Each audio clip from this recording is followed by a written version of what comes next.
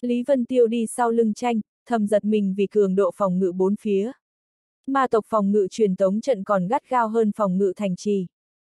Nhưng nghĩ đến truyền tống trận khan hiếm trong ma giới thì Lý Vân Tiêu không thấy lạ nữa.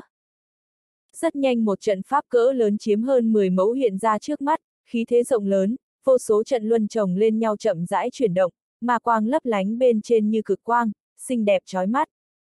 Nhiều ma tộc bay tới bay lui trong đó xếp hàng các cực phẩm ma nguyên thạch tổ thành năng lượng cần thiết cho việc truyền tống. Lý Vân Tiêu cẩn thận quan sát trận pháp, khác với truyền tống trận của thiên vũ giới, uy năng càng to lớn hơn. Lý Vân Tiêu nhíu mày hỏi. Mỗi lần truyền tống đều rắc rối vậy sao? Tranh gật đầu nói.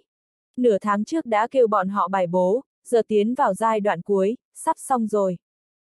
Mắt Nguyệt buồn bã, bi thương cố gượng cười. Lý Đại Nhân đi đường nhớ cẩn thận. Lý Vân Tiêu gật đầu nói. Ta sẽ. Tranh nhìn dáng vẻ của hai người. Cười cười. Rất nhanh siêu truyền tống trận bày xong cực phẩm ma nguyên thạch, một ma quân chạy nhanh đến báo cáo. Tất cả ổn thỏa, có thể truyền tống. Lý Vân Tiêu lập tức từ biệt mọi người đi vào truyền tống trận. Khi Lý Vân Tiêu đứng giữa truyền tống trận thì cảm giác chân lơ lửng như có ma lực đưa hắn bay lên.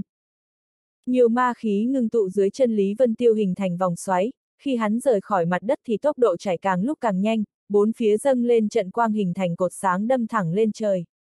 Người ngoài thấp thoáng thấy bóng người bên trong, dây lát bóng dáng biến mất cùng cột sáng. Ánh sáng chói lòa trên trận pháp giữ thật lâu mới mất. Tranh chợt cười hỏi. Có phải ngươi thích Lý Vân Tiêu không? Nguyệt khẽ run, cười khổ nói. Tranh đại nhân nói đùa kỳ quá. Tranh chống cầm lẩm bẩm. Nhưng đúng là kỳ, nếu thích thì các ngươi có thể bên nhau không? Dù sao cấu tạo thân hình này nó hoàn toàn khác, có thể âm dương kết hợp sao? Nguyệt ngây người, gò má đỏ rực tức giận nói. Đại nhân nói bậy bạ gì vậy? He he, ta không nói nữa. Tranh rút đi trêu cợt, liếc Nguyệt một cái, đổi đề tài. Ngươi đừng quá buồn, có lẽ rất nhanh sẽ gặp lại nhau. Nguyệt giật mình hỏi. Ý đại nhân là Lý Vân Tiêu tìm đến Thánh Băng Ngọc. Tranh gật đầu nói. Thánh Băng Ngọc là thánh vật hiếm hoi trong ma giới có thể tăng xác suất tùn kích thánh ma cảnh, không biết bao nhiêu cường giả ma tôn cảnh dòm ngó nó. Nhưng nhiều năm qua chưa thấy ai có được, nếu là Lý Vân Tiêu thì báu vật có linh chủ, chuyện này cần cơ duyên. Nguyệt cười khổ, nàng không ôm hy vọng cơ may Lý Vân Tiêu có được thánh băng ngọc. Tranh gật đầu nói, hắn là người có khí vận lớn, đừng lo thay hắn, nhưng về phần ngươi, chi phí siêu truyền tống đại trận. Nguyệt liên tục gật đầu, nói, đại nhân yên tâm, số tiền này chắc chắn Nguyệt bộ ta không trả nổi, đành bán mạng cho đại nhân để bù lại. Ha ha! Tranh cười nói. Đã cho ngươi ngọc giản của lỗ thông tử, hãy cố gắng nghiên cứu, sau này ngươi sẽ là thuật luyện sư số một của tranh bộ ta. Nguyệt gật đầu nói. Ta sẽ cố hết sức, ta cũng rất có hứng thú với mấy thứ đó. Nghĩ đến tư liệu trong ngọc giản làm mắt Nguyệt sáng rực. Hơn tháng sau, một chỗ đất hoang trong ma giới. Nhiệt độ không khí nơi này nóng cháy, mặt đất do đá tổ thành, bốn phía không mọc cỏ cây, chỉ có mấy gốc cây khô to lớn dường như không chịu nổi nhiệt độ cao đã bốc cháy. Có hơn 10 ma tộc mặc áo choàng, một ít ma cầm, ma thú bị đoàn khói đen to bao vây vào giữa trong nhiệt độ cực nóng. Những áo choàng của các ma tộc rách dưới lộ ra làn da đỏ rực, có vẻ yếu ớt. Những ma thú, ma cầm kiệt sức chúng nó che chủ nhân sau lưng mình, miệng phun ra lửa nóng cháy phối hợp chủ nhân đối phó những luồng khói đen. Trong ma khí phát ra nhiều tiếng vù vù, nếu nhìn kỹ sẽ phát ra ma khí đó thật ra là một loại ma trùng. Những ma trùng thân thể dẹp dài, cánh đen sáng bóng, miệng như móc câu, nó tên là ma câu trùng. Những ma tộc tuy không ngừng công kích nhưng ma câu trùng tổ thành khói đen chẳng ít đi chút nào, tiếng vù vù càng dữ dội hơn, chúng nó điên cuồng gặm cắn bình chướng ma khí bảo vệ mấy người. Mắt thấy vòng chiến không ngừng thu nhỏ, những người đó sắp không chống đỡ nổi nữa. Một ma tộc thực lực hơi mạnh nói nhanh.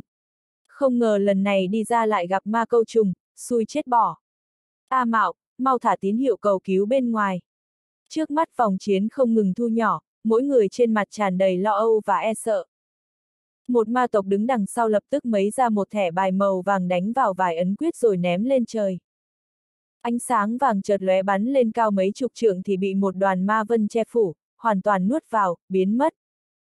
Mọi người biến sắc mặt, mặt xám như cho tàn. Ma tộc lãnh tụ đoàn người kinh hoàng hét lên. Sao có thể như vậy? Ma câu trùng công kích càng mãnh liệt hơn, đã có vài con ma thú bị rất nhiều ma câu trùng bám vào người, chớp mắt bị ăn sạch như chưa từng tồn tại. A Mạo hét to. Không được, cứ tiếp tục thế này thì chết chắc. Chúng ta hợp tác chém ra một con đường rồi chia nhau chạy, chạy được bao xa hay bấy nhiêu, có lẽ sẽ có một, hai người sống sót. Chán A Mạo nổi gân xanh, tràn đầy sốt ruột. Lãnh tụ cắn răng nói. Được rồi, chỉ còn cách này. Hơn 10 ma tộc mặt trắng bệch, vì thực lực của bọn họ thấp nên khả năng sống rất nhỏ. Đột nhiên một ma tộc la lên. Mau nhìn kìa, có người đến. Mọi người vội vàng ngước lên nhìn trời. Dưới ánh mặt trời nóng cháy có một trận bàn luân chuyển màu tím đen xuất hiện tỏa ra ma quang chiếu sáng vạn dặm, ma khí tràn ra, hơi thở cường đại bắn tung. Một bóng đen đưa lưng hướng mặt trời đứng trên trận luân. Từ khi từ trận luân xuất hiện chỉ vài giây, trận luân như hết sức chống đỡ, nó bỗng vỡ ra. đốm ma quang ẩn vào hư không, bóng người không có gì đỡ nhanh chóng lao xuống. Vì trùng kích quá lớn nên bóng đen rớt xuống sát đất mới ổn định thân hình. Đám ma tộc bất chấp người tới là ai, tất cả liều mạng hét to, trong thanh âm tràn ngập sốt ruột và mừng rỡ. Đại nhân, cứu mạng. Người tới ngẩng đầu lên, cao mày nhìn trời lại xem mặt đất và bốn phía, biểu tình cực kỳ khó xem. Người đó thì thào, chuyện ở banlong.us. Tại sao nhiệt độ cao vậy? Chẳng lẽ truyền tống có vấn đề gì? Người này là Lý Vân Tiêu, hắn ở trong đường hầm không gian hơn một tháng, khó khăn lắm mới đi ra nhưng hoàn cảnh bốn phía khác hẳn với, băng. Cơ thể Lý Vân Tiêu mạnh mẽ vậy mà vẫn cảm nhận được nhiệt độ nóng cháy. Đám ma tộc nôn nóng hét to. Đại nhân cứu mạng, chúng ta là kim bộ nguyên quận, chỉ cần đại nhân cứu chúng ta thì bộ tộc nhất định sẽ tạ ơn hậu hĩnh. Bọn họ xem Lý Vân Tiêu là cọng cỏ cứu mạng. Thủ lĩnh hét lớn. Trên người chúng ta có không dưới một ngàn phương cực phẩm ma nguyên thạch, chỉ cần đại nhân chịu ra tay thì những ma nguyên thạch này toàn là của đại nhân, không thì bị những ma câu trùng dính vào sẽ hỏng hết. Lý Vân Tiêu lộ vẻ mặt mừng rỡ. Nguyên quận. Nét mặt Lý Vân Tiêu mừng rỡ, hắn quan sát những ma câu trùng rồi bay tới cách trăm trượng thì ngừng. Lý Vân Tiêu hỏi. Các ngươi đều là người nguyên quận, nơi này cách nguyên quận bao xa? Đám người nghe xong liền hiểu. A Mạo vội nói. Đại nhân cứ chúng ta đi rồi chúng ta dẫn đại nhân đi nguyên quận, thù lao cũng sẽ không ít. Lý Vân Tiêu đồng ý ngay. Được. Lý Vân Tiêu lăng không chộp, tiếu ngạo hồng trần rơi vào tay hắn, đón gió biến thành quạt ba tiêu. Những ma câu trùng hình như cảm ứng được nguy hiểm, một phần kêu vù vù tách ra bay hướng Lý Vân Tiêu. Lý Vân Tiêu vung tay lên quạt một cái, trong phút chốc cuồng phong gào thét, lực lượng khủng bố thổi qua. Những ma câu trùng bị lực lượng phong hỏa chấn nổ tan xác, tiếng nổ đi đùng không dứt bên tai. Những người ma tộc thấy Lý Vân Tiêu ra tay thì mừng rỡ, đặc biệt sau khi chia nhỏ ma câu trùng ra thì cảm giác áp lực giảm bớt. Nhưng Lý Vân Tiêu quạt một cái giải quyết hết tất cả sâu, bọn họ trợn mắt há hốc mồm nhìn. Đám người chưa phản ứng lại chợt cảm giác có lực lượng buông xuống cạnh mình, là Lý Vân Tiêu thuấn dị tới. Tay Lý Vân Tiêu cầm tiếu ngạo hồng trần quạt, lực lượng cuồng bạo khuếch tán bốn phương tám hướng. Bùm bùm bùm bùm bùm. Một chuỗi tiếng nổ, những con ma câu trùng không có cơ hội trộn đã vỡ nát thành phấn, háo thành ma khí tinh thuần nhất. Cái này, đam ma tộc đứng ngây tại chỗ, hoàn toàn không kịp phản ứng, biến đổi sinh tử quá nhanh. Lý Vân Tiêu cất cây quạt. Dẫn ta đi nguyên quận nào. Những ma tộc thế mới phản ứng lại, vội vàng khom người vái, liên tiếp cảm ơn. Thủ lĩnh nói ngay. Đại nhân mới đến nguyên quận đúng không? Chúng ta đang định trở lại đây, mời đại nhân đi theo chúng ta. Lý Vân Tiêu không giấu giếm. Đúng là ta lần đầu tiên đến, các người hãy đi trước dẫn đường, vừa đi vừa nói cho ta nghe một số thưởng thức nguyên quận. Rõ. Người này vừa ra tay đã làm bọn họ cảm thấy uy hiếp, những ma quân dĩ nhiên không dám làm phật lòng, cả đám đi đằng trước dẫn đường. Trên đường thủ lĩnh kể một số việc liên quan nguyên quận, Lý Vân Tiêu thường sẽ xen lời vài câu, đặt câu hỏi. Dọc đường thỉnh thoảng gặp một số ma vật cường đại đều bị Lý Vân Tiêu dễ dàng giơ ngón tay một cái liền diệt. Đám người ma tộc càng hết sức giật mình, thầm suy đoán thực lực của Lý Vân Tiêu rồi lại không thể khẳng định. Không bao lâu Lý Vân Tiêu đã hiểu biết đại khái tình huống cơ bản của nguyên quận. Lý Vân Tiêu mở miệng hỏi. Các người có từng nghe qua hóa lân ma cốt không? Mấy ma tộc sửng sốt. Hóa lân ma cốt. Thống lĩnh cười hỏi. Đại nhân đến nguyên quận chẳng lẽ là vì hóa lân ma cốt? Lý Vân Tiêu xem dáng vẻ của bọn họ là lạ, bình tĩnh hỏi. Như thế nào, có cái gì không đúng sao? Không không, đương nhiên không có. Thủ lĩnh thấy Lý Vân Tiêu hơi khó chịu thì giật nảy mình, vội vàng lắc đầu xua tay. Hóa lân ma cốt đúng là đặc sản của nguyên quận, ta quên nói, không ngờ đại nhân đến thu mua nó. Thu mua? Lý Vân Tiêu ngẩn người hỏi. Có hóa lân ma cốt nhiều lắm sao? Thống lĩnh cười hỏi lại. Đại nhân có biết hóa lân ma cốt hình thành như thế nào không? Lý Vân Tiêu cau mày, hơi giận. Thống lĩnh mặt trắng bệch, không dám nhử nữa, gã giải thích. Hóa lân ma cốt thật ra là do di hài ma vật cường đại sau khi chết biến thành. Lý Vân Tiêu nhíu mày hỏi. Sau khi chết chẳng phải đèo háo thành ma khí tinh thuần sao? Làm sao có thể ngưng tụ thành vật? Lý Vân Tiêu chợt nhớ điều gì? Hay nó giống với ma lâm ngọc? Ma lâm ngọc. Đám người ma tộc 541 khoang mang, không hiểu đó là gì. Chỉ có A Mạo hoàn toàn kinh kêu. Đại, đại nhân đến vì, ma lâm ngọc. Mắt Lý Vân Tiêu lóe tia sáng hỏi. Chẳng lẽ nguyên quận có ma lâm ngọc? Những người khác thắc mắc nhìn A Mạo, không biết ma lâm ngọc là vật gì, làm sao A Mạo biết?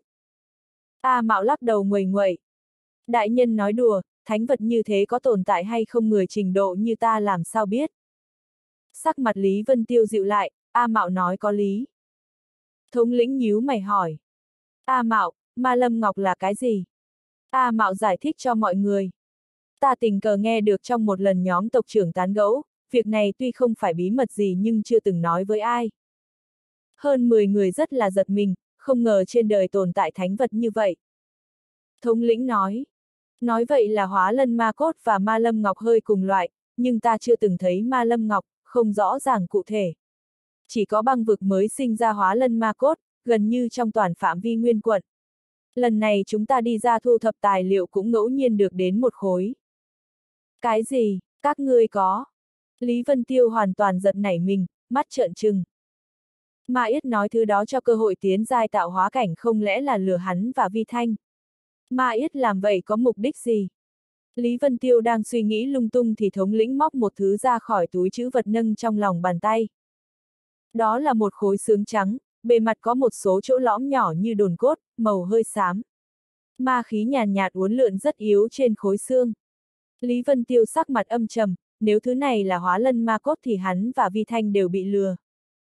Thứ trước mắt ẩn chứa năng lượng tuyệt đối không cao hơn một con thập phương hung hồn sát, dù ăn hết, tiêu hóa trăm phần trăm cũng không tăng cao tu vi một chút gì cho hắn. Thống lĩnh cảm nhận được cảm xúc của Lý Vân Tiêu, sợ hãi lắp bắp hỏi. Đại, đại nhân. Lý Vân Tiêu sắc mặt âm trầm hỏi. Thứ này chính là hóa lân ma cốt, ngươi xác định không lừa ta. Nếu lừa ta thì các ngươi nên biết kết cuộc là gì. Thống lĩnh run rẩy nói. Tuyệt đối không dám lừa đại nhân, nhưng đây là hóa lân ma cốt trình độ thấp, có lẽ không lọt vào pháp nhãn của đại nhân. Trình độ. Lý Vân Tiêu hỏi. Trình độ là sao, chẳng lẽ thứ này có chia đẳng cấp? Thống lĩnh gật đầu ngay. Đúng vậy, hóa lân ma cốt phân chia đẳng cấp tùy theo ma tộc trước khi, trạng thái lúc chết, thời gian và hoàn cảnh vân vân hình thành trong mặt đất quyết định. Khói trong tay tại hạ cấp thấp, chắc do một con 20 trình độ nửa bước ma quân ngưng tụ, thời gian thành hình không quá lâu. Lý Vân Tiêu thở phào, hắn hỏi. Hóa ra là vậy, hóa lân ma cốt cao cấp nhất chắc do ma tôn biến thành. Vị thống lĩnh kia đáp. Đúng vậy, nhưng đây cũng chỉ là suy đoán của tiểu nhân bởi vì căn bản không có căn cứ. Hơn nữa ngoại trừ yếu tố bản thể trước kia của hoa lân ma cốt ra thì hoàn cảnh và thời gian cũng phi thường trọng yếu. Lý Vân Tiêu nói, thời gian chẳng phải là càng lâu càng tốt sao, lại cần hoàn cảnh như thế nào? Vị thống lĩnh kia nói, đúng là càng lâu càng tốt, bởi vì toàn bộ băng vực, đặc biệt là khu vực nguyên quận, có một loại thánh vật thần kỳ, tên là thánh băng ngọc. Vật ấy vô ảnh vô hình, cũng chỉ là đồn đại trong truyền thuyết, nhưng toàn bộ bên trong nguyên quận, xác thực có sức mạnh cường đại của thánh băng ngọc. Cũng là nhiễm phải loại sức mạnh này, ma tộc chết rồi mới có khả năng hình thành làm hóa lân ma cốt. Thánh băng ngọc, truyền thuyết. Lý Vân Tiêu trầm tư nói. Nói như vậy, hóa lân ma cốt thực sự tồn tại, còn cái thánh băng ngọc kia hẳn cũng chưa có người chiếm được đúng không? Điều này ta cũng không biết, nhưng đúng là có không ít nghe đồn, thậm chí từng có cường đại ma tôn giáng lâm nguyên quận, cũng vì tranh cướp thánh băng ngọc, nhưng cho tới bây giờ chưa từng nghe nói có ai chiếm được. Thống lĩnh giải thích, Lý Vân Tiêu nói, ta đã đại khái hiểu, nếu là muốn tìm kiếm tốt nhất hóa lân ma cốt, phải làm thế nào đây? Tốt nhất, hơn 10 người đều trầm mặc, A Mạo nói. Nên đi phù đồ hành lang, hoặc là tìm tam đại thế tộc của nguyên quận, nhưng cũng không chắc chắn lắm. Những người còn lại nghe thấy bốn chữ phù đồ hành lang, đều là hoàn toàn biến sắc. Lý Vân Tiêu nói, này phù đồ hành lang lại là xảy ra chuyện gì, tam đại thế tộc theo thứ tự là những thế tộc nào? Lần này không đợi A Mạo trả lời, thống lĩnh kia đã nói. Phù đồ hành lang chính là khu vực hung hiểm nhất nguyên quận, nhưng bên trong xác thực tồn tại lượng lớn hóa lân ma cốt, đồng thời cấp độ cũng rất cao. Đúng là có thể tìm tới ma tôn cấp bậc hóa lân ma cốt ở nơi đó. Còn tam đại thế tộc, theo thứ tự là, quá, ba, phi.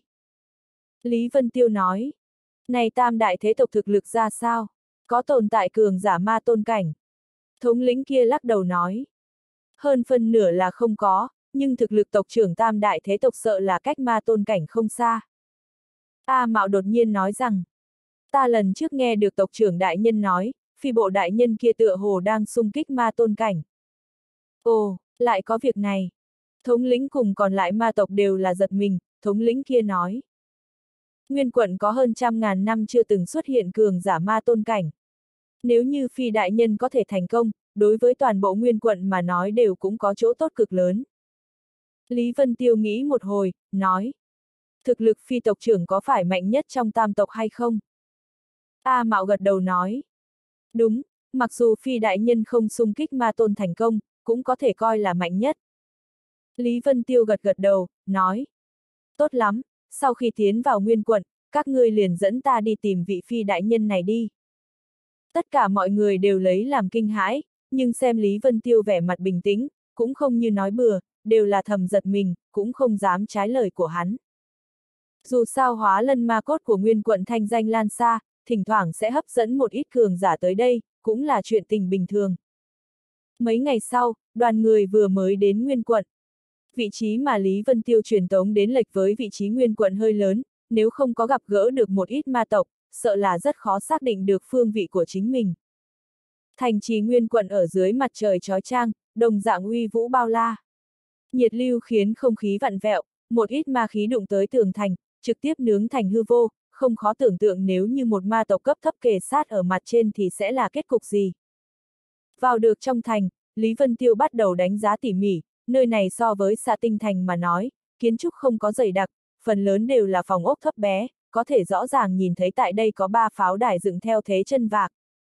Mới vừa đi qua khu vực ngoại vi của thành trì, tại một chỗ rẽ, một ít ma tộc liền ngừng lại, thống lĩnh kia có chút lúng túng nói.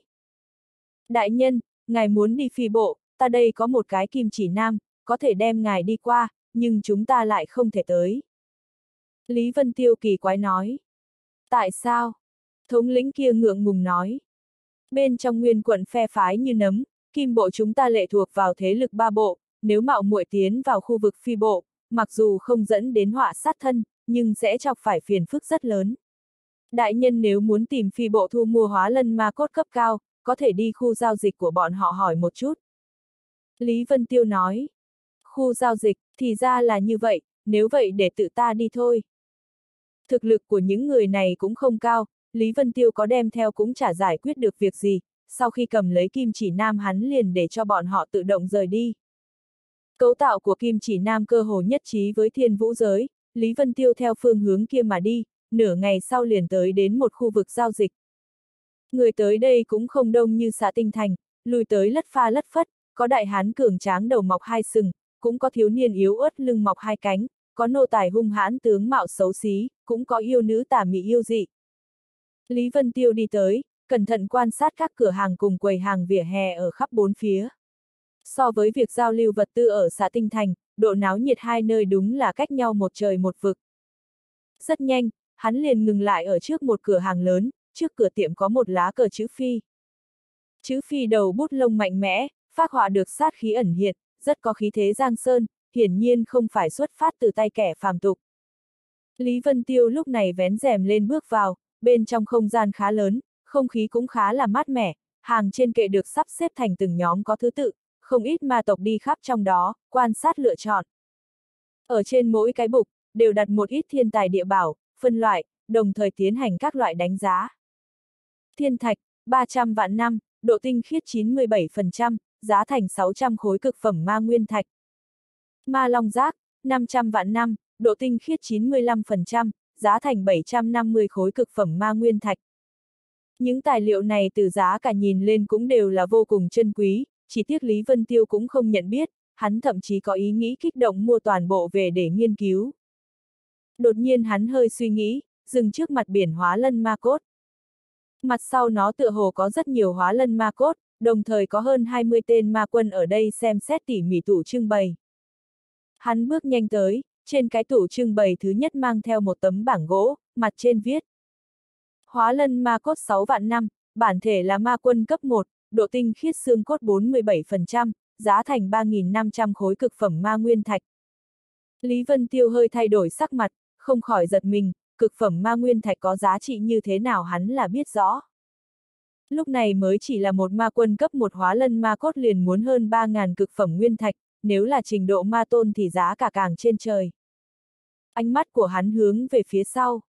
Hóa lân ma cốt 9 vạn 7.000 năm, bản thể là ma quân cấp 1, xương cốt độ tinh khiết 63%, giá thành 4.900 khối cực phẩm ma nguyên thạch. Hắn một đường nhìn sang, càng về sau quả nhiên là giá trị càng cao, đi tới cái cuối cùng, trên đó viết. Hóa lân ma cốt 32 vạn năm, bản thể là tử sắc thiên tinh, xương cốt độ tinh khiết 83%, giá thành 70.000 khối cực phẩm ma nguyên thạch. 70.000. Lý Vân Tiêu mí mắt nhảy lên kịch liệt một hồi, mặc dù là toàn bộ nguyệt bộ cũng chưa chắc cầm ra được nhiều cực phẩm ma nguyên thạch như vậy. Vây quanh cái cái tủ trưng bày cuối cùng này, trừ hắn ra, còn có hai gã ma quân khác, tất cả đều hai mắt tỏa sáng, nhìn chằm chằm hóa lân ma cốt, còn không kiềm được mà liếm môi. Vừa nhìn chính là cái loại người vạn phần khát vọng, rồi lại mua không nổi, không có một chút cốt khí nào. Nhìn cái gì vậy? Một ma quân đã nhận ra Lý Vân Tiêu đang nhìn hắn, nhổ ngụm nước bọt vẻ mặt căm tức. Lý Vân Tiêu vội nói. Thật xin lỗi, tại hạ chỉ là thấy đại nhân nhìn chằm chằm hóa lân ma cốt này hơn nửa giờ, không nháy mắt một cái như vậy, tuyệt đối không phải người bình thường có thể làm được, vì lẽ đó không nhịn được chiêm ngưỡng một phen. Ma quân kia cả giận nói. Hơn nửa giờ, ngươi đang ở đây dám sát ta. Lý Vân Tiêu khoát tay nói.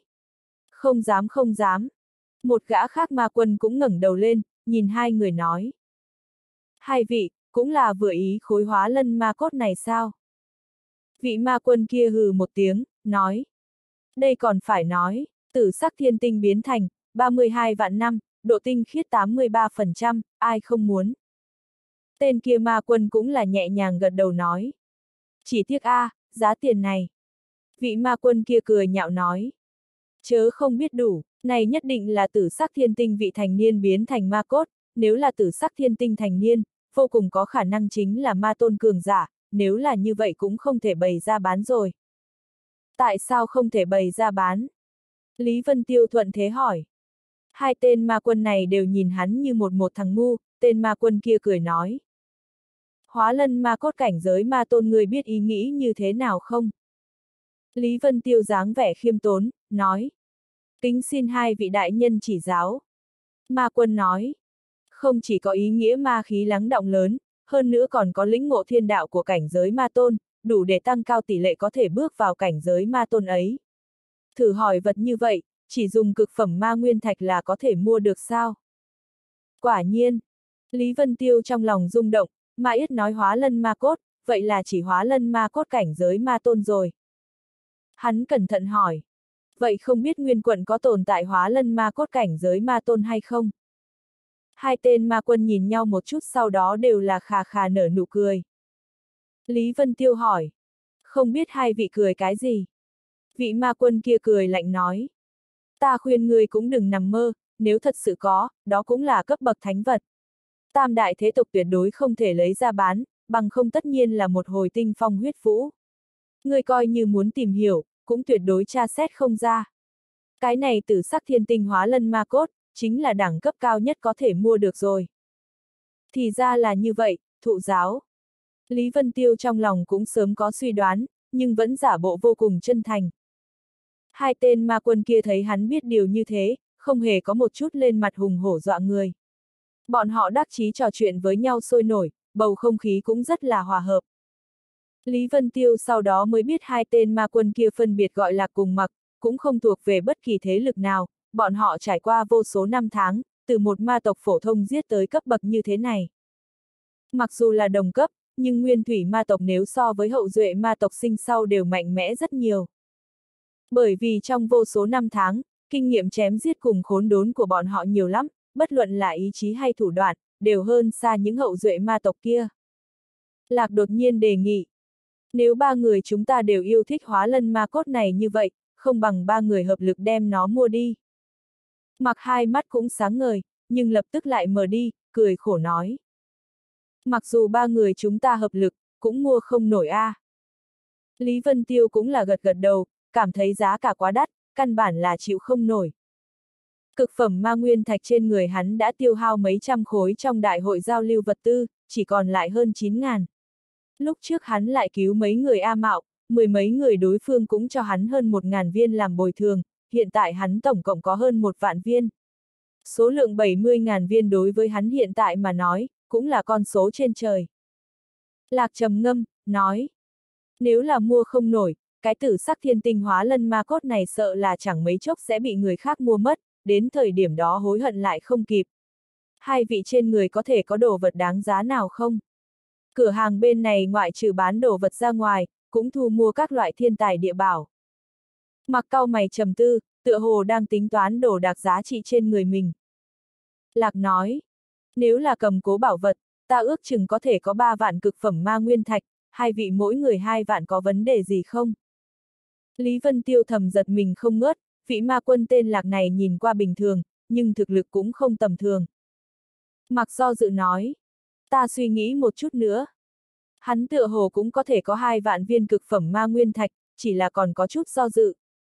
Lạc gật gật đầu, nhìn phía Lý Vân Tiêu nói. Vị bằng hữu này thế nào? Lý Vân Tiêu nói.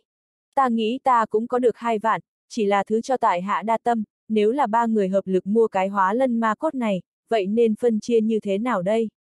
Tại hạ thực lực thấp kém, sợ cuối cùng sẽ phải làm áo cưới dùm kẻ khác không công đây. Lạc khẽ mỉm cười, nói. Lý huynh thật là biết khiêm tốn, dưới cái nhìn của ta, thực lực của huynh sợ cũng không thua mặc huynh đây chút nào.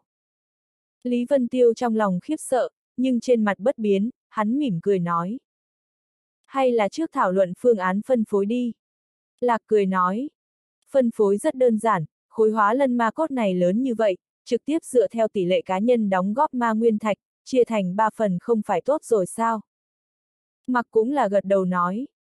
Không sai, tuy rằng chia ra sẽ tổn thương đến giá trị của hóa lân ma cốt, nhưng chỉ có cái biện pháp này mới có thể làm cho tất cả mọi người tâm phục, đồng thời cũng là có lợi. Lý Vân Tiêu gật đầu nói. Đã phân phối như vậy, vậy ta tự nhiên là không ý kiến. Tuy nói trước mắt cái hóa lân ma cốt này đối với tu vi của hắn trợ giúp không lớn, nhưng có thể sớm tiếp xúc một chút, hiểu thêm một ít tình huống của hóa lân ma cốt cũng chung quy là tốt đẹp. Mà cũng đang ở trong lúc đó, ở trong nội các của cửa hàng nơi này, trong một gian xa hoa. Căn phòng kia bốn phía suýt màn tơ, cái bàn giường đều tự tản ra sự mát mẻ, vô cùng bất phàm, liền ngay cả trang trí cũng là các loại bảo vật kỳ thạch, chính là những đồ vật ngoại giới hiếm thấy. Giữa bàn đặt một lư hương tử kim, mùi hương thoang thoảng lượn lờ, một người con gái tính tọa trước án. Tiểu thư, đồ vật đem ra rồi. Ở trước mặt cô gái, một vị ma quân thân thể khôi ngô khuôn mặt xấu xí cung cung kính kính, bưng lên một hộp ngọc dài, hai tay giơ cao khỏi đỉnh đầu, quỳ gối trước mặt cô gái kia. Bàn tay giao tinh tế sờ vuốt cái hộp ngọc, thần sắc trên mặt hơi biến hóa, tựa hồ đang cảm ứng vật bên trong. Chờ thu tay về đến, trên mặt nàng không khỏi mang theo thần sắc vui mừng, nói. Quả nhiên là vật ấy, khí thức cường đại làm người ta khó có thể tin. Điển đại nhân, khổ cực ngươi. Cái kia ma quân cười nói. Là chuyện ta phải làm. Giao nhẹ nhàng lắc đầu nói. Nhiều năm như vậy, vẫn luôn là điển đại nhân chăm sóc chuyện làm ăn của bộ tộc, làm cho phi bộ của ta một ngày thu đấu vàng, phát triển trở thành quy mô ngày hôm nay, đại nhân không thể không kể công. Sau khi trở về ta tất nhiên hướng về phụ thân nêu ý kiến, vì đại nhân tranh công. Điển mừng như điên, kích động nói. Đa tạ tiểu thư. Giao gật đầu nói. Điển đại nhân các loại tục sự bận rộn, nếu như không còn chuyện gì khác, ta liền đi về trước. Một tên nha hoàn phía sau nàng lập tức tiến lên, đem cái hộp ngọc kia cất đi. Vâng, tiểu thư. Điền đột nhiên do dự, dáng vẻ muốn nói lại thôi. Giao nhíu mày nói. Có gì cứ việc nói thẳng, nếu là tương lai đem người triệu hồi trong bộ tộc, người cũng tất nhiên là tâm phúc của ta. Ta ghét nhất người nói chuyện lề mề. Dạ, dạ. Điền trong lòng hoảng một hồi, vội vàng nói. Trong điếm còn có một cái tử sắc thiên tinh hóa lân ma cốt, chẳng qua là vị thành niên tử sắc thiên tinh, niên đại 32 vạn năm, xương cốt độ tinh khiết 82%, không biết tiểu thư có cần hay không. Vị thành niên tử sắc thiên tinh, niên đại 32 vạn năm. Giao sửng sốt một chút, sắc mặt có chút cổ quái, nói. Đầu tử sắc thiên tinh kia cùng con này có quan hệ gì sao? Sao niên đại giống nhau vậy? Điền cười hì hì, nói. Theo tiểu nhân suy đoán, hai con tử sắc thiên tinh này hẳn là quan hệ mẹ con, chẳng biết vì sao đều bỏ mạng ở phù đồ hành lang. Mẹ con! Giao sừng sốt một chút, lập tức trầm ngâm nói. Đã như vậy, vậy cũng lấy tới đi.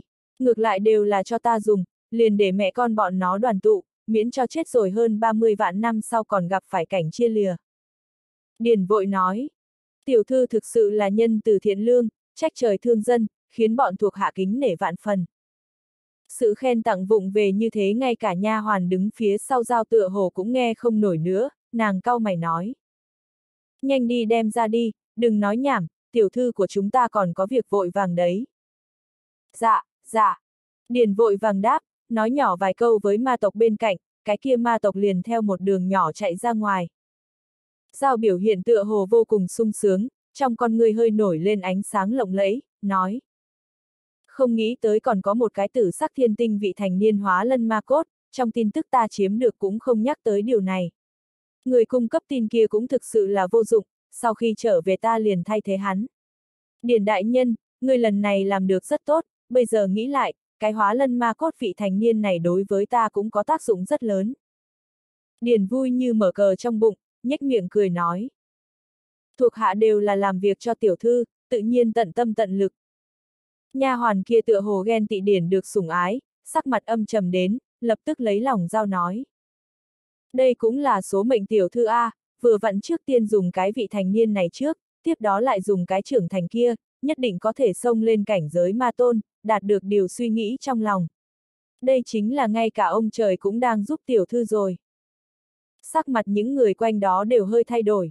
Dù sao từ ma tôn kia quá nhạy cảm, vô cùng dễ dàng xúc động thần kinh người ta vị tên điển kia cũng là sửng sốt một chút, hồ nghi nói. Tiểu thư vừa thăng lên cấp 2 ma quân cũng không lâu lắm đúng không?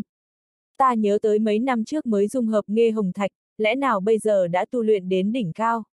Ai nha, tiểu thư thật đúng là thiên cổ tới nay nguyên quận đệ nhất kỳ tài nha. Điền tỏ ra dáng dấp khiếp sợ, nịnh nọt tân bốc nói. Giao lông mày hơi ngưng lại, lắc đầu nói. Ta còn không tới ma quân đỉnh cao, cự ly còn rất xa. Chỉ có điều đột nhiên có một lần gặp cơ duyên, cần tăng cao thực lực gấp, lúc này mới cần hóa lân ma cốt phẩm chất cao. Bằng không cũng phải tạm gác lại đến ma quân đỉnh cao mới dùng. Lần này dùng, cũng không biết là họa hay phúc, hết thảy đều xem thiên ý rồi. Sao vậy, lẽ nào xảy ra đại sự gì? Lại muốn tiểu thư sớm sử dụng hóa lân ma cốt? Điền cả kinh nói.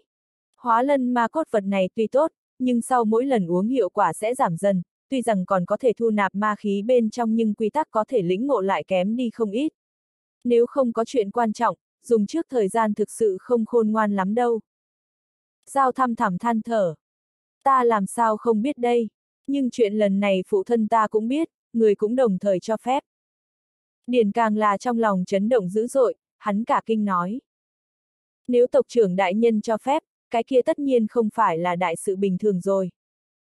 Lời này nói vừa xong, tên ma tộc ban nãy được hắn bảo chạy đi kia lại chạy trở về, đầu đầy mồ hôi, vội vàng nói. Điền đại nhân, không tốt, gặp phải phiền toái. Điền sầm mặt lại, khiển trách. Sợ cái gì chứ, chấn tĩnh lại cho ta. Tiểu thư đang ở đây, đừng làm ta mất mặt. Dạ, dạ. Tên ma tộc kia lau mồ hôi trên trán, lúc này mới chấn định một ít. Điển nói. Bây giờ nói đi, không phải cho ngươi đi lấy cái hóa lân ma cốt kia sao? Gặp phải phiền toái gì? Tên ma tộc kia vội nói. Có ba vị khách nhân nói muốn mua cái hóa lân ma cốt kia, sau khi chúng ta nói không bán, bọn họ liền không buông tha, nói nhất định phải mua. Nực cười. Điền giận dữ nói. Thực sự là chuyện nực cười. Cái hóa lân ma cốt này toàn bộ thuộc về phi bộ chúng ta. Chúng ta muốn bán liền bán, không muốn bán sẽ không bán, người nào dám gan to bằng trời, lại còn quyết không buông tha. Người mau đi tới nói cho bọn chúng biết, ta nhất quyết không bán. Ba người kia nếu như muốn gây sự, vậy thì bắt bọn chúng lại coi như vật liệu đưa đi phù đồ hành lang, chờ mấy vạn năm sau bọn họ cũng sẽ tỏa hóa thành hóa lân ma cốt rồi. Này, chuyện này, tên ma tộc kia lắp bắp nói. Nhưng mà thực lực của ba vị ma quân kia tựa hồ không tầm thường.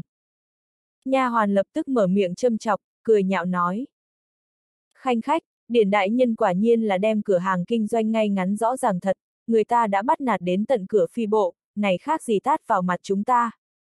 Cái gọi là lòng dạ đàn bà là độc ác nhất, nha hoàn vừa châm chọc như thế, điển nhất thời mặt đỏ lên, trướng thành quả cà, thấy giao nhìn mình hờ hững coi thường, thật giống hoàn toàn không quan tâm dáng dấp, một trái tim hắn lập tức chìm xuống dưới. Hắn sợ mình vừa đạt được một chút hảo cảm liền mất, nhất thời một tát đem tên ma tộc kia đánh bay, giận dữ hét. Thực lực không tầm thường cỡ nào, có thực lực không tầm thường đi nữa cũng không dám ngang ngược trước mặt phi bộ của ta. Đều đi theo ta. Dứt lời, điển liền dẫn cường giả trong điếm ra, đằng đằng sát khí hướng về phía cửa hàng. Giờ khắc này trong cửa hàng, tụ tập đại lượng ma quân, tất cả đều tụ tập ở xung quanh bốn phía, đem Lý Vân Tiêu ba người vây quanh. Những người còn lại trong cửa hàng cũng đều được sơ tán đi, để tránh khỏi bị liên lụy. Lạc cười lạnh nói, nếu như đã mở cửa làm ăn, thì cũng phải giảng đạo lý, mà không phải nói nắm đấm chứ. Nếu là muốn nói nắm đấm, vậy ai còn tới phi bộ buôn bán? Một tên ma tộc cao gầy của cửa hàng nói. Vừa nãy điếm chủ chúng ta đã truyền lệnh xuống, cái hóa lân ma cốt này không bán, ba vị hà tất khổ sở làm khó. Nếu nói buôn bán tự do, làm sao có thể mạnh mẽ muốn mua? Lạc trừng mắt cả giận nói. Nếu không phải bán, bày ra làm gì? Còn ghi rõ giá cả ở phía trên, cố ý đùa bỡn chúng ta chứ gì? Lão tử tới cửa hàng này, chuyên môn xem cái hóa lân ma cốt kia đã ba ngày, hiện tại đang muốn mua, người lại nói với ta là không bán. Người đùa bỡn ai đó? Mặc cũng là gật đầu nói. Công đạo tự tại lòng người, chư vị cũng có thể phân xử thử xem. Những ma tộc tụ tập chỗ cửa cũng bắt đầu nói nhỏ, tình cảnh ồn ào lên, tất cả mọi người ai cũng biểu đạt ý kiến. Đúng vậy a, à, cái hóa lân ma cốt này ta cũng nhìn mấy ngày, chính là không có tiền mua, bây giờ người ta muốn mua lại không bán, thật lạ nha. Ha ha, người ta phi bộ ỉ cửa hàng lớn bắt nạt khách, mà dù có bắt nạt ngươi, ngươi có thể làm gì? Ngươi dám khó chịu sao? Ba tiểu tử này xem ra là đầu óc dính nước, dám ở phi bộ gây sự, coi như hiện tại ban ngày ban mặt không ai dám động bọn họ. Chỉ cần rời đi cái tiệm này, sợ là liền xong đời.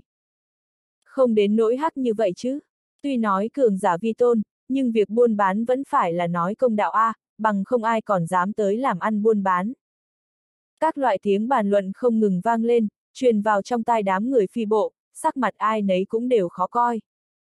Dù sao bọn họ bộ tộc thế lớn, khó tránh khỏi làm cho người ta nghĩ tới kiểu cửa hàng lớn bắt nạt khách, vì lẽ đó nghị luận bên trong phần nhiều là thiên hướng ba người. Ai dám nói cửa hàng phi bộ chúng ta bắt nạt khách? Đột nhiên một đạo thanh âm quát chói tai từ trong điện truyền đến, theo ánh mắt của mọi người nhìn tới, điển đang mang theo rất nhiều cường giả sải bước tiêu sái tới. Chính là ba tên các người gây sự sao?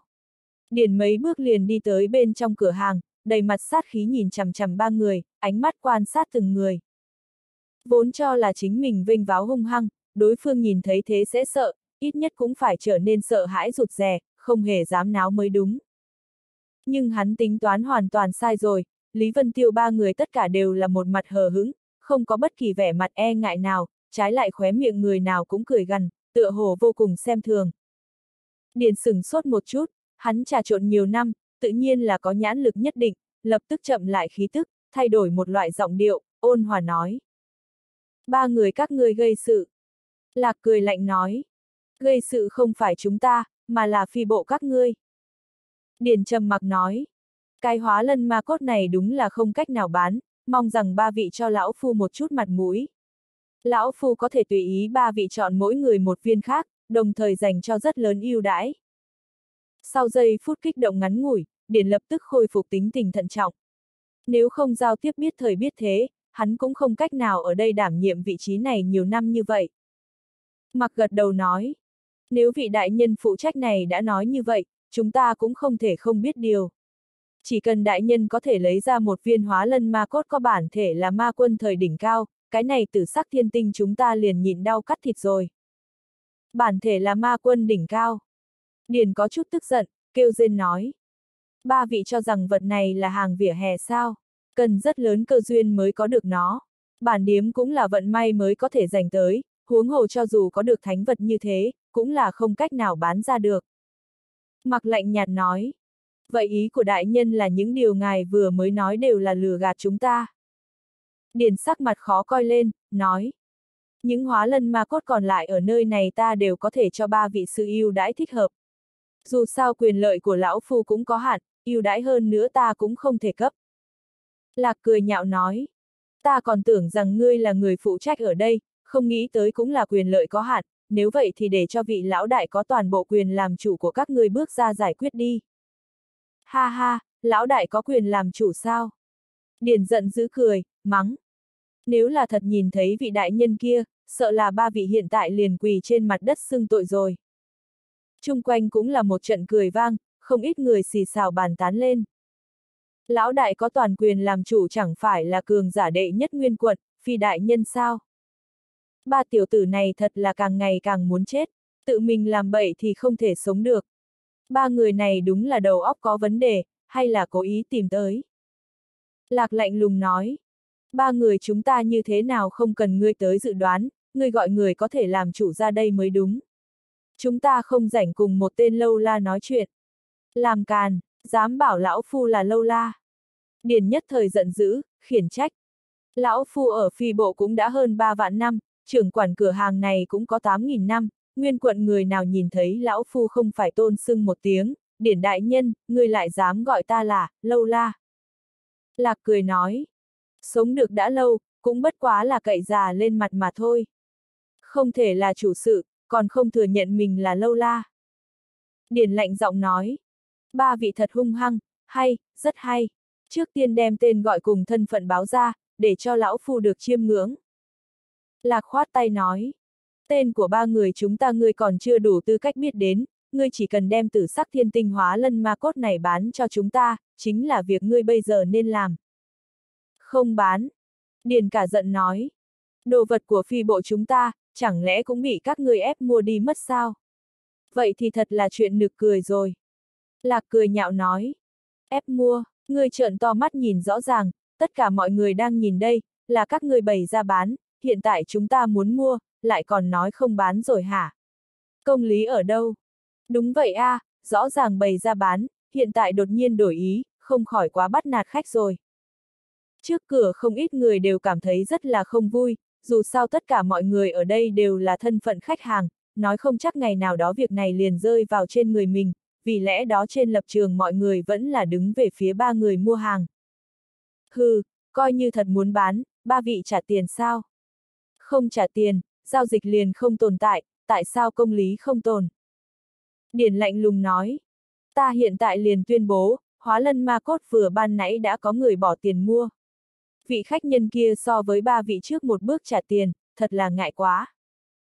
Lạc một hồi ngây ngẩn cả người, cao mày nói. Ta không tin, vật này có giá trị tới 70.000 cực phẩm ma nguyên thạch, ai có thể một hồi lấy ra nhiều tiền như vậy? Có tin hay không là tùy ngươi, ta không có nghĩa vụ giải thích. Điền hai tay chắp sau lưng, ngẩng đầu lên, một bộ không hề để ý tới. Cũng bởi vì cái hóa lân ma cốt này trị giá tới 70.000 cực phẩm ma nguyên thạch, người có thể bỏ tiền mua nó chắc chắn sẽ không là kẻ đầu đường xó chợ, vì lẽ đó hắn mới không muốn đắc tội ba người, vẫn kiên trì nói đến hiện tại. Hơn nữa ba người này xác thực cho hắn một loại cảm giác cao thâm khó dò, lấy hắn nhiều năm nhãn lực tự nhiên nhìn ra được một ít đầu mối. Đặc biệt nhất chính là vị vẫn chưa từng lên tiếng, sắc mặt trắng nõn tuấn lãng, trước sau ánh mắt mỉm cười thanh niên kia. Thậm chí đối phương cho hắn một loại cảm giác như đối mặt vực sâu, khiến cho mí mắt của hắn co giật liên hồi. Cái cảm giác này cùng tu vi không quan hệ, mà là cùng một loại thiên phú cùng kinh nghiệm nào đó của hắn có quan hệ. Mặc dù tu vi hơn xa hắn, sợ rằng cũng không thể nhận ra được cảm giác đáng sợ của thanh niên kia. Lạc hừ nói, nếu như không có biện pháp giải thích, chính là ăn nói ba hoa, tùy ý kiếm cớ mà thôi. Hừ, không nghĩ tới đường đường phi bộ cũng sẽ làm ra việc vô liêm sỉ như vậy. Lớn mật, Điền cơ hồ là không thể nhịn được nữa, hai mắt phun lửa nói. Thật to gan, lại dám sỉ nhục phi bộ chúng ta, đừng trách chúng ta thật không khách khí. Trước cửa tụ tập xem náo nhiệt ma tộc, đều là thổn thức một mảnh, đều vô cùng kinh ngạc cảm thấy điển hôm nay tính khí thật sự là quá tốt rồi. Ba vị bằng hữu này muốn gặp mặt người mua sao? Cái kia bản tiểu thư liền không thể làm gì khác hơn là hiện thân cùng chư vị thấy một mặt rồi. Một đạo âm thanh réo rắt động nhân từ trong cửa hàng truyền đến. Điển nhất thời hoàn toàn biến sắc, lộ ra thần sắc kinh hoàng. Chính mình đi ra lâu như vậy cũng không có thể xử lý tốt việc này, sợ là đã trêu đến giao mất hứng, vừa nghĩ tới thật vất vả tranh thủ đến tiền đồ, sắc mặt hắn lập tức trắng bệch. Ánh mắt của mọi người theo thanh âm kia nhìn tới, xuyên qua một cái hành lang, một đạo bóng người thướt tha dưới sự tiền hô hậu ủng của một đám người dần dần đi tới. Sau một chớp mắt kinh diễm, lập tức ai cũng cảm thấy hoa, mắt, thân ảnh kia cùng hơn 10 ma tộc chẳng mấy chốc đã xuất hiện tại trong cửa hàng. Lý Vân Tiêu nhất thời cảm nhận được lượng lớn ánh mắt lạnh như băng phóng lại đây, không khỏi cười khổ không thôi, xem ra sự tình đúng là làm lớn rồi. Bất quá hắn vẫn ra bộ xem náo nhiệt. Chỉ cần nguyên quận không có ma tôn cảnh cường giả, sẽ không người nào áp chế được hắn, mặc dù là tồn tại ma tôn cảnh, hắn cũng không e ngại. Lạc sừng sốt một chút, nhìn chằm chằm Giao nói. Ngươi là ai? Tất cả mọi người phát hiện Giao thân phận cực cao, bởi vì lúc cô nàng này xuất hiện, Điển liền trực tiếp tiến lên kho mình hành lễ, bộ dáng nơm nớp lo sợ. Giao cười lạnh nói. Thân phận của bản tiểu thư không phải là ba tên lâu la các ngươi có thể biết đến. Lời này chính là Lạc nói với Điển, nay lại bị Giao trả lại. Lạc một hồi không nói gì, kêu rên nói. Ngươi nói ngươi mua lại, cái kia cực phẩm ma nguyên thạch đâu. Ta không tin ngươi mua được. Giao khoát tay áo một cái, đối với nha hoàn bên cạnh nói. Đem ma nguyên thạch ra đây cho cái tên lâu la này mở mang kiến thức một chút. Dạ, tiểu thư. Nha hoàn vô cùng khôn khéo, nói. Ma nguyên thạch vẫn còn để ở phía sau, ta đây sẽ đi lấy để cho ba vị lâu la này xem qua, để cho bọn họ tăng thêm chút tri thức. Nàng dẫy dụ eo mông, vô cùng phong tình hướng về phái sau cửa hàng đi đến. Điền tự nhiên cũng hiểu được, hắn nháy mắt với người bên cạnh, người kia lập tức nói. Ta theo đại nhân đi vào. Sau một lúc, hai người liền lần lượt trở về. Nha hoàn lấy ra một cái túi chữ vật, cẩn thận từng ly từng tí một đưa tới dao trong tay. Dao thần thức quét qua, liền khẽ cười một tiếng, dường như không để ở trong lòng, tùy ý vứt tại trên sân khấu, nói. Ba vị mời xem đi. Có điều. Nàng ánh mắt lạnh lẽo, nói. Không cho dùng tay đụng vào, chỉ có thể dùng thần thức điều tra. Lạc mặt âm trầm dùng thần thức quét qua, nhất thời sắc mặt chợt biến, tràn đầy kinh hãi. Lý Vân Tiêu cùng mặc cũng lần lượt dùng thần thức điều tra, cái túi chữ vật kia mặc dù có cấm chế đơn giản, nhưng nơi nào chống đỡ được bọn họ thần thức. Đặc biệt Lý Vân Tiêu, quét xuống một cái đồng dạng giật mình không thôi, ở bên trong túi chữ vật không gian tuy không lớn nhưng lại chỉnh tề sắp xếp 70.000 cực phẩm ma nguyên thạch. Hiện tại ba vị không lời gì để nói chứ. Giao khẽ cười một tiếng, vươn tay ra, nha hoàn kia nhất thời tiến lên nhặt túi chữ vật, nhìn vẻ mặt của ba người, trên mặt nha hoàn là nụ cười gần khinh thường vô cùng. Chậm đã. Lạc đột nhiên biến sắc mặt, đưa tay ngăn ở trước người nha hoàn kia, quát lên. Có vấn đề. Có vấn đề. Tất cả mọi người đều sững sờ, sắc mặt giao lập tức trầm xuống, lạnh giọng nói. Có vấn đề gì, lẽ nào ngươi vẫn còn muốn dây dưa? Lạc quỷ dị nở nụ cười, dùng ngón tay chỉ vào tử sắc thiên tinh hóa lân ma cốt, nói. Ta là nói vật này có vấn đề. Hả? Tất cả mọi người đều đầu óc mơ hồ, phản xạ có điều kiện nhìn theo ngón tay hắn chỉ. Lý Vân Tiêu đồng tử co rút lại, thầm hô không ổn, hắn cách lạc gần nhất, trong nháy mắt liền cảm ứng được ma nguyên lực trong cơ thể lạc trong khoảnh khắc bạo động lên, ở một cái chớp mắt liền nâng lên đến đỉnh cao. ầm, um, không khí quanh thân lạc cũng theo đó nổ tung, hóa thành từng vòng sóng khí hướng về bốn phía chấn động đi. Nha hoàn kia đứng mũi chịu sào, kêu thảm một tiếng đã bị đánh bay ra xa mấy chục trượng, hung hăng đánh vào trên vách tường, nổ ra một cái lỗ thủng, rơi ra ngoài. Biến cố này làm cho tất cả mọi người đầu óc choáng váng, nhất thời không phản ứng kịp.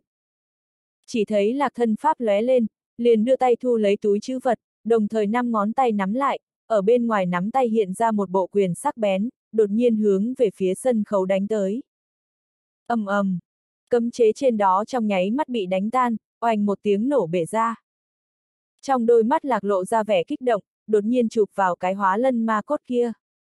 Nhưng tốc độ hắn nhanh, tốc độ Lý Vân Tiêu thì lại càng nhanh hơn, ánh chớp đùng lóe lên, tại chỗ cũng chỉ còn sót lại một đạo tàn ảnh, trong nháy mắt bàn tay lạc hạ xuống, cái hóa lân ma cốt kia liền lập tức biến mất không còn tăm hơi. Cái gì, ngươi? Lạc giật nảy cả mình, lập tức chỉ nhìn thấy không gian còn vài đạo lôi mang lấp lóe, từ lâu không còn bóng Lý Vân Tiêu nữa, hắn không khỏi tức giận nói. Đừng chạy! Trong nháy mắt hắn hóa thành hắc mang lóe lên, truy kích mà đi. Trong ba người, cuối cùng phản ứng lại chính là mặc, vừa kinh vừa sợ, cũng đột nhiên lao ra cửa hàng. Toàn bộ người của phi bộ đều mắt choáng váng, nằm mơ bọn họ cũng không nghĩ tới thậm chí có người dám công nhiên ở tại bọn hắn trên địa bàn cướp đồ vật, cướp đồ vật ngay tại địa bàn của bọn họ. Một hồi lâu mới phục hồi tinh thần lại, thanh âm sắc bén của dao lập tức như đâm thủng không khí, làm cho tất cả mọi người đều cả người run cầm cập một hồi. Mau đuổi theo, mau đuổi theo A. 70.000 cực phẩm ma nguyên thạch, còn có giá trị 70.000 cực phẩm ma nguyên thạch hóa lân ma cốt, mặc dù là phi bộ cũng chịu không nổi tổn thất lớn như thế. Huống chi cái hóa lân ma cốt kia đối với nàng còn có tác dụng cực lớn. Điền sắc mặt trắng bệch, hai chân cơ hồ mềm nhũn ra. Trong cửa hàng phát sinh chuyện lớn như thế, trách nhiệm của hắn là nhất định không thiếu được, hiện tại đừng nói tiền đồ, có thể giữ được tính mạng hay không cũng khó nói. Nghĩ đến đây, hắn chợt cảm thấy hai mắt tối sầm lại, suýt chút nữa ngất đi. Cũng may trong cửa hàng nguyên bản có không ít cường giả tọa chấn, thêm vào dao cũng mang ra không ít cường giả, mọi người sau khi phục hồi tinh thần, hơn 10 đạo ma quang lấp lóe, trong cửa hàng liền ít đi không ít người, tất cả đều đuổi theo. Cuối cùng phản ứng lại chính là những người vây xem kia, một hồi lâu mới phát sinh các loại tiếng kinh hô. Điền thoáng ổn định lại thân thể, cắn răng nói. Tất cả mọi người lập tức rời đi, bản điếm đóng cửa một ngày. Hắn nói xong câu đó, cảm giác cả người giống như đều hư thoát, một hồi tê liệt ngã trên mặt đất. Người phi bộ lập tức đem những người không có liên quan đều đuổi đi, đem cửa hàng đóng lại. Giao đồng dạng là sắc mặt trắng bệch, nếu không đuổi theo lấy lại được mấy chục vạn cực phẩm ma nguyên thạch này, mặc dù nàng là con cái của phi bộ, cũng chịu đựng không được hậu quả nghiêm trọng đó. Nàng cắn răng nói, mau trở về bẩm báo cho cha ta, những người còn lại cũng theo ta đuổi theo. Giờ khắc này, Lý Vân Tiêu bóng người chớp nhoáng, thoáng cái cũng đã chui ra khỏi cửa hàng mấy ngàn trượng xa, rất nhanh liền ra nguyên quận. Phía sau hắn, còn có ma quang lấp lóe, tựa hồ có người đuổi theo, dẫn đến người bên trong quận đều là dừng lại quan sát. Chỉ là phổ thông ma tộc làm sao nhìn ra được cái gì, thuần túy cũng chỉ nhìn thấy một đạo thanh lôi trên trời xẹt qua, sau đó cũng có ánh sáng lấp lóe không ngừng xuất hiện trên không trung, chỉ có những cường giả kia mới có thể thấy rõ độn quang bên trong là gì. Không ít người đều nhận ra cường giả phi bộ ở phía sau đuổi theo, không khỏi giật mình, xung quanh tìm hiểu, cùng với đó sự việc xảy ra ở cửa hàng cũng rất nhanh truyền ra, trong lúc nhất thời các loại nghe đồn cùng lời đồn đại lan ra, chớp mắt liền truyền tới hơn nửa nguyên quận. Nghe nói phi bộ đại tiểu thư giao, cường giả ma quân cấp 2, ở trong chính cửa hàng của mình bị mấy người lai lịch không rõ luân phiên cưỡng gian. Cái gì, không thể nào, ai dám ở nguyên quận động tới người của phi bộ, huống hồ là đại tiểu thư, ta gặp qua rồi, đúng thật là mỹ nhân hiếm có. Ha ha, bây giờ có đầy kẻ tinh trùng lên não, chết dưới hoa mẫu đơn, thành quỷ cũng phong lưu nha. Huống hồ lại là đại tiểu thư, chưa chắc sẽ chết đâu, nói không chừng có khi lại là phi bộ hiền tế. Các loại tin tức ngầm ở đầu đường cuối ngõ khắp nơi truyền lưu, còn có phiên bản nói phi bộ đại tiểu thư thú tính đại phát, đem mấy cái ma tộc cưỡng gian. Ở trên đường của Nguyên quận, hai tên nam tử áo bảo đen trước sau đi tới, một người trong đó đột nhiên ngẩng đầu lên, nhìn trên bầu trời, nghi ngờ không thôi nói. Đạo ánh chấp vừa nãy kia, hình như là Lý Vân Tiêu. Ồ, hắn tới nhanh như vậy sao? Không có khả năng đi. Người áo đen đi phía sau kia lộ ra thần sắc hoài nghi, nói. Trận chiến trên núi Thương Huyền, hắn bị đánh vào truyền tống thông đạo, sinh tử cũng không rõ, sao có thể nhanh như vậy đã đi tới được nguyên quận, quá nửa là ngươi nhìn nhầm rồi. Hai người này chính là Yết cùng Vi Thanh, vì phòng ngừa chính mình có vẻ hơi khác người, vì vậy cả hai lấy hai cái áo bảo đen khoác vào trên người để che lấp hơi thở. Yết tràn đầy vẻ ngờ vực, đôi hắc đồng của hắn lấp lóe u quang, lắc đầu nói. Chắc chắn sẽ không nhìn lầm, nhất định là hắn. Ở trong ma giới, có thể điều động lôi đình không nói là không có, nhưng cực kỳ ít ỏi, huống chi vừa rồi chính là thuần túy thanh lôi, cũng chỉ có thiên vũ giới mới có, đồng thời cần ngũ hành lôi thể mới có thể làm đến. Trừ hắn ra, ta không nghĩ tới người thứ hai. Vi Thanh giật mình nói. Nói như thế, vậy thì đúng là hắn không sai rồi. Chỉ là hắn phô trương thanh thế triển khai lôi thuật độn không rốt cuộc là vì sao? Hai người nhìn chằm chằm trên bầu trời quan sát, rất nhiều ánh sáng đều đuổi theo phương hướng Lý Vân Tiêu đã đi. Vi Thanh mới hử lạnh một tiếng nói. Nhìn dáng dấp hắn lại chọc tới cái gì cực kỳ phiền toái rồi. Thiết gật đầu nói. Đúng vậy a, à, cấp 2 đỉnh cao ma quân đều có mấy vị. Có điều cũng may không nhìn thấy bóng dáng ma tôn, sẽ không có chuyện. Vi Thanh nói. Vậy chúng ta có nên đuổi theo sau xem chút? Thiết nghĩ ngợi một lúc, nói. Cũng được, ngược lại chuyện hóa lân ma cốt cũng không vội, xem một chút Lý Vân Tiêu lại chọc ra chuyện gì đi. Bóng người cả hai hơi loáng một cái, trực tiếp biến mất ở tại chỗ. Giờ khắc này, Lý Vân Tiêu đã chạy được mấy chục dặm, đồng thời cũng kéo dài cự ly với những người phía sau càng ngày càng lớn. Theo sát phía sau hắn chính là Lạc, đối phương ố sức đuổi theo hét lớn.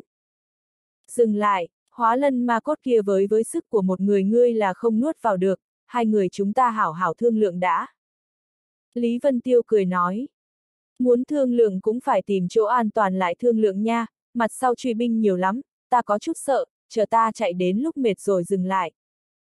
Nói xong, tốc độ lôi đồn của hắn lại tăng lên mấy phần, lần thứ hai kéo dài khoảng cách với Lạc. Lạc trơ mắt kinh hãi, tỏ vẻ không tin nổi. Hắn tự xưng là độn tốc cực tốt, nhưng không thể so sánh được với đối phương, lúc này đúng là khó khăn rồi. Đương nhiên suy nghĩ nhiều cũng vô ích, hắn cũng chỉ có thể tiếp tục ra tốc lên. Lạc mặt trầm như nước, hai mắt đều tuôn ra vẻ phẫn hận, nhắm mắt xông về phía trước. Cứ như vậy, ba ngày ba đêm sau, Lý Vân Tiêu quay về phía sau quan sát, dùng thị lực của hắn cũng không nhìn thấy bóng người nào, lúc này mới tìm một ngọn núi hạ xuống. Trực tiếp xếp bằng ở trên bầu trời, bắt đầu điều tức khôi phục lại. Tuy rằng phía sau không gặp truy binh, nhưng thần thức của hắn lúc ẩn lúc hiện nhận ra được vẫn còn có người đuổi theo ở phía sau như cũ. Dù sao tốc độ của hắn quá nhanh, lực lượng gợn sóng cũng lớn, dễ dàng để cường giả theo sau bắt giữ. Trừ phi những truy binh kia chủ động từ bỏ, bằng không chỉ cần một đường dọc theo gợn sóng là có thể lại đây, như vậy trận truy đuổi này sẽ rất khó kết thúc, trừ phi tranh lệch tới mấy ngày lộ trình.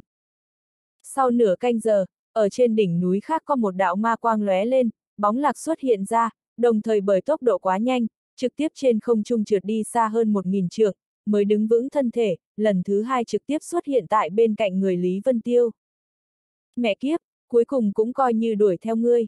Hóa lân ma cốt, mau đưa hóa lân ma cốt lấy ra. Lạc thở hổn hển, nhưng vẫn như cũ không quên mục đích mà mình đuổi theo, vừa mở miệng chính là hóa lân ma cốt, toàn thân khí thế đem cả ngọn núi đều bao vây lấy, chỉ lo Lý Vân Tiêu đào tẩu. Lý Vân Tiêu cười nhìn hắn, nói. Ta ở đây nghỉ ngơi dưỡng sức cũng khá lâu, người vừa chạy tới, mà nguyên tiêu hao rất nhiều, lại dám với ta đàm luận hóa lân ma cốt. Lạc sửng sốt một chút, cảnh giác lui lại khoảng cách nhất định, hừ lạnh nói. Ta chỉ là nói thật với ngươi, thực lực của ngươi xác thực không kém, nhưng vẫn không có cường đại đến có thể độc chiếm hóa lân ma cốt. Mặc dù ta không đuổi theo ngươi, ngươi cũng chạy không thoát phi bộ truy sát. Lý Vân Tiêu mặt mày nhàn nhạt cười nói. Nếu là hóa lân ma cốt ta phân cho ngươi một nửa, có phải là phi bộ sẽ không đuổi giết ta rồi hả? Lạc ngớ ra nói. Tự nhiên không phải. Lý Vân Tiêu khẽ cười nói. Đó không phải vậy sao? Mặc kệ có phân cho ngươi hay không, phi bộ cũng muốn đuổi giết ta, vậy ta còn muốn phân cho ngươi làm gì? Lạc nghĩ một hồi, cảm thấy cũng là đạo lý như thế, hắn nháy mắt nói. Chí ít ta có thể với ngươi đồng thời chống lại phi bộ truy sát.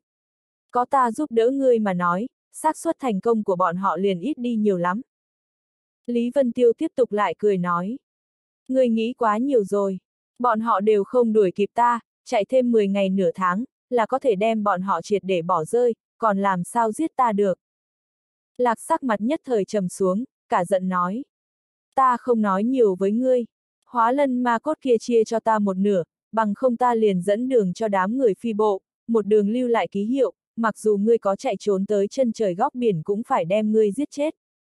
Lý Vân Tiêu nói. Vậy 70.000 cực phẩm ma nguyên thạch trong tay ngươi, có thể nguyện chia cho ta một nửa. Lạc cao mày nói. Tự nhiên không được, hóa lân ma cốt này ta đã nhòm ngó nhiều ngày, mặc dù không có sự cố ngày hôm nay, ta cũng là dự định ra tay cướp đoạt. Mà 70.000 cực phẩm ma nguyên thạch này là tiền tài bất ngờ, có liên quan gì tới ngươi? Lý Vân Tiêu trong nháy mắt bị logic của hắn dọa, không khách khí cười nói. Lăn mẹ ngươi đi, có thể lăn bao xa liền cho lão tử lăn bao xa, mệt ta còn chờ ngươi theo gót lâu như vậy. Đừng có xuất hiện ở trước mặt ta nữa. Lạc hơi thay đổi sắc mặt, sát ý chậm rãi từ trên người hắn tản ra, lạnh giọng nói. Cái này còn không phải do ngươi quyết định rồi. Lý Vân Tiêu ánh mắt cũng lạnh lẽo, châm chọc nói. Không tìm đường chết sẽ không phải chết, rốt cục có người muốn chính mình tự tìm đường chết. Ngông cuồng, để xem ai mới chết. Lạc gầm lên một tiếng, liền bay lên trời, trong tay quyết ấn liền thi triển, một hồi bắn ra mấy đạo ma quang, từ trên mấy trăm trượng xả kích xuống dưới. Hắn cũng không rõ ràng Lý Vân Tiêu thực lực, nhưng nghĩ đến chắc cũng không kém chính mình, có thể là kinh nghiệm tàn khốc của mấy năm qua cũng làm cho hắn cẩn thận một chút, không dám quá mức đến gần đối phương, dự định trước tiên dùng mấy chiêu thăm dò đã. Lý Vân Tiêu cười nhạt, căn bản không để ý. Hắn giơ tay lên, một mảnh ma quang ở lòng bàn tay lấp lóe, bao phủ những chùm sáng đập tới kia. ầm, ầm, ầm. Hắn đập liền mấy cái, những ma quang kia đều bị đánh bay đi, ở phía xa trên bầu trời nổ tung, hoàn toàn không thể gây tổn thương cho hắn mảy may.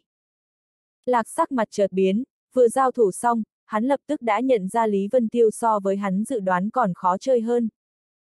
Nhất thời hắn hét lớn một tiếng, hai tay giơ lên cao lên trên đỉnh đầu, phía sau chợt hiện ra một đoàn ma ảnh, ở phía trên thì lại hóa ra dáng dấp một thanh chiến đao, trong khoảnh khắc hóa thực, đột nhiên một đao chém xuống. ầm ầm, bầu trời trong nháy mắt đã bị chém thành hai khúc, sơn mạch cũng trực tiếp bị vỡ ra, đất đá băng toái, trực tiếp hóa thành bột mịn tản đi. Lý Vân Tiêu cũng thay đổi sắc mặt, tuy rằng hắn đoán được lạc sẽ không giảng hòa, nhưng không nghĩ tới đối phương dĩ nhiên dám chơi lớn như vậy. Trong mắt nhất thời phát ra một tia hàn quang. Ở dưới đao phong to lớn kia, hắn luân phiên triển khai thân pháp, sau mấy lần chuyển hướng đã chạy thoát khỏi ánh đao. Cái gì? Lạc tựa hồ có chút không thể tin được, giật nảy cả mình lên, con người trực tiếp lồi ra. Bóng người Lý Vân tiêu lóe lên, lại xuất hiện bên cạnh lạc, tay trái bấm quyết hóa ra hắc phủ, hai tay hắn nắm lấy cán phủ phi thân chém xuống. Gì, cái phủ kia? Lạc cũng không nhận ra lục đạo ma binh, nhưng hắc phủ mang theo uy thế rất lớn, làm hắn cảm thấy một trận run sợ. Nội tâm hắn không khỏi hoảng, hai tay bấm quyết, đại đao kia rơi vào trong tay, đột nhiên che ở trước người. Oanh! Chiến phủ chém ở trên chiến đao nhất thời tia lửa tung tóe. Lạc chỉ cảm thấy hai tay tê dần, bị cường lực phản chấn làm cho ma nguyên trong cơ thể hỗn loạn, thân thể không ngừng bay ngược. Càng làm hắn ngơ ngác chính là chiến đao của mình lại bị thanh đồng chiến phủ của đối phương chém ra một chỗ hổng nhỏ. Mặt lạc không dám tin tưởng, khi ánh mắt ngưng tụ ở trên lưỡi đao, không khỏi hít vào ngụm khí lạnh, trực tiếp sợ liền lùi mấy bước. Cây chiến đao này của hắn cũng không phải là phàm vật, mặc dù ở ma giới cũng là đại danh đỉnh đỉnh tồn tại, nguyên bản xem Lý Vân Tiêu sâu không lường được, hắn mới nghĩ dựa vào lực lượng chiến đao này, liền có thể bắt được đối phương. Nằm mộng hắn cũng không nghĩ tới huyền khí của mình, dĩ nhiên ở dưới một đòn liền tổn hại rồi. Đồng thời lúc này trên chiến đao còn truyền đến âm thanh ong ong, chỉ có hắn cùng với thân đao một thể, mới có thể rõ ràng cảm ứng được, không chỉ có là chấn thương sau rên rỉ, càng là sự sợ hãi từ nội tâm đao linh. Chuyện này, đây rốt cuộc là chiến phủ gì? Là cả người đều bối rối, cầm chiến đao đứng ngây ra, trong đầu trống rỗng, hoàn toàn mất đi năng lực suy nghĩ. Lý Vân Tiêu lạnh lùng nói. Chiến phủ đưa ngươi xuống địa ngục. Bóng người hắn lại lóe lên, nghiêng người mà lên, ma quang tập kích, cái dìu hướng đầu của lạc bổ tới. Lạc sợ hết hồn, dưới chiến phủ thiên địa bị phong tỏa làm cho hắn không thể độn đi, chỉ có thể nhắm mắt lần thứ hai nhấc lên đao để che ở trước người. Oanh! Hai cái binh khí chạm vào nhau, lạc lần thứ hai bị đánh bay ra ngoài, lần này hắn phải chịu đến chấn thương càng nặng hơn trước, không chỉ ma khí trong cơ thể hỗn loạn mà liền ngay cả đầu óc đều có chút mê muội. Làm hắn ngơ ngác chính là, trên đao kia không những đã xuất hiện một lỗ hổng to bằng ngón tay cái, lại còn xuất hiện ba vết nứt chạy dọc sống đao. Lạc chỉ cảm thấy da đầu tê dại một hồi, cả người khóc không ra nước mắt. Phải nói tại ma giới huyền khí khá thiếu thốn, cây chiến đao này giá trị đã có thể sánh ngang với tử sắc thiên tinh hóa lân ma cốt kia rồi. Nhưng mà giờ phút này chuôi đao quý giá ấy cứ như vậy bị hao tổn, tuy rằng còn chưa hoàn toàn phá hủy, nhưng nếu muốn tu sửa, có trời mới biết phải trả ra bao nhiêu. Quan trọng hơn là ma giới thiếu thốn luyện thuật sư, mặc dù có tiền cũng không biết đi đâu tìm người thu sửa. Ngay tại lúc hắn giờ người ra muốn khóc, Lý Vân Tiêu liền chém ra chiêu thứ ba. a à, là cả người run lên, cũng không dám cứng trọi cứng nữa, vội vàng đem chiến đao thu hồi, hai tay hóa trưởng đập tới. Hắn hiện tại thà rằng để cái dìu kia chém lên trên người mình, cũng không muốn để bảo đao lại có thêm một chút tổn hại nào. Oanh! Chiến phủ đánh vào trên trường lực kia, lần thứ hai đem lạc đánh bay, làm cho ma nguyên trên người hắn bắt đầu tiêu tán. Hắn hoàn toàn biến sắc. Liên tục bại mấy chiêu, hắn rốt cục nhận thức được chính mình căn bản không phải đối thủ Lý Vân Tiêu, đối phương bất luận là huyền khí hay tu vi, đều hơn xa mình. Phát hiện ra điểm ấy, hắn nào còn dám tiếp tục đánh, vội vàng phất tay nói. Dừng, tạm dừng, Lý Huynh, có chuyện hảo hảo nói, tuyệt đối đừng động đao động thương. Lý Vân Tiêu mắng. Ngươi nói dừng liền dừng, đợi ta đem ngươi chém dụng, sau đó lấy 70.000 cực phẩm ma nguyên thạch rồi nói sau. Chiến phủ trực tiếp từ trong tay hắn bay lên, mấy đạo quyết ấn đánh vào, trên không trung chiến phủ biến lớn gấp 10 lần, giống như một chiếc tàu chiến bay tới. Lạc sợ đến mức sắc mặt tái nhợt, ngay tại thời điểm chiến phủ giải phong, hắn liền nhận ra sự nguy hiểm dị thường, bỗng nhiên quay đầu lại bỏ chạy. ầm ầm, cái chiến phủ kia đánh hụt, nhưng dư âm khuếch tán ra vẫn là đem lạc cuốn vào rồi đánh bay, chỉ có điều bị thương không quá nặng. Lần này lạc thật sự sợ rồi, cảm nhận uy hiếp của cái chết nên hắn vội vàng cầu xin tha thứ. Lý Huynh, Lý Huynh dừng tay a, chuyện gì cũng từ từ, trước là tiểu đệ sai rồi. Tiểu đệ ở đây cho đại ca chịu tội, 70.000 cực phẩm ma nguyên thạch này liền dâng cho đại ca hết. Hắn cuống quýt không ngừng đem túi chữ vật lấy đi ra, hai tay dâng, mặt đầy dáng vẻ cầu xin và lấy lòng. Lý Vân Tiêu thu hồi chiến phủ, thầm nghĩ tiểu tử này đúng là có được giãn được, vì mạng sống mà mặt mũi cũng không cần. Có điều trên đời này, mạng sống to lớn nhất, mặt mũi phải có thực lực mới đáng giá, không có thực lực mà còn cứ cường ngạnh muốn có mặt mũi, đó chính là muốn chết. Hắn năm ngón tay vồ lấy, cái kia túi chữ vật liền rơi vào lòng bàn tay, thần thức quét xuống một cái, liền cất đi.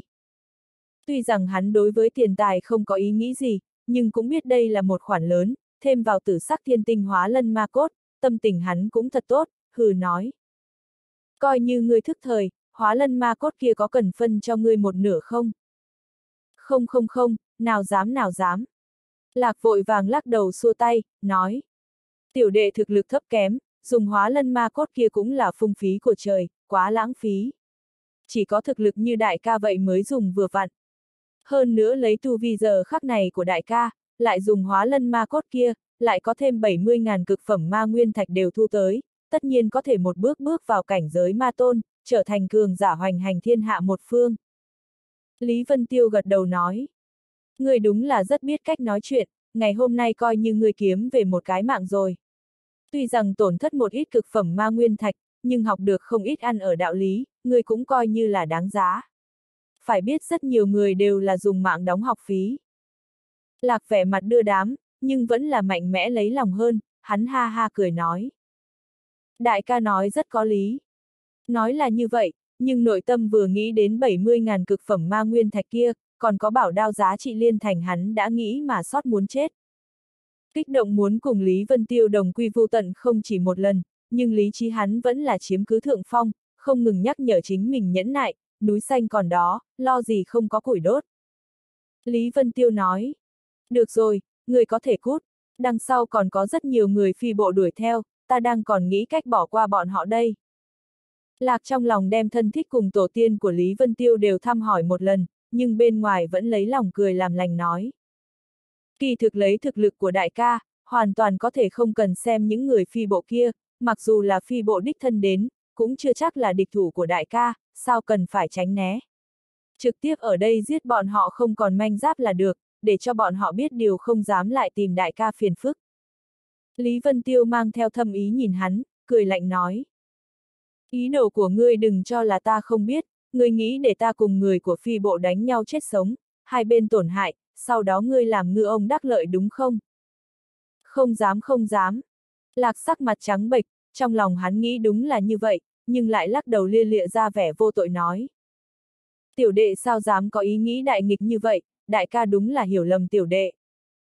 Lý Vân Tiêu gật gật đầu, nói. Ta cũng tin tưởng ngươi sẽ không như vậy, xem ra ta đúng là hiểu lầm ngươi.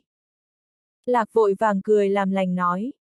Dĩ nhiên, mặc dù tiểu đệ cùng đại ca vừa có chút xung đột, nhưng chính là không đánh nhau thì không quen biết, tiểu đệ đối với đại ca kính ngưỡng giống như nước sông kia cuồn cuộn, liên miên không dứt không gì có thể ngăn cản. Lý Vân Tiêu lại cười nói. Tâm ý của ngươi ta đã biết, vừa nãy ngươi nói cũng phi thường có đạo lý, lấy lực lượng hai người chúng ta, căn bản không sợ người phi bộ mà.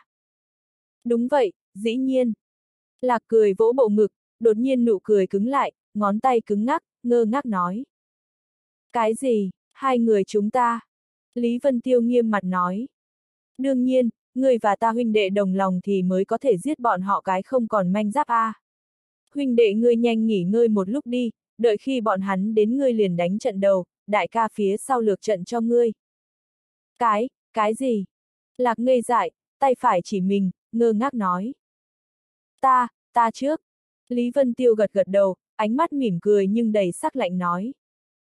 Làm sao, huynh đệ ngươi không muốn? Ta, ta. Lạc cả lăm mấy lần, cảm nhận được trên người Lý Vân Tiêu tản mát ra sát khí, không khỏi cam chịu thấp giọng nói. Không phải không đồng ý, chỉ là tiểu đệ thực lực thấp kém, sợ khó có thể giết địch, trái lại liên lụy đại ca. Lý Vân Tiêu cười lạnh nói. Có đại ca ở phía sau lược trận rồi ngươi sợ cái gì? Ngươi là không tin tưởng đại ca sao? Ta, ta, không, không phải nha. Lần thứ hai cảm giác lạnh thấu xương tràn tới, lạc hút một hơi lạnh. Hắn dám tin tưởng rằng nếu như mình nói ra từ không, sợ là trong nháy mắt phải chết rồi. Trong đầu hắn ảo não vạn phần, hối hận vì ý định lúc trước của mình, muốn ngư ông đắc lợi kết quả lại hại đến chính mình. Đây chính là điển hình vác đá tự đập chân, tự làm tự chịu. Lạc khóc không ra nước mắt, chỉ cảm thấy toàn bộ thế giới đều trở nên tối tăm. Nhưng cũng may chẳng có bao nhiêu thời gian cho hắn ảo não, bởi vì truy binh sau lưng rất nhanh sẽ đến. Một đạo hắc mang phá không mà đến, trực tiếp ở cách đó không xa hiển hóa ra bóng người, cũng không phải là người phi bộ, mà là người cùng nhóm trước kia mặc.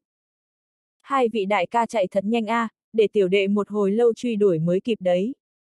Ánh mắt của mặc ở trên người hai người không ngừng đánh giá, hắn có thể cảm nhận được ma lực gợn sóng ở khu vực này, chứng minh hai người đã động thủ một hồi, nhưng không biết là kết quả ra sao.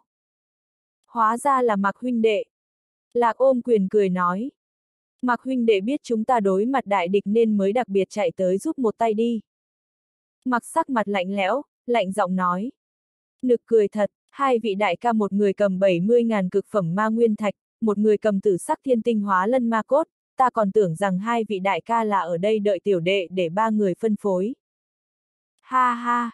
Lạc cười khan một tiếng, hữu ý vô ý liếc Lý Vân Tiêu một chút, nói. Hiện tại đồ vật đều ở trong tay đại ca, tiểu đệ đối với những vật ngoài thân này cũng không quan tâm lắm.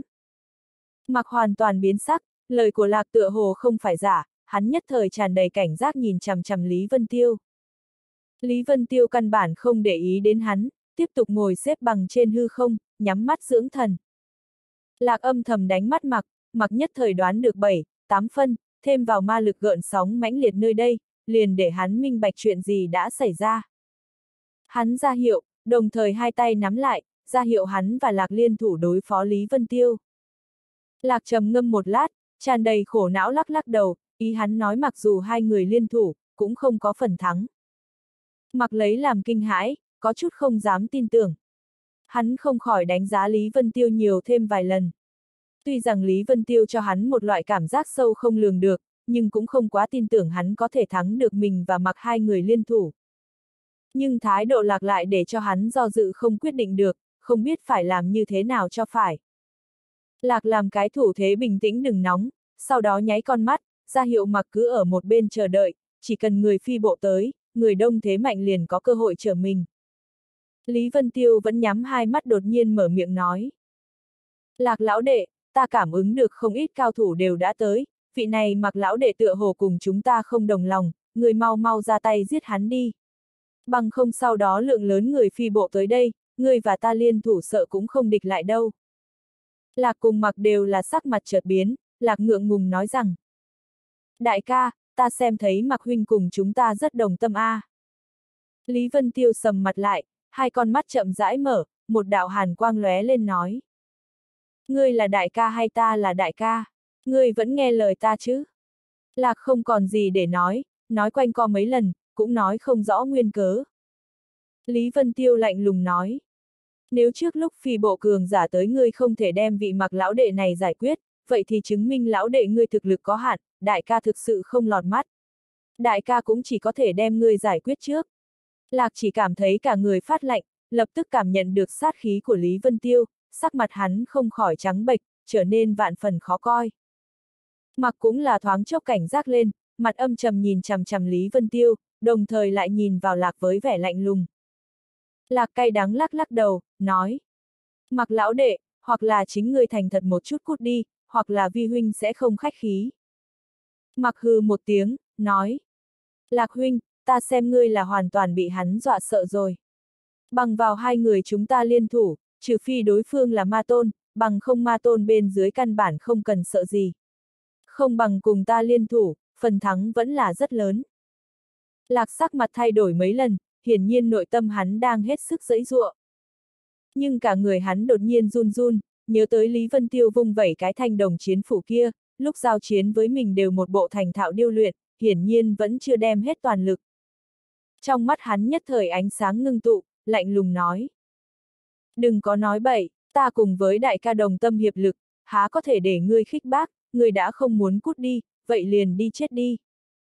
Hắn vung tay lên, một đạo ma quang liền bắn nhanh tới. Mặc đại nộ, giơ lên nắm đấm liền đánh tới, ầm một tiếng nổ tỏa ra kình khí mạnh mẽ.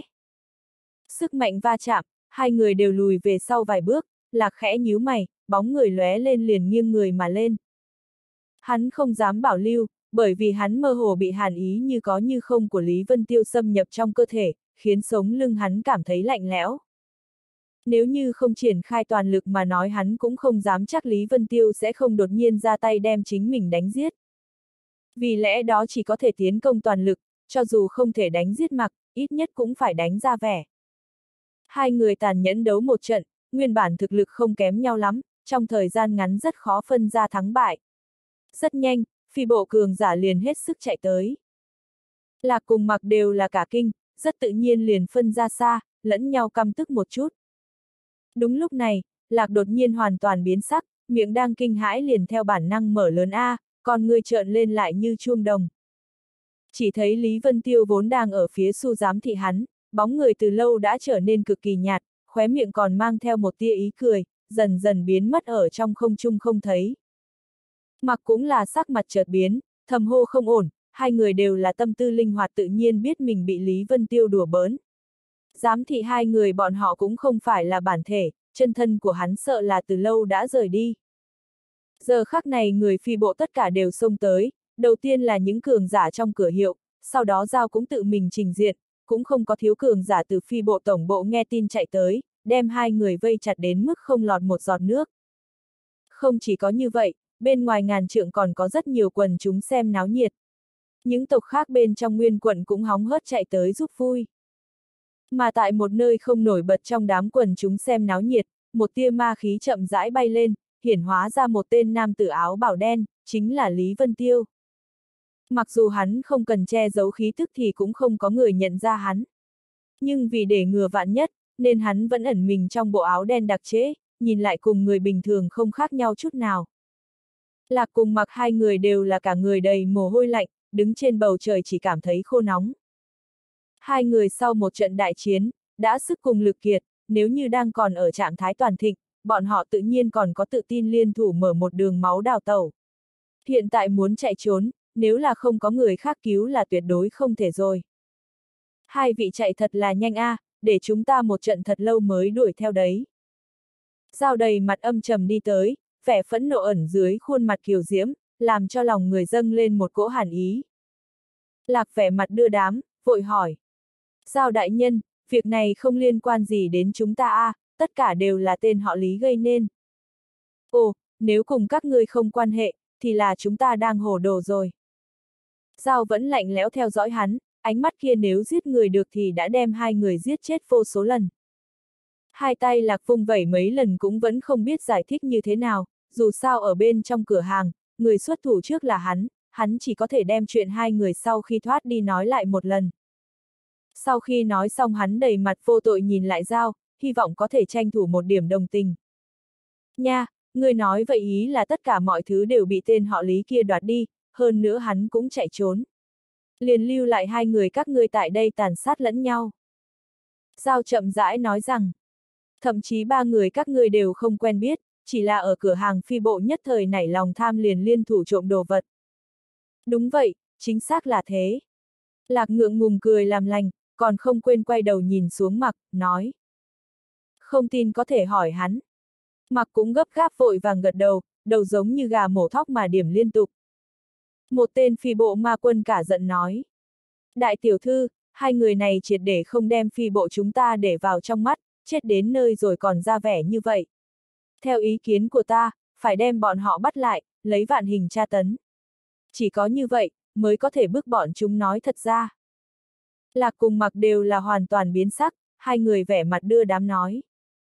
Chúng ta nói đều là nói thật mà, có thể chỉ thiên xin thề mong thiên địa chứng giám. Người phi bộ là hoàn toàn biến sắc, nhìn hai người thật sự chỉ thiên xin thề, lập tức đều là hai mặt nhìn nhau. Bất kỳ ma tộc nào đều không dám sai lời thề, bằng không tâm ma một đời, ở tương lai trên đường tu luyện tất nhiên sẽ phải chịu phản phệ, đại kiếp khó trốn. Lạc cùng mặc cũng không dễ chịu, nhưng sau khi phát xong thề, nhìn vẻ mặt của mọi người, biết bọn họ đều tin, nhất thời cảm thấy trong lòng buông lỏng, bắt đầu cười hắc hắc. Lạc cười làm lành nói. Có giao đại nhân ở đây, chúng ta làm sao dám nói bậy. Sắc mặt giao trở nên càng khó coi hơn, âm trầm muốn chảy nước, nàng lạnh giọng nói. Nói như vây tên họ Lý là ai, thân phận gì, đi đâu, các ngươi cũng không biết. Lạc cúi đầu khom lưng nói. Không biết, thật không biết. Giao gật gật đầu, một lúc sau khôi phục sắc mặt, nói. Nói như thế, lưu lại hai người các ngươi cũng không có tác dụng gì. Mang về lại phí công. Nàng giơ tay lên, làm cái giết thủ thế, lạnh giọng nói. Giết! Vâng! Tất cả đám người phi bộ xung quanh đều hét lớn đáp, nhất thời sát khí ngập trời, một hồi đem lạc cùng mặc vây nước chảy không lọt. Mặt hai người là cùng mặc nhất thời xám như cho, triệt để hoảng rồi. Nhưng không để bọn họ cầu xin cùng phân trần, công kích như mưa từ bốn phương tám hướng đến, hai người cuống quyết sử dụng tới thủ đoạn phòng ngự, nhưng dưới thế vây công như vậy sau mấy hơi thở liền tan tành. Mặc mạnh mẽ cắn răng, quát lên. Sống hay chết liền xem lúc này rồi. Trên người hắn đột nhiên bay lên vô số phù văn, trong cơ thể càng là truyền đến tiếng mãnh thú gào thét, lập tức phía sau hắn hiện lên một đầu quái thú bốn sừng, cơ hồ cùng hắn hòa làm một thể. Hắn há miệng lớn phát sinh một tiếng rít gào kinh thiên, liền hóa thành một vệt sáng sông tới giết. Hắn dĩ nhiên thôn phệ ma nghiêu bốn sừng, lại còn đem lực lượng của ma nghiêu sử dụng, đúng là một nhân tài tốt. Mọi người xung quanh thỉnh thoảng phát sinh tiếng thán phục. Giao cũng là hơi run run, lập tức khôi phục vẻ lạnh lùng. Tuy rằng nhân tài rất đáng quý, nhưng những kẻ này không thể không chết, nàng vung tay lên, quát lên. Giết! Mặc mới vừa thoát ra khỏi vòng vây người phi bộ, tựa hồ tìm được thấy một con đường sống, cuồng hỉ chạy như điên. Nhưng thân hình hắn vừa mới nhúc nhích, liền có bốn đạo hàn mang lóe lên, trực tiếp xuất hiện xung quanh hắn đồng loạt đánh vào ma nghiêu kia. Ồ, Một tiếng kêu bi thảm truyền ra, thân thể ma nghiêu của mặc liền nổ tung. Mí mắt Lý Vân Tiêu nhảy dựng lên, bốn kẻ xuất thủ tựa hồ thực lực cực mạnh, hơn nữa thân phận cũng không thấp. Xiết mặc sau, thân ảnh bốn người liền lấp lóe, liền lần thứ hai trở lại phía sau của dao, tựa hồ xem thường việc vây công lạc với những người kia. Lạc vừa thấy mặc biến thân thành ma nghiêu cũng dễ dàng bị giết, nhất thời mặt xám như cho tàn, đột nhiên kêu to lên. Ai tới cứu ta, trên người ta có phủ đồ đồ. Cái gì? Một câu nói nhất thời khơi nên chấn động, không chỉ có những kẻ vây công lạc dừng lại. Mà ngay cả đám quần chúng cũng đều khiếp sợ, vẻ mặt bắt đầu nghiêm túc, tựa hồ việc đó có quan hệ với chính mình. Phù đồ đồ, có thật không? Một tên ma tộc cao tuổi đi ra, trên người tỏa ra khí tức không kém, tựa hồ có vẻ hơi kích động, nói. Bản đồ có thể mở ra phù đồ hành lang trong truyền thuyết có thật ở trên người ngươi hay không? Lạc thấy người của phi bộ cũng dừng tay, nhất thời thở phào nhẹ nhõm, vội hỏi. Đương nhiên là thật sự, có điều mọi người đều biết, phù đồ đồ đều là một phần phân tàn quyền, nhưng chỉ có kẻ cầm trong tay tàn quyền, mới có thể bình yên vô sự tiến vào khu vực trung tâm phù đồ hành lang. Ai nguyện ý cứu ta một mạng, ta nguyện đem hai tay dâng tặng phù đồ đồ. Giao trầm giọng nói, nếu ngươi thật sự có phù đồ đồ, dâng ra đây tha cho ngươi một mạng có là gì? Thật chứ? Lạc không khỏi đại hỉ, tựa hồ còn có chút không yên lòng, hỏi. Ngươi thật đồng ý thả ta, đồng thời bảo đảm hết thảy người của phi bộ cũng không đến lại truy sát ta. Giao sắc mặt chợt biến, cười lạnh nói. Tội ngươi phạm phải cũng không phải là tội chắc chắn phải chết. Đưa phù đồ đồ ra đây, ta có thể thả ngươi lần này không chết. Nếu là lần sau ta còn gặp, tự nhiên là chết. Lạc hơi thay đổi sắc mặt, bắt đầu trầm tư suy nghĩ được mất. Nếu là mình có thể chạy thoát, lần sau gặp gỡ chắc không có rồi. Còn nữa, chỉ cần mình không bị thương, ở trạng thái thực lực toàn thịnh, trừ phi đối phương là phi tự mình đến, bằng không ai có thể lưu lại chính mình. Ha ha, giao tiểu thư, điều này cũng gọi thả người sao? Còn không phải vẫn còn sát tâm, cái gì gọi là lần sau? Một cái xoay người sau lại chuyển qua đến, có tính hay không là lần sau đây? Một đạo thanh âm lạnh như băng ở trong đám người vang lên. Mọi người hô một hồi liền phân ra một con đường đến, hết thảy ánh mắt đồng loạt rơi vào vị nam tử đột nhiên lên tiếng kia. Vị ma quân đó mặt mày dài nhỏ như hồ ly, con mắt bạc đang lạnh lùng nhìn chằm chằm dao. Dao sắc mặt chợt biến, lạnh giọng nói. Hóa ra là lô đại nhân, chuyện phi bộ ta lúc nào đến phiên ngươi quản. Cái gì, người này dĩ nhiên là lô. Đám người chung quanh kinh hô một tiếng liền lùi lại thêm, trực tiếp chống ra mười mấy trượng khu vực xung quanh, chỉ còn lô một người cô lập đứng ở đó. Hóa ra là một trong ba đại cường giả của tam bộ, chẳng trách dám cùng phi bộ hò hét. Cha cha, không hổ là phù đồ đồ, dĩ nhiên gặp phải mâu thuẫn. Nếu là hai bộ tranh đấu lên, vậy thì tốt rồi. Trung quanh tất cả đều là những kẻ vây xem náo nhiệt, ước gì càng kịch liệt càng tốt. Lý Vân Tiêu cũng nhìn lô một chút, không khỏi đối với phù đồ đồ tò mò, hắn cũng mới đến, không biết đó là vật gì. Lô cười lạnh một tiếng, nói. Phi bộ bị trộm tự nhiên đó là chuyện của phi bộ, nhưng trên người tiểu tử có phù đồ đồ, liên quan gì đến chuyện phi bộ. Tựa hồ mọi người đều có tư cách quản chuyện của phù đồ đồ đi. Giao cả giận nói.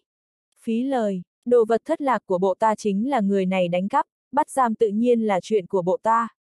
Người muốn phù đồ đồ cũng được, đợi ta với hắn giải quyết xong sự việc ngươi lại đi tìm hắn cũng không muộn. Lô nhất thời nghẹn lời, không biết như thế nào cho phải, chỉ có thể phiền muộn đứng ở đó. Giao nói không sai, nhưng nếu như chờ chuyện của phi bộ xong xuôi, phù đồ đồ phỏng chừng cũng mất. Cũng không thể nói như vậy, trộm đồ là một chuyện, phù đồ đồ lại là một chuyện khác.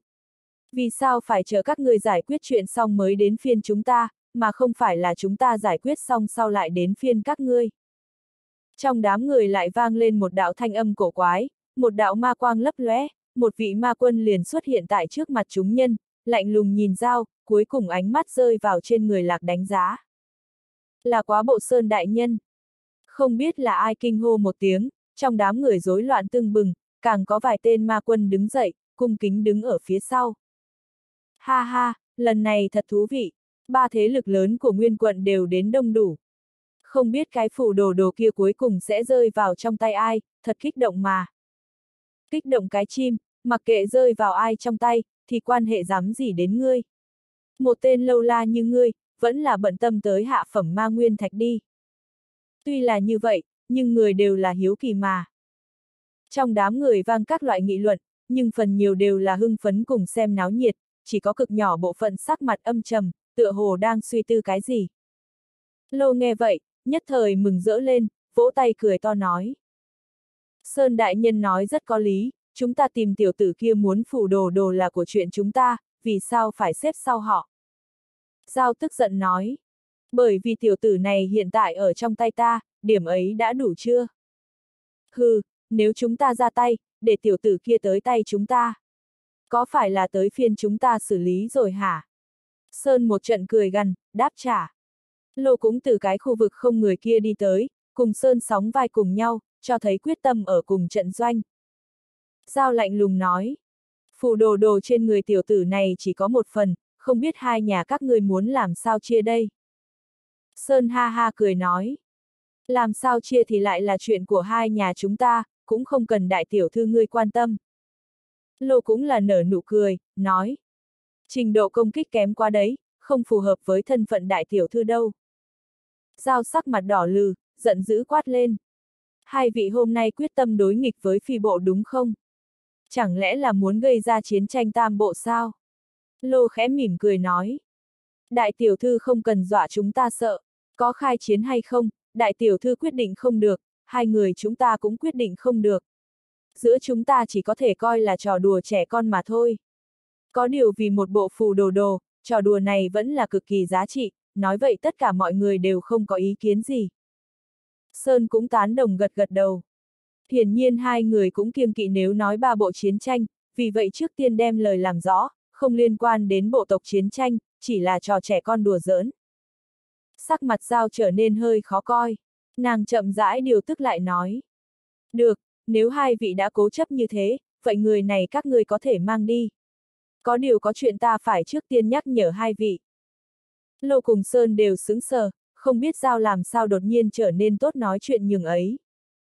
Sơn ngưng trọng nói. Chuyện gì, chẳng lẽ là phi đại nhân xung kích đến ma tôn cảnh?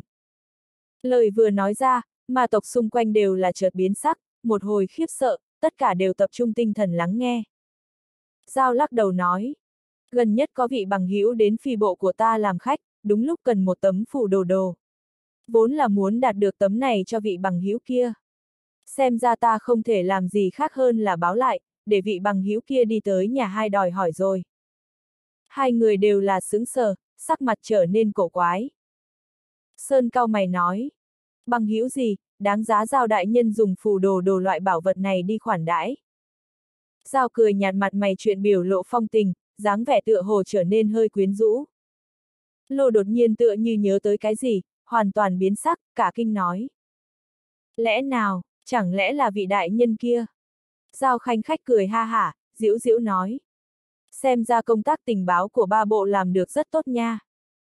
Sắc mặt của Lô cũng trở nên khó coi, cắn răng nói. Có người nói vị đại nhân kia không chỉ có đi tới nguyên quận, hơn nữa tựa hồ muốn tìm cái song tu đỉnh lô, có nghe đồn giao đại nhân chính là cái đỉnh lô kia, không biết có đúng sự thật không? Giao hoàn toàn biến sắc, tức giận nói. Câm miệng, lô đại nhân, cẩn thận họa là từ miệng mà ra. Nàng cắn răng cả giận nói. Cái gì đỉnh lô, là song tu bầu bạn, ngươi nếu còn nói bậy, bản tiểu thư không ngại cho ngươi vĩnh viễn câm miệng lại. Lô trên mặt thoáng vẻ sợ hãi, càng không nhịn được lui về sau một bước, lập tức cuống quyết ôm quyền nói. Là ta ăn nói vụng về, kính xin giao tiểu thư chớ trách. Đùng!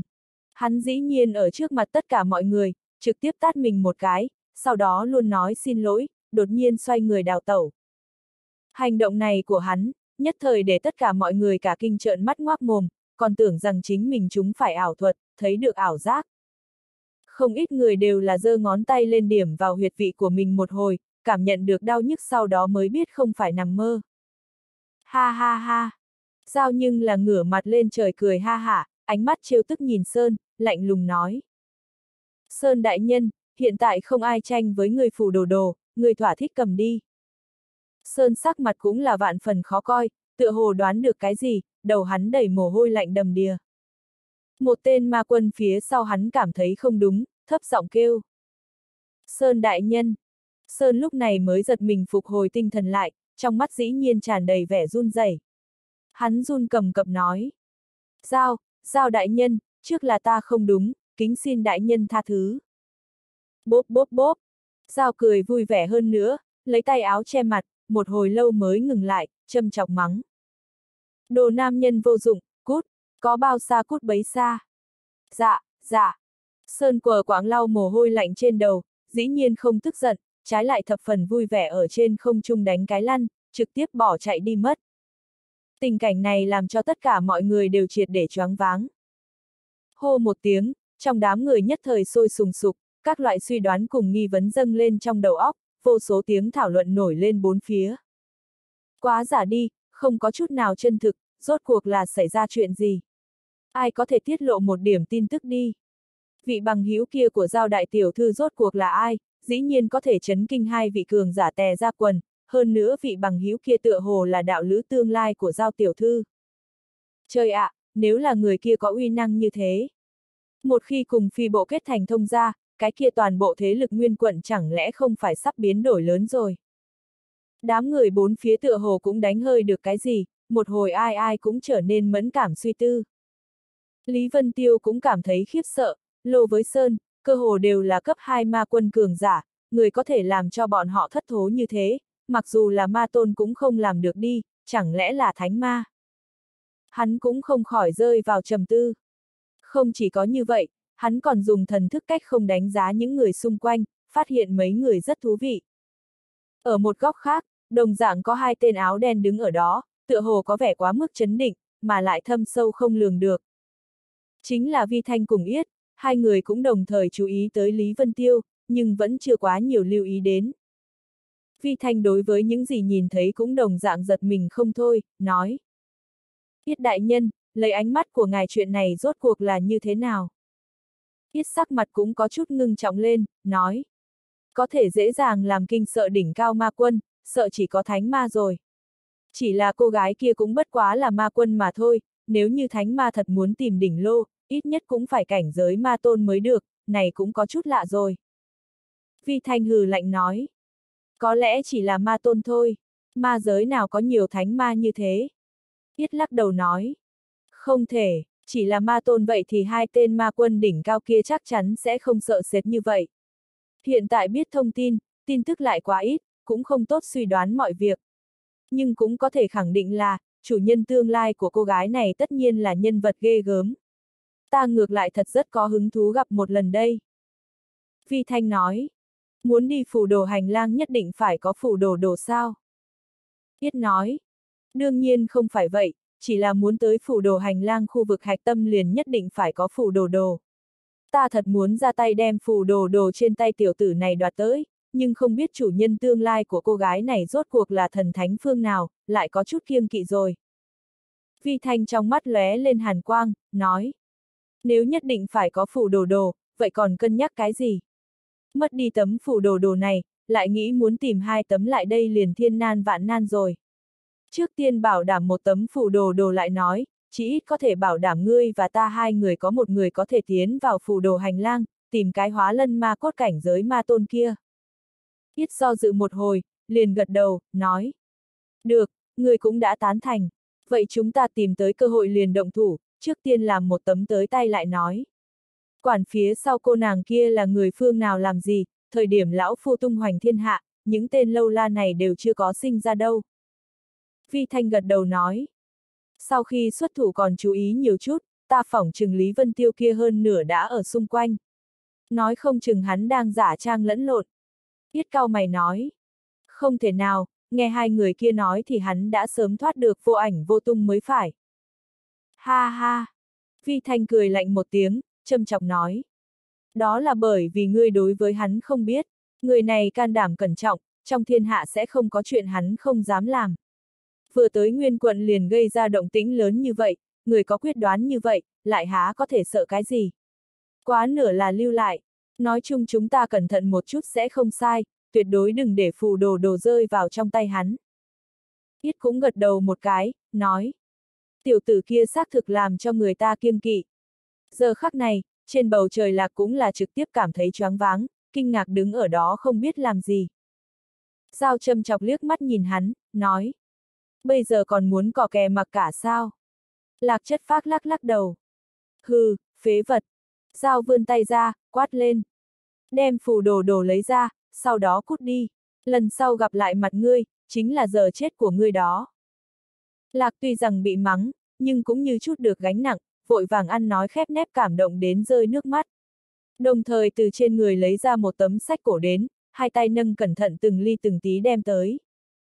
Đôi mắt của Giao sáng bừng lên, đầy mặt đều là vẻ kích động. Một tên ma quân tiến lên đem quyển sách cổ kia nhận lấy, mang về phía Giao.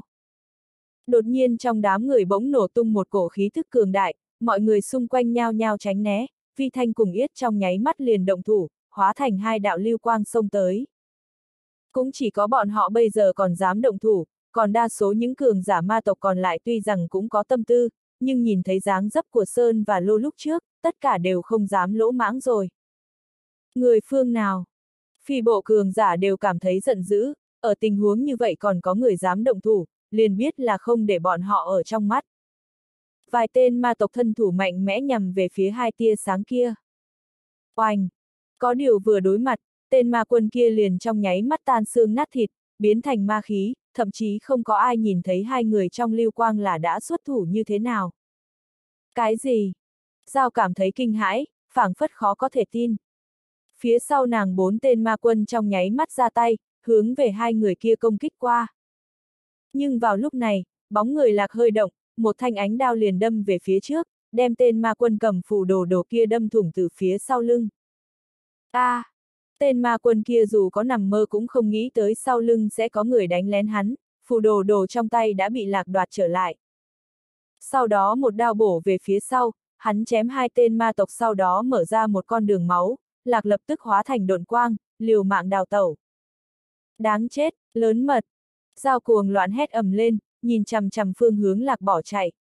Nàng không nghĩ ngợi nhiều được, chính mình thả người liền đuổi theo. Cái gì? Không chỉ có người của phi bộ giật nảy cả mình, mà ngay cả vi thanh cùng yết cũng ngây ngẩn cả người. Chẳng lẽ tiểu tử này lại có quyết tâm rút củi dưới đáy nổi hay sao? Đuổi theo. Vi thanh hét lớn một tiếng, không lo chém giết với những người của phi bộ nữa mà cùng với yết hóa thành một đạo lưu quang đuổi theo. Mọi người xung quanh càng là kích động, kịch tính lên xuống làm cho bọn họ cũng gấp gấp bận bịu đuổi theo. Lạc vốn đang dốc hết sức liều mạng chạy, đột nhiên bên tai truyền đến một thanh âm. Tiểu tử, có quyết đoán, đừng lo lắng, đại ca tới cứu ngươi rồi. Lạc suýt chút nữa trực tiếp từ trên bầu trời té xuống, khuôn mặt trong nháy mắt liền trở nên trắng bệch, mặt xám như cho tàn. Ha ha, không cần lo lắng, hết thảy đều có đại ca ở đây. Bên trong thanh âm của Lý Vân Tiêu lộ ra 10 phần tự tin cùng cổ vũ, nhưng lạc lại ngoảnh mặt làm ngơ. Cả khuôn mặt hắn đều tái rồi, dường như nhân sinh đến phần cuối, ngoại trừ phát điên chạy về phía trước, liền không để ý chuyện khác. Lý Vân Tiêu nói, cái phủ đồ đồ kia tựa hồ vô cùng quý giá, nếu ở trong tay ngươi đại ca cảm thấy có chút không yên lòng, vẫn là đại ca trước tiên thay ngươi bảo quản đi. Chờ bỏ qua truy binh ta lại trao trả nó cho ngươi. Bên cạnh lạc liền có một tia sét chạy như bay tới, trong nháy mắt liền hóa ra bóng dáng Lý Vân Tiêu. Hắn cười cười giơ bàn tay chụp về phía đối phương. Lạc đột nhiên hét lớn. Ngươi đừng hòng đoạt phù đồ đồ của ta, hoặc là cứu ta cùng đi, hoặc là ta liền cùng cái bản đồ này đồng quy vô tận. Huống hồ không có ta chỉ điểm, ngươi cũng sẽ không biết vị trí ảo diệu bên trong bản đồ này. Lý Vân Tiêu cả kinh, bàn tay nhất thời ngừng lại. Hắn ngược lại không sợ đồ bên trong có ảo diệu, nguyên quận bên trong sợ là không ít người đều biết, muốn đánh dò ra đến không khó lắm. Hắn sợ chính là lạc cùng cái bản đồ kia đồng quy vu tận, nếu vậy liền thật sự phiền toái. Ngươi đừng kích động, có đại ca ở đây, sợ cái gì? Đại ca tự nhiên sẽ đem ngươi cứu đi mà. Lý Vân Tiêu lộ ra nụ cười mê người. Hắn đưa tay ra cánh tay, hòa nhã nói. Ngươi toàn thân thả lỏng, không muốn chống cự sức mạnh của ta, ta đưa ngươi vào bên trong huyền khí. Lạc sửng sốt một chút, nói. Cái gì là bên trong huyền khí? Ngươi đừng có dở trò, bằng không cái bản đồ kia ta nhất định phá hủy. Hắn liều mạng lao nhanh, một tay nắm chặt bản đồ, một bộ đồng sinh cộng tử. Nhưng cũng may hắn vẫn tính nghe lời, cũng biết Lý Vân Tiêu giờ khắc này là cứu tinh duy nhất của hắn, bằng chính hắn muốn chạy trốn xác suất không tới 5 phần 10. Canh tay Lý Vân Tiêu vừa chạm tới lạc, liền đem hắn thu vào bên trong giới thần bi. Sau đó bản thân hắn hóa thành lôi điện, trên không trung thay đổi lại phương hướng, hướng về địa phương khác chạy như bay. Quá trình này bị Vi Thanh cùng Yết ở phía sau nhìn rõ ràng. Vi Thanh thấp giọng điên cuồng hét lên nói. Lý Vân Tiêu, quả nhiên là Lý Vân Tiêu, ta liền biết hắn nhất định ở phụ cận, đáng chết, lại bị hắn đoạt đi. Người của phi bộ cùng đám quần chúng cũng đều kinh hãi, không hiểu vì sao lạc một hồi liền biến mất rồi. Mà tốc độ của vị cường giả thân hóa lôi điện kia không khỏi cũng quá nhanh một chút. Giao càng là mặt âm trầm, nội tâm vạn phần lo lắng. Lần này không chỉ có mất đi 70.000 cực phẩm ma nguyên thạch, còn mất đi tử sắc thiên tinh hóa lân ma cốt, thật buồn bực nhất là phù đồ đồ đã tới tay cũng bị mất. Những chuyện liên tiếp xảy ra như thế, nếu để vị đại nhân kia biết, cho là mình năng lực làm việc kém như vậy, sợ là chuyện song tu cũng phiền phức rồi. Nàng vô cùng bối rối, nhưng cũng không có cách, chỉ có thể điên cuồng đuổi theo. Vi Thanh cùng Yết ở đuổi theo sau một lúc, liền chủ động ngừng lại. Bởi vì bọn họ biết thủ đoạn của Lý Vân Tiêu, nếu đã để hắn chạy ra xa như vậy thì cũng không thể đuổi kịp được hắn nữa. Cộng thêm cho dù siêu may mắn đuổi kịp thì những người này chưa chắc đánh lại Lý Vân Tiêu, ngược lại đưa lên cửa cho đối phương làm thịt. Yết trầm giọng nói. Về nguyên quận trước đi, nếu tranh phù đồ đã xuất hiện thì chắc khu trung tâm hành lang phù đồ sắp mở ra. Chúng ta về thành trước, chắc chắn còn bức tranh phù đồ khác. Hai người đi nhanh về nguyên quận, không trần trừ thêm giây nào nữa. Lý Vân Tiêu bị đám người này rượt theo 7 ngày 7 đêm, hắn không chạy theo đường thẳng vì sợ cách xa nguyên quận khi đó khó trở về. Lý Vân Tiêu đi vòng quanh phía ngoài cùng nguyên quận. 7 ngày sau Lý Vân Tiêu thoát khỏi tất cả kẻ theo đuôi, lắc người ẩn núp trong khe núi gần nguyên quận. Lý Vân Tiêu điều tức hơn nửa ngày, ma nguyên trong người phục hồi gần đầy đủ hắn mới lắc người tiến vào giới thần bi. Lý Vân Tiêu hiện hình ở một chỗ đất hoang, cười tủm tỉm nhìn lạc biểu tình tràn đầy kinh hoàng, mặt trắng bệch. Lạc lão đệ, đại ca đến thăm người đây. Khuôn mặt lạc tràn đầy khủng hoảng, ánh mắt nhìn Lý Vân Tiêu chất chứa sợ hãi, phập phồng lo sợ hỏi. Đây rốt cuộc là đâu? Lý Vân Tiêu giải thích rằng. Ha ha, đừng sợ, đây là không gian huyền khí của đại ca, đã nói với ngươi rồi còn gì. Lạc trợn to mắt nói. Không gian huyền khí, thật sự là không gian huyền khí. Vậy huyền khí này là... Tuy Lạc chưa từng thấy thánh khí nhưng có nghe các tin đồn về nó, có điều nằm mơ cũng không ngờ sẽ có ngày được vào trong thánh khí. Lạc nghi hoặc hỏi. Nhưng, tại sao chỗ này không có chút ma khí nào? Lý Vân Tiêu hừ lạnh một tiếng. Ha ha, ngươi không cảm thấy mình đã hỏi quá nhiều sao? Lý Vân Tiêu vươn tay ra, nói. Ta đã cắt đuôi người của phi bộ rồi, bây giờ đã tới lúc ngươi nói cho ta biết bí mật của tranh phù đồ và cả bí mật hành lang phù đồ. Lạc nhìn xung quanh, toàn là khoảng trống đáng sợ, biết không trốn thoát nên chịu khai thật. Ngươi hãy thề rằng tuyệt đối không giết ta và sẽ thả ta đi. Lý Vân Tiêu cười khẩy nói. Cho ép ta thề chỉ vô dụng, muốn sống thì phải xem giá trị tin tức ngươi cung cấp người biết về thánh khí thì nên hiểu rằng ở chỗ này ta là chân thần một phương, sống hay chết là tùy ta. Lý Vân Tiêu chỉ tới trước, là cảm nhận áp lực to lớn từ bốn phương đè ép, sợi xích pháp tắc bỗng giáng xuống trói chặt gã. Lạc kinh hoàng kêu lên. Đừng giết ta, đại ca đừng giết ta, ta sẽ nói ra hết. Lý Vân Tiêu vung tay rút lại tất cả lực lượng pháp tắc. Nói đi, nhưng ta cảnh báo trước, kiên nhẫn của đại ca có hạn, nếu ngươi còn chơi trò mèo gì hao mòn kiên nhẫn của đại ca thì rắc rối. Lạc biến sắc mặt, thận trọng gật đầu. Lạc nói, tranh phù đồ là bùa hộ mệnh để an toàn vào khu trung tâm hành lang phù đồ, bức tranh này từ đâu đến thì đủ mọi cách nói. Có cách nói đáng tin nhất là mỗi cách 5 tháng cố định trong hành lang phù đồ sẽ tự hình thành một bức tranh hoàn chỉnh minh mông to lớn rồi tách thành mấy chục khối bắn đi các góc lớn trong băng vực. Lý Vân Tiêu nhíu mày hỏi. Sao mơ hồ vậy? Lạc gật đầu, nói. Thật ra không có tranh phù đồ cũng vào khu trung tâm hành lang phù đồ được nhưng xác suất chết rất cao, nếu có tranh hộ thân, miễn không bị người khác giết thì cơ bản an toàn. Lý Vân Tiêu hỏi, vậy khu trung tâm đó có phải có hóa lân ma cốt đẳng cấp ma tôn không? Lạc đáp, tất nhiên có rồi, nhưng mấy năm qua không chỉ ma quân muốn đi vào, ma tôn cũng tìm mọi cách để vào đó. Vì trừ hóa lân ma cốt đẳng cấp ma tôn ra thậm chí rất có thể sẽ được ma lâm ngọc, hoặc nên nói là thánh băng ngọc. Hai thứ đó mới là trí bảo trong băng vực, cũng là nguồn gốc hấp dẫn cường giả ma tôn đến. Lòng Lý Vân Tiêu máy động hỏi. Người có nhận biết ma lâm ngọc không? Lạc nhíu mày nói. Sao hỏi câu đó, hay ngươi cũng muốn tìm ma lâm ngọc? Ha ha, ta nói thẳng cho ngươi biết, xác suất gần bằng không. Lý Vân Tiêu nheo mắt nói người bắt đầu nói nhảm hơi nhiều. Lạc cảm nhận khí lạnh ập đến, biến sắc mặt kinh hoàng nói. Ta sai rồi, tiểu đệ sai, đại ca tha mạng. Lý Vân Tiêu vung tay lên, không trung phản chiếu hình dạng thiên ngoại huyền minh thạch. Ngươi nhìn xem thứ này có phải là ma lâm ngọc không? Lạc hết hồn kêu lên. Cái gì? Lạc vội nhảy lên xem kỹ ảnh chiếu. Thiên ngoại huyền minh thạch không ngừng xoay trong không trung, vỏ tím đen có lớp tinh thể màu trắng phủ lên, trông bóng loáng như ngọc, toát ra khí thế sắc bén lạnh băng. Tuy chỉ là một ảnh chiếu nhưng cực kỳ tỉ mỉ bộc lộ khí băng giá, trùng kích cảm quan như thật, tựa như vật thực. Lạc hút ngụm khí lạnh. Ui! Lạc hét to như trông thấy thứ đáng sợ gì, điên cuồng rít gào. Không thể nào, không thể nào, sao có thể như vậy? Lý Vân Tiêu nhướng mày hỏi. Rốt cuộc có chuyện gì? Mấy ấn quyết đánh vào thân thể lạc, tinh thần lực xông vào não gã chấn định tinh thần lại. Lạc run rẩy mấy cái, dần tỉnh táo từ nỗi sợ hãi. Lạc nhìn Lý Vân Tiêu chằm chằm, hai tay kiềm chặt cánh tay hắn hét to. Ma Lâm Ngọc, Ma Lâm Ngọc, Thánh Băng Ngọc, Thánh Băng Ngọc, khối Ma Lâm Ngọc đó và Thánh Băng Ngọc có phải ở trong tay ngươi?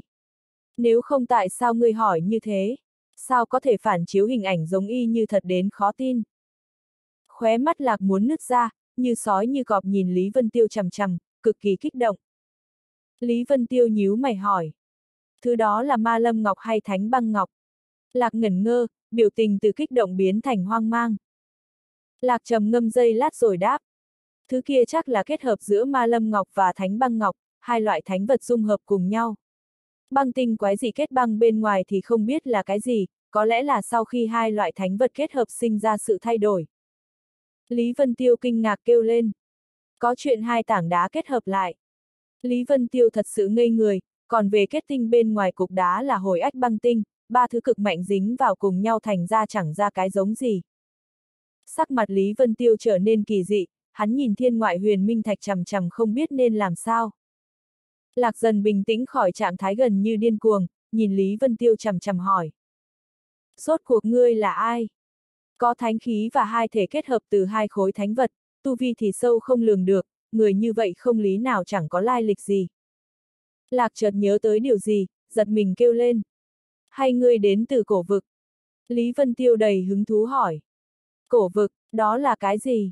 Lạc sửng sốt, xem bộ dạng của hắn không giống giả bộ, gã thầm thắc mắc.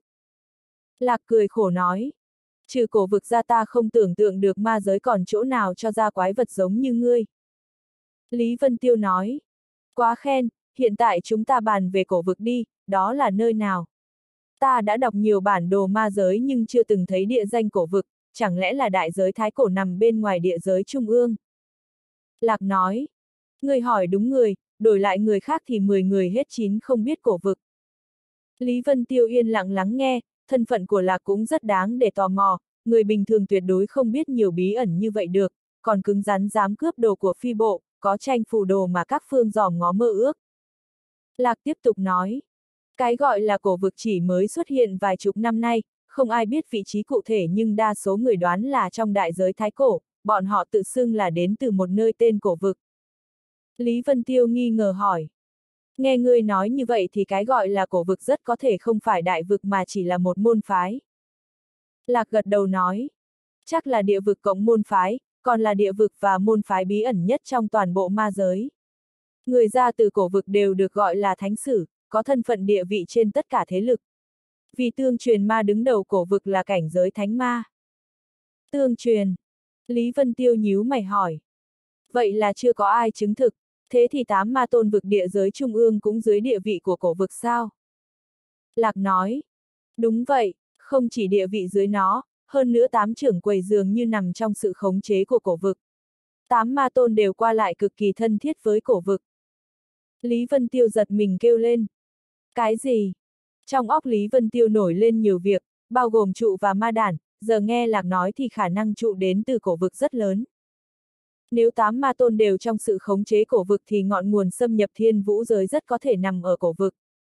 Nhưng từ việc man cướp ma đản, thái độ của tranh với cổ vực thì nhìn ra được dù cổ vực ảnh hưởng tám ma tôn vực thì tám vị ma tôn cũng cực kỳ bất mãn với cổ vực. Lý Vân Tiêu trầm giọng hỏi. Thật sự không có người từng đi cổ vực hoặc biết lối vào của cổ vực sao? Nếu mọi ngọn nguồn nằm ở cổ vực thì Lý Vân Tiêu cần đi một chuyến, cho dù đến cùng trời cuối đất. Núi đao biển lửa. Lạc lắc đầu nói. Theo ta được biết thì người có khả năng biết lối vào cổ vực nhất chỉ có 8 ma tôn của địa giới trung ương. Ha ha, nhưng hiện tại chỉ còn lại 7 ma tôn. Lý Vân Tiêu biết lạc ám chỉ việc Lam chết, hắn trầm ngâm. Xem ra hắn phải trở lại thành xã tinh tìm tranh một chuyến, lúc trước tranh bí hiểm nói muốn bàn với Lý Vân Tiêu một chuyến, tranh cẩn thận như vậy thì chắc sự việc liên quan tới cổ vực. Có vẻ trong bảy ma tôn có nhiều người xa cách với cổ vực, đây là chuyện siêu tốt cho thiên vũ giới. Lạc đột nhiên lên tiếng. Có lẽ còn một thế lực cũng biết lối vào cổ vực. Lý Vân Tiêu nhướng mày hỏi. Hả, ở đâu? Lạc buột miệng nói. Phi bộ. Mặt Lý Vân Tiêu lạnh băng, Lạc thấy vậy biến sắc mặt nói. Lúc trước chắc chắn phi bộ không biết, nhưng mới rồi giao nói bạn lữ song tu, thái độ của quá bộ, ba bộ thì chỉ có thánh ma mới hoàn toàn chấn nhiếp hai bộ tộc đến không để ý mặt mũi. Giờ đang là lúc hành lang phù đồ mở ra, khả năng dẫn người của cổ vực đến rất lớn. Lý Vân Tiêu nhíu mày nói. Nếu ma đứng đầu cổ vực là thánh ma thì hóa lân ma cốt không có ý nghĩa quá lớn với hắn. Dù sao ma lâm ngọc, thánh băng ngọc đem đến tác dụng rất nhỏ với hắn, suy ra hắn có cần đến băng vực không? Lạc cười lạnh nói. Chẳng lẽ cổ vực chỉ có một người sao? Chắc chắn có nhiều cường giả trình độ khác, đều cần có hóa lân ma cốt hoặc thánh băng ngọc. Lý Vân Tiêu hơi lúng túng, hắn mới hỏi liền biết mình ngốc, hắn cười ngượng ngùng nói. Vậy chúng ta tiếp tục bàn về hành lang phù đồ đi, xác suất được hóa lân ma cốt cảnh giới ma tôn cỡ bao nhiêu? Lạc lặng im một lúc, mắt đầy ẩn ý nhìn Lý Vân Tiêu, chân thành hỏi. Người có biết hóa lân ma cốt hình thành như thế nào không? Lý Vân Tiêu đáp. Nghe nói bị thánh băng ngọc ảnh hưởng, sau khi ma tộc chết sẽ hóa thành hình thức như vậy tồn tại. Lạc gật đầu nói. Không sai, nhưng bây giờ ngươi đã có thánh băng ngọc, ngươi có từng nghĩ ngươi đã có năng lực chế tạo hóa lân ma cốt cho riêng mình chưa? Lý Vân Tiêu kinh ngạc, đứng ngây như phỗng. Lý Vân Tiêu chưa từng nghĩ đến điều này, nghe lạc thì khá là có lý. Nhưng rồi Lý Vân Tiêu lắc đầu nói. Nhưng thời gian hóa lân ma cốt hình thành quá lâu. Lạc nhíu mày nói. Đây đúng là vấn đề, có lẽ còn cách khác để vượt qua nhưng các đời nay hiếm ai sở hữu thánh băng ngọc, vì vậy tài liệu nghiên cứu nó rất thưa thớt, rất có thể hoàn toàn không có. Lý Vân Tiêu nói. Ít ra đây không phải là vấn đề bây giờ nên suy xét, dù thật sự có khả năng thì ta không thể bắt một vị ma tôn đến biến thành hóa lân ma cốt đi. Lạc nói. Cái này thì được, người đã có một hóa lân ma cốt tử thiên tinh, nếu có một hóa lân ma cốt cảnh giới ma tôn thì khả năng trùng kích cảnh giới ma tôn rất lớn. Mắt lạc tràn đầy hâm mộ. Lý Vân Tiêu lạnh lùng liếc lạc. Hiện tại ngươi không có tranh phù đồ thì đừng hy vọng đi khu trung tâm, không có gì phải hâm mộ. Lạc bị tạt gáo nước lạnh trở lại hiện thực tàn nhẫn, cười khổ nói. Vậy đại ca đi hành lang phù đồ nếu gặp một vài hóa lân ma cốt không tệ nhớ mang về vài cái cho tiểu đệ. Lý Vân Tiêu cười khẩy nói. Lấy dùm mấy cái không thành vấn đề, nhưng ngươi có tiền mua không? Lạc ngây người. Tiền, mua. Lý Vân Tiêu hử mũi. Chắc không phải ngươi muốn ta miễn phí lấy mấy cái về cho ngươi đi. Lạc. Lý Vân Tiêu vung tay lên, nói. Không nói mấy thứ vô dụng này, mau cho ta biết cách dùng tranh phù đồ. Trước khi ta từ khu trung tâm hành lang phù đồ trở về sẽ không thả ngươi đi, nếu phát hiện tình hình không ổn thì ta sẽ ném ngươi vào khu trung tâm cho ngươi tự sinh tự diệt. Mặt lạc trắng bệch, độc ác trừng Lý Vân Tiêu, gã tin ác ma trước mắt chắc chắn sẽ làm như vậy. Mấy canh giờ sau hai người chấm dứt cuộc thảo luận. Vì bảo đảm chính mình có thể sống, là có gì kể ra hết, một số điểm quan trọng càng dặn đi dặn lại 7, 8 lần, rông dài làm Lý Vân Tiêu phát cáu. Lý Vân Tiêu ra khỏi giới thần bi lắc người bay hướng nguyên quận. Nghe Lạc nói thì khi khu trung tâm hành lang phù đồ mở ra tranh phù đồ sẽ có phản ứng, không cần lo quá nhiều về nó.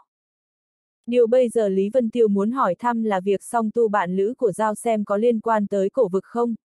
Vi Thanh, Yết còn trong nguyên quận, hắn có nên gặp mặt bọn họ không? Lý Vân Tiêu đang suy xét. Giờ phút này nguyên quận hoàn toàn giới nghiêm, hễ ra vào thành sẽ bị thẩm tra nghiêm khắc, đại trận hộ thành hoàn toàn mở ra để phòng người có kẻ lên trời xuống đất. Nhưng kiểm tra trình độ này tất nhiên không làm khó Lý Vân Tiêu được, hắn hơi dùng chút thủ đoạn là nhẹ nhàng vào thành. Lý Vân Tiêu phân biệt phương hướng rồi bay tới tổng bộ của Phi. Người trong thành vội vàng tới lui, sắc mặt âm trầm, nét mặt đề phòng như đang sợ cái gì. Không khí túc sát nặng nề bao trùm toàn thành, làm lòng người hoảng sợ. Trong tổng bộ của Phi, trong đại sảnh uy nghiêm hoa quý, vách tường tự tỏa ra khí lạnh, một cái bàn tròn to đặt ở chính giữa. Tất cả cấp trên quây quần ngồi trước cái bàn, biểu tình trầm trọng trận địa sẵn sàng đón quân địch. Người ngồi ở ghế trên chủ trì cuộc họp có khuôn mặt nhã nhặn nhưng mắt lóe tia tàn nhẫn lạnh băng, thân phận bề trên khiến gã tích lũy uy nghiêm. Đấy là đệ nhất cường giả của nguyên quận, tộc trưởng phi bộ, phụ thân của Giao, phi. Giờ phút này Giao cũng ngồi cạnh bàn tròn, vị trí hơi thấp, mặt trắng bệch khó xem, mắt thẫn thờ thường liếc hướng người ngồi bên trái phi. Nam nhân rất trẻ tuổi, khuôn mặt tinh xảo, mày kiếm mắt sáng, có nét đẹp yêu tà vẽ rồng điểm mắt. Thanh niên chỉ ngồi đó nhưng khí chất lạnh nhạt khiến người không dám khinh thường. Nếu Lý Vân Tiêu có mặt ở đây sẽ hút ngụm khí lạnh, người này là Lý Giật. Không chỉ khuôn mặt, khí chất giống nhau, người này thật sự là Lý Giật. Lý Giật nhàn nhã ngồi cạnh bàn tròn, khóe môi cong lên cười nhạt. Bên cạnh có hai cường giả ma tộc mặt lạnh lùng, khác với người phi bộ cùng ngồi biểu tình cô độc, dường như hai cường giả này tôn Lý Giật dẫn đầu. Nguyên bàn tròn không khí rất nặng nề, trừ Lý Giật mỉm cười ra những người khác mặt rắn đanh. Im lặng thật lâu sau Lý Giật phá vỡ không khí. Tại sao không nói gì hết? Lý Giật cười khẩy nói. Đã có người báo cáo chuyện này với bản thiếu gia. Chật chật, đệ nhất thế tộc của nguyên quận bị người cướp ma nguyên thạch, hóa lân ma cốt ngay trước cửa tiệm, tranh phù đồ sắp vào tay cũng bị người cướp đi. Phi đại nhân, quý bộ thật sự rất lợi hại, khâm phục, khâm phục. Lý giật chắp hai tay thi lễ, từng lời nói từng hành động tràn đầy trào phúng. Cơ mặt phi cứng ngắc, thu lại khí uy nghiêm, trầm giọng nói. Giật thiếu ra yên tâm, chúng ta đã sử dụng lực lượng toàn thành siêu tầm những người kia, tin tưởng rất nhanh sẽ có kết quả. Còn về tấm tranh phù đồ vốn là vật ngoài ý muốn, có mất cũng không đáng tiếc. Còn tranh phù đồ của giật thiếu gia và hai vị thánh sử thì ta đã chuẩn bị từ lâu. Lý giật phất tay nói. Ta không nói về tranh phù đồ mà đang nói đến năng lực làm việc các vị. Phi sắc mặt khó xem nói. Chắc là người của quá, ba đã lén báo cáo với đại nhân đúng không? Lý giật cười lạnh. Thế nào, các ngươi không suy nghĩ cách giải quyết vấn đề mà muốn giải quyết người nêu ra vấn đề sao? Phi lúng túng ho khan. Khụ, khụ khụ. Chuyện này đúng là làm bọn họ mất hết mặt mũi, còn ngay trước mặt cường giả cổ vực. Nguyên phi bộ bây giờ hận đám người Lý Vân Tiêu thấu xương. Còn nữa, Lý giật nhìn xuống dưới, đánh giá dao, nàng bị nhìn chằm chằm gò má đỏ hồng xấu hổ cúi đầu. Xì, Lý giật khinh thường nói. Đã nói trùng kích cảnh giới ma tôn đâu, không có tu vi ma tôn thì bản thiếu gia cần đỉnh lô như vậy làm gì. Mặt dao trắng bệch, nàng cắn răng nói. Đại nhân yên tâm, trong thời gian này ta sẽ cố gắng trùng kích ma tôn, đặc biệt hành lang phù đồ mở ra chắc có thể tìm được hóa lân ma cốt tốt hơn. Lý giật ngước nhìn lên trời, đầy bụng tâm sự. Hành lang phù đồ, nói thật thì bản thiếu gia không ôm hy vọng quá lớn. Hai chân lý giật giao nhau gác lên bàn. Động tác vô lễ khiến đám người phi bộ lòng bốc lửa nhưng không ai dám gian lý giật, cũng không dám ngang ngược chỉ trích cái gì. Đừng nói hiện giờ thân phận của Lý Giật làm bọn họ không dám đắc tội, chỉ tính hai cường giả bên cạnh gã có thực lực không thua gì Phi, nếu đánh nhau thì nguyên phi bộ đều tiêu. Theo ý của Phi hình như muốn lôi kéo Lý Giật, nhờ cậy thế lực cổ vực đối phó hai nhà khác, thậm chí đạt được mục đích thống nhất nguyên quận. Nên Phi chỉ nhìn thoáng qua hai chân Lý Giật đạp trên bàn, không hé răng. Khóe môi lý giật cong lên lưu manh nhìn toàn thân dao, tặc lưỡi khen. Tuy rằng tu vi của nàng không đủ nhưng dáng người và khuôn mặt khá tốt, không cần chờ đến cảnh giới ma tôn, đêm nay đến phòng của bản thiếu ra đi. Cái này, khuôn mặt dao kinh hoàng, vừa xấu hổ vừa tức giận nói quanh co. Nếu bây giờ làm, làm, thì không bổ ích cho tu vi của giật thiếu gia. Lý giật cười khẩy nói. Chuyện đó thì nàng không cần lo, trong thiên hạ có nhiều nữ nhân chờ bồi bổ cho bản thiếu gia, nàng có thể tăng chút thú vui cho bản thiếu gia là đã khá lắm rồi, ha ha. Tiếng cười dâm tà truyền ra trên bàn tròn, mỗi người mặt không biểu tình giả bộ không nghe thấy. Chỉ có dao là mặt không chút máu, tuy nàng luôn tự hào là bạn lữ song tu của đối phương nhưng sự thật thì nàng chỉ là một đỉnh lô. Lòng dao trùng xuống, trở nên tối tăm, nàng xấu hổ bực tức nói nhỏ. Tuân lệnh. Lý giật thả hai chân xuống bàn, đứng dậy phủi vạt áo nói. Ta không ở lại cuộc họp nhàm chán này, các ngươi tiếp tục họp đi. Phải rồi, ta rất hứng thú với ma tộc tên Lý, các ngươi nhớ kỹ, không tiếc mọi giá phải bắt được Lý. Phi gật đầu nói. Giật thiếu ra cứ yên tâm đi, dù không có đại nhân dặn bảo thì chúng ta sẽ không tiếc mọi giá bắt hắn. Gần đây nhiều tranh phù đồ hiển hiện, e rằng khu trung tâm hành lang rất nhanh sẽ mở ra. Giật thiếu gia và hai vị thánh sử đại nhân hãy nghỉ ngơi trong thời gian này. Lý giật xoay người đi. Ừm, ta đi về nghỉ ngơi. Lý giật ngoái đầu liếc dao, cười khẽ. Nhớ buổi tối đến, ha ha ha ha ha ha. Tiếng cười ngông cuồng xa dần, bàn tròn chìm trong sự tĩnh lặng đáng sợ. Dao cắn chặt môi đỏ, mắt ngấn lệ, giọt lệ ứa ra khỏi khóe mắt. Phi lạnh lùng liếc qua dao. Dao, có phải ngươi thấy không cam lòng? Câu nói cho chúng chỗ yếu làm dao không kiềm được gào khóc. Làm nữ nhi của Phi thì dĩ nhiên dao không mảnh mai yếu ớt, nhưng trái tim thiếu nữ bị trà đạp như thế làm nàng không chịu nổi. Phi an ủi. Đừng quá đau lòng, dù chỉ là cảnh giới ma quân nhưng kết hợp với giật thiếu gia cộng thêm thiên tư của ngươi, lại được một hóa lân ma cốt cảnh giới ma tôn thì khả năng trùng kích cảnh giới ma tôn rất lớn. Tại sao, tại sao hắn không thể chờ thêm một lúc nữa? Giao cắn răng khóc ròng. Nếu chờ ta vào cảnh giới ma tôn lại giao hợp âm dương với hắn thì sẽ có lợi lớn cho hai bên, hắn không thể chờ thêm một lúc sao. Không khí trên bàn tròn cực kỳ nặng nề, mọi người quay sang nhìn nhau. Phi thở dài thườn thượt. Đó chính là cường giả làm vua, giật thiếu ra muốn làm gì thì làm thế nấy. Đừng nói ngươi không thể làm gì, ta cũng bất lực. Mới rồi giật thiếu ra nói chuyện đã tỏ rõ ngươi chỉ là lô đỉnh trong mắt hắn, nếu không phục thì cố gắng tu luyện đi, ngày nào đó có thể vào cảnh giới thánh ma là có thể xoay chuyển vận mệnh của mình. Giao gục trên bàn, hai vai rung rung khóc không thành tiếng. Hu hu hu. Giao đáng thương, lúc này thật khó liên tưởng nàng với nữ nhân kiên quyết quả cảm ngày thường. Rất nhanh Giao ngừng khóc, dường như đã chấp nhận vận mệnh của mình. Giao lấy khăn ra lau nước mắt, đứng dậy nói. Ta đi về chuẩn bị chút. Phi gật đầu nói. Đi đi. Giao xoay người, mặt lạnh băng đi thẳng. Một ma quân không kiềm được nghiến răng nói. Phi đại nhân, ta thấy giật chỉ là ma quân tầm thường, một công tử trác táng, ma đời thứ hai. Nếu để giao tiểu thư làm lô đỉnh cho hắn thì khổ cho tiểu thư. Phi biến sắc mặt lạnh lùng nói. Ngậm miệng lại, tuyệt đối không được nói lung tung. Nếu không ngươi chết là chuyện nhỏ, liên lụy toàn bộ phi bộ mới lớn chuyện. Ma quân mím môi, giận dỗi quay đầu đi. Sắc mặt phi dịu lại. Nên biết thân phận của giật thiếu gia tương lai rất có thể sẽ quân lâm mảnh đất ma giới này, giao làm lô đỉnh của thiếu gia cũng không có gì không được. Sẽ có lợi rất lớn cho giao. Ma quân cười nhạt nói nhỏ. Hừ, nghe nói giật chỉ là một trong nhiều phân thân của ma thủ, tương lai có thể giữ tâm tính của mình được không còn chưa biết. Phi biến sắc mặt lại tức giận quát. Đã bảo ngươi không được nói linh tinh. Phi tùy tay chộp, lòng bàn tay dâng lên mảng lớn phủ văn giam cầm đại sảnh nghị sự.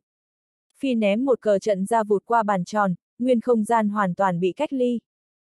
Làm xong mọi chuyện Phi thở phào nhẹ nhõm, hung tợn chừng ma quân, giận dữ nói. Ngươi muốn chết cũng đừng liên lụy nguyên bộ tộc. Ma quân hừ lạnh một tiếng. Hiện tại có thể yên tâm nói đúng không? Ta chỉ nói thật, theo tin tìm hiểu từ cổ vực thì ma thủ đại nhân có 6 phân thân, giật chỉ là một trong số đó, còn là thực lực yếu nhất. Nên ma thủ mới sốt ruột tìm tài nguyên khắp nơi để thực lực của giật nhanh chóng tăng lên, không thì đã chẳng đến băng vực của chúng ta. Phi lạnh lùng nói. Dù đúng vậy thì sao? Ít nhất là chân thân của ma thủ biến ra. Khi hai phân thân hợp nhất thì giật là ma thủ, ma thủ là giật. Có lẽ ý thức của bản thân giật không còn nhưng không ảnh hưởng gì đến chúng ta, với dao. Ma quân bất bình nói. Hừ, tiểu tử này đúng là ăn may, làm phân thân của ma thủ. Lý giật để lại ấn tượng cực kém cho mọi người, khiến tất cả bất mãn với gã. Đây không phải ăn may mà bản thân hắn vốn là chân thân của ma thủ biến ra, cái này không liên quan gì đến vận thế. Mắt phi hấp hái tia sáng kỳ lạ nói. Tuy băng vực suy sút nhưng đúng là khu vực lớn truyền thừa từ thời đại viễn cổ, trong đó sinh ra vô số thánh ma đại nhân. Theo sách cổ ghi chép thì bí pháp phân ly chân thân thành cá thể độc lập tu luyện không phải thần thông của ma tộc mà lưu truyền từ bên ngoài. Ma thủ này có lẽ là thần thông cái thế, khó thể đo lường. Bên ngoài, mọi người giật nảy mình. Một người lên tiếng. Không lẽ là thiên vũ giới? Phi xì cười. Các ngươi nghĩ nhiều, đại thiên vũ trụ có vô số giới diện, chúng ta chỉ ở gần thiên vũ giới. Trong năm tháng dài đặc dù có cường giả của giới diện khác ngẫu nhiên giáng lâm cũng là chuyện thường, không có gì phải hốt hoảng. Một ma quân gật đầu nói. Vậy xem ra ma giới lại sắp có một vị thánh ma ghê gớm. Từ 10 vạn năm trước ma chủ đế đại nhân ngoài ý muốn chết trong thiên vũ giới, 10 vạn năm nay nguyên ma giới xa sút tán loạn không chịu nổi. Thật hy vọng sẽ ra một nhân vật thống lĩnh tất cả. Phi mỉm cười nói. Thì đấy, hơn nữa bây giờ xem ra đại nhân vật này rất nhanh sẽ có quan hệ xui ra với phi bộ chúng ta. Mấy ma quân khác không kiềm được kích động, bực bội bỗng chốc bị quét sạch, cả đám cười gian. Phi nói, chuyện này tạm không nói đến, khu trung tâm hành lang phù đồ mở ra, e rằng sẽ có nhiều cường giả giáng lâm. Trong thời gian này ta phát hiện không gian xung quanh dao động rất mãnh liệt, e rằng truyền tống trận các nơi đều mở ra thẳng hướng nguyên quận. Nên các vị hãy cẩn thận nhiều hơn về phòng thủ tòa thành và an toàn các mặt. Mọi người đồng thanh kêu lên. Tuân lệnh. Một ma quân tức giận nói. Hừ, dù chúng ta cố gắng phòng thủ thành thì quá, ba sẽ âm thầm phá hoại. Luôn là chúng ta làm cái gì bọn họ sẽ làm trái ngược lại. Phi nói. Lần này sẽ không, có giật ở đây nói sao thì họ cũng phải nể mặt, không thì chẳng thể gánh vác hậu quả. Sau đó mọi người họp về những việc khác, sau đó gỡ bỏ cấm chế, giải tán. Lý Vân Tiêu lẻn vào phi bộ thì tan họp từ lâu, sắc trời tối tăm. Nguyên phi bộ trừ không khí căng thẳng, túc sát ra giường như không có gì khác lạ. Lý Vân Tiêu trầm ngâm. Không biết Phi Thanh và Yết ở đâu, chắc bọn họ cũng sẽ tìm cách kiếm được tranh phù đồ. Lý Vân Tiêu bỗng cười khẽ thầm nghĩ. Mặc kệ nó, dù sao ta đã có một phần, bản thân không lo, còn bọn họ thì chờ xem vận may và tạo hóa đi. Lý Vân Tiêu lắc người định rời đi thì bỗng nét mặt nghiêm túc, hắn thi triển bí pháp hư không ẩn nấp chính mình. Vài giây sau có người từ xa đi tới. Lý Vân Tiêu sửng sốt, người tới là Giao, hai nha hoàn đi theo nàng. Chuyện này không có gì lạ, nhưng Lý Vân Tiêu cứ cảm thấy kỳ kỳ. Phải rồi, là phong cách. Lý Vân Tiêu hơi ngạc nhiên, lúc trước Giao mặc la quần, khí chất lạnh lùng kèm theo chút hung dữ rồi lại tràn đầy đoan trang khéo léo. Lúc này dao áo đỏ rực rỡ lộ ra cánh tay trắng nõn và chân ngọc, toát ra phong tình, khi đi qua để lại làn hương. Tuy đẹp đến ma mị nhưng không giống phong cách của dao, cảm giác không hợp. Giao và hai tỷ nữ đi một lúc, xuyên qua mấy hành lang dài đi tới trước một hoa viên. Sắc mặt Giao hơi phức tạp, cắn môi hồng ra lệnh. Các ngươi chờ ở đây. Hai tỷ nữ kho người chắp tay thi lễ. Tuân lệnh. Sau đó hai người đứng hai bên hoa viên, yên lặng như khúc gỗ. Trong viện lót gạch đá xanh như có thủy ngân dập dờn, các loài hoa quý báu tranh nhau nở, gió đêm thổi qua như có hương hoa bám trên tóc tơ, thổi mặt hồ trong lòng gợn sóng. Giao bước trên đường lát đá từ từ đi tới, phía trước là một căn phòng nhỏ tinh xảo, thanh u nằm giữa cây hoa, bên trong có ánh nến lọt qua khe hở. Với một nữ nhân thì hôm nay là giây phút quan trọng nhất. Giao khẽ gọi. Giật đại nhân, ta đến rồi. Giao cố nặn ra khuôn mặt cười, để mình hoạt bát, quyến rũ hơn chút. Trong phòng vọng ra thanh âm nhàn nhã lười nhác không chứa cảm xúc khác. Vào đi. Lý Vân Tiêu núp giữa hư không bỗng run nhẹ, vì thanh âm kia quá quen thuộc, hơn nữa người này tên là. Giao khom người nhẹ gật đầu. Tạ ơn giật đại nhân. Giao đẩy hai cánh cửa ra, bước vào. Quả nhiên tên là giật. Lý Vân Tiêu cảm thấy rất lạ, hắn hơi vận chuyển đồng thuật nhìn vào khe cửa dao mở ra. Nhìn xong Lý Vân Tiêu ngẩn ngơ, căn phòng bên ngoài tinh xảo trang nhã, bên trong trang hoàng cực kỳ xa hoa. Một nam nhân nửa nằm trên giường, bộ dáng biếng nhác, là Lý giật đây mà. Đầu óc Lý Vân Tiêu ngừng hoạt động, hắn như hóa đá, hoàn toàn không hiểu trước mắt đang thấy cái gì. Chợt có tiếng hét chói tai. Ai đó? Gió rít mạnh mẽ cắt qua chỗ Lý Vân Tiêu ẩn náu. Lý Vân Tiêu thầm la. Nguy rồi. Mới nãy Lý Vân Tiêu giật mình, tinh thần ngơ ngẩn nên bị người phát hiện. Lý Vân Tiêu không có đường trốn đành từ hư không xuyên qua lắc người chạy hướng phi bộ. ầm ầm ầm ầm ầm. Có tiếng rung mạnh, không gian nơi Lý Vân Tiêu đã đứng bị đấm thủng cái lỗ sâu, rộng 7, 8 trượng, sâu không thấy đáy. Có chuyện gì? Nguyên phi bộ chấn động, mấy chục bóng người chớp mắt bay lên trời. Người ra tay dần lộ mặt giữa hư không, là một trong hai vị ma quân đi cùng Lý Giật. Ma quân mặt lạnh băng độn quang đuổi theo Lý Vân Tiêu. Lý Giật lao ra khỏi phòng, dao mặt trắng bệch vừa xấu hổ vừa tức giận nhìn chằm chằm ma tộc phi bộ trên bầu trời. Giao quát hỏi. Có chuyện gì? Mọi người hai mặt nhìn nhau, cũng không biết chuyện gì xảy ra. Giao chửi. Phế vật. Giao đưa mắt sang hai tỷ nữ đứng trước cửa vườn hoa, quát. Các ngươi nói đi. Hai tỷ nữ phập phồng lo sợ. Một tỷ nữ run giọng nói. Chúng ta cũng không biết có chuyện gì, nghe ai đó la, có người, rồi hình như thấy bóng của thánh sử đại nhân đánh thủng hư không này, rồi. Rồi thánh sử đại nhân biến mất. Với ánh mắt của tỷ nữ không thấy Lý Vân Tiêu chạy trốn, cũng không thấy ma quân đuổi theo được. Nhưng nghe các nàng kể xong mọi người đã hiểu xảy ra chuyện gì. Nét mặt Lý giật xa sầm trở nên vô cùng tàn nhẫn, lạnh lùng nói. Phi bộ đúng là tường đồng vách sắt, một con muỗi cũng không bay lọt.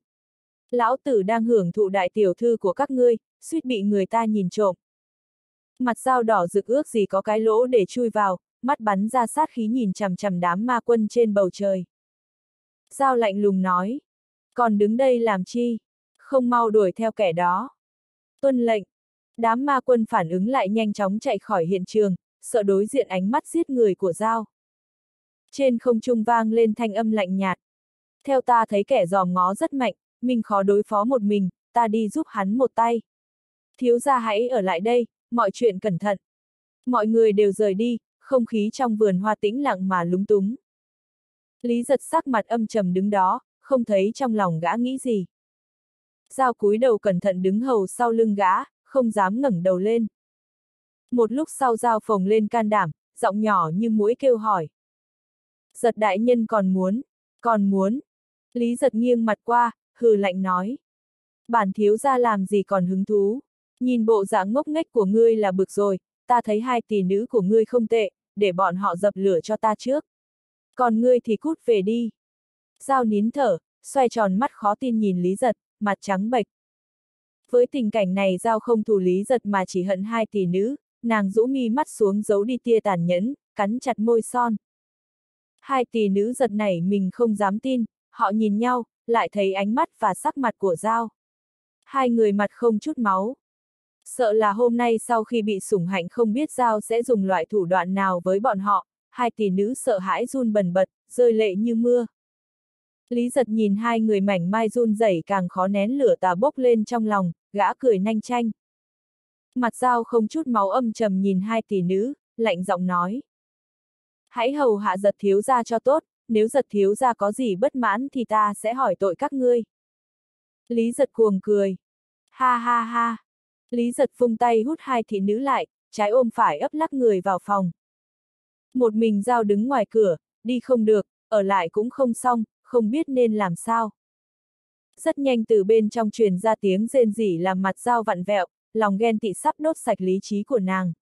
Người dao run bần bật ước gì lao ngay vào phòng bầm thây hai tỷ nữ ra vạn mảnh. Lý Vân Tiêu trốn ra phi bộ rồi vội vàng chạy hướng ngoài thành. Đến bây giờ tinh thần Lý Vân Tiêu vẫn hoảng hốt, dù suy nghĩ nát óc cũng không hiểu tại sao Lý giật thành người của cổ vực, có vẻ thân phận của gã rất cao. Trong cuộc chiến thành Hồng Nguyệt Lý giật rớt vào khe hở ma giới, đầu kia cái khe có nhiều ma tộc chấn thủ, lẽ ra dù Lý giật không chết cũng nên bị phế. Tại sao khác biệt lớn với dự đoán của hắn? Hoa lệ xoay người thế này hơi bị lố. Lý Vân Tiêu chợt cảm thấy đời mình tăm tối, Lý Giật mới là nhân vật chính của thời đại này. Diện tích bóng ma trong lòng Lý Vân Tiêu không ngừng tăng lớn lên. Phía sau truyền đến tiếng giống của ma quân Minh. Ngăn kẻ đó lại. Minh dượt theo một lúc phát hiện khoảng cách với Lý Vân Tiêu cứ xa dần, gã liền đến khu vực phòng thủ thành quát kêu người. Ma quân quản lý phòng thủ thành ở đằng trước bỗng chốc cảnh giác, bây giờ là thời kỳ phi thường, đã trong trạng thái phòng ngự đẳng cấp cao nhất.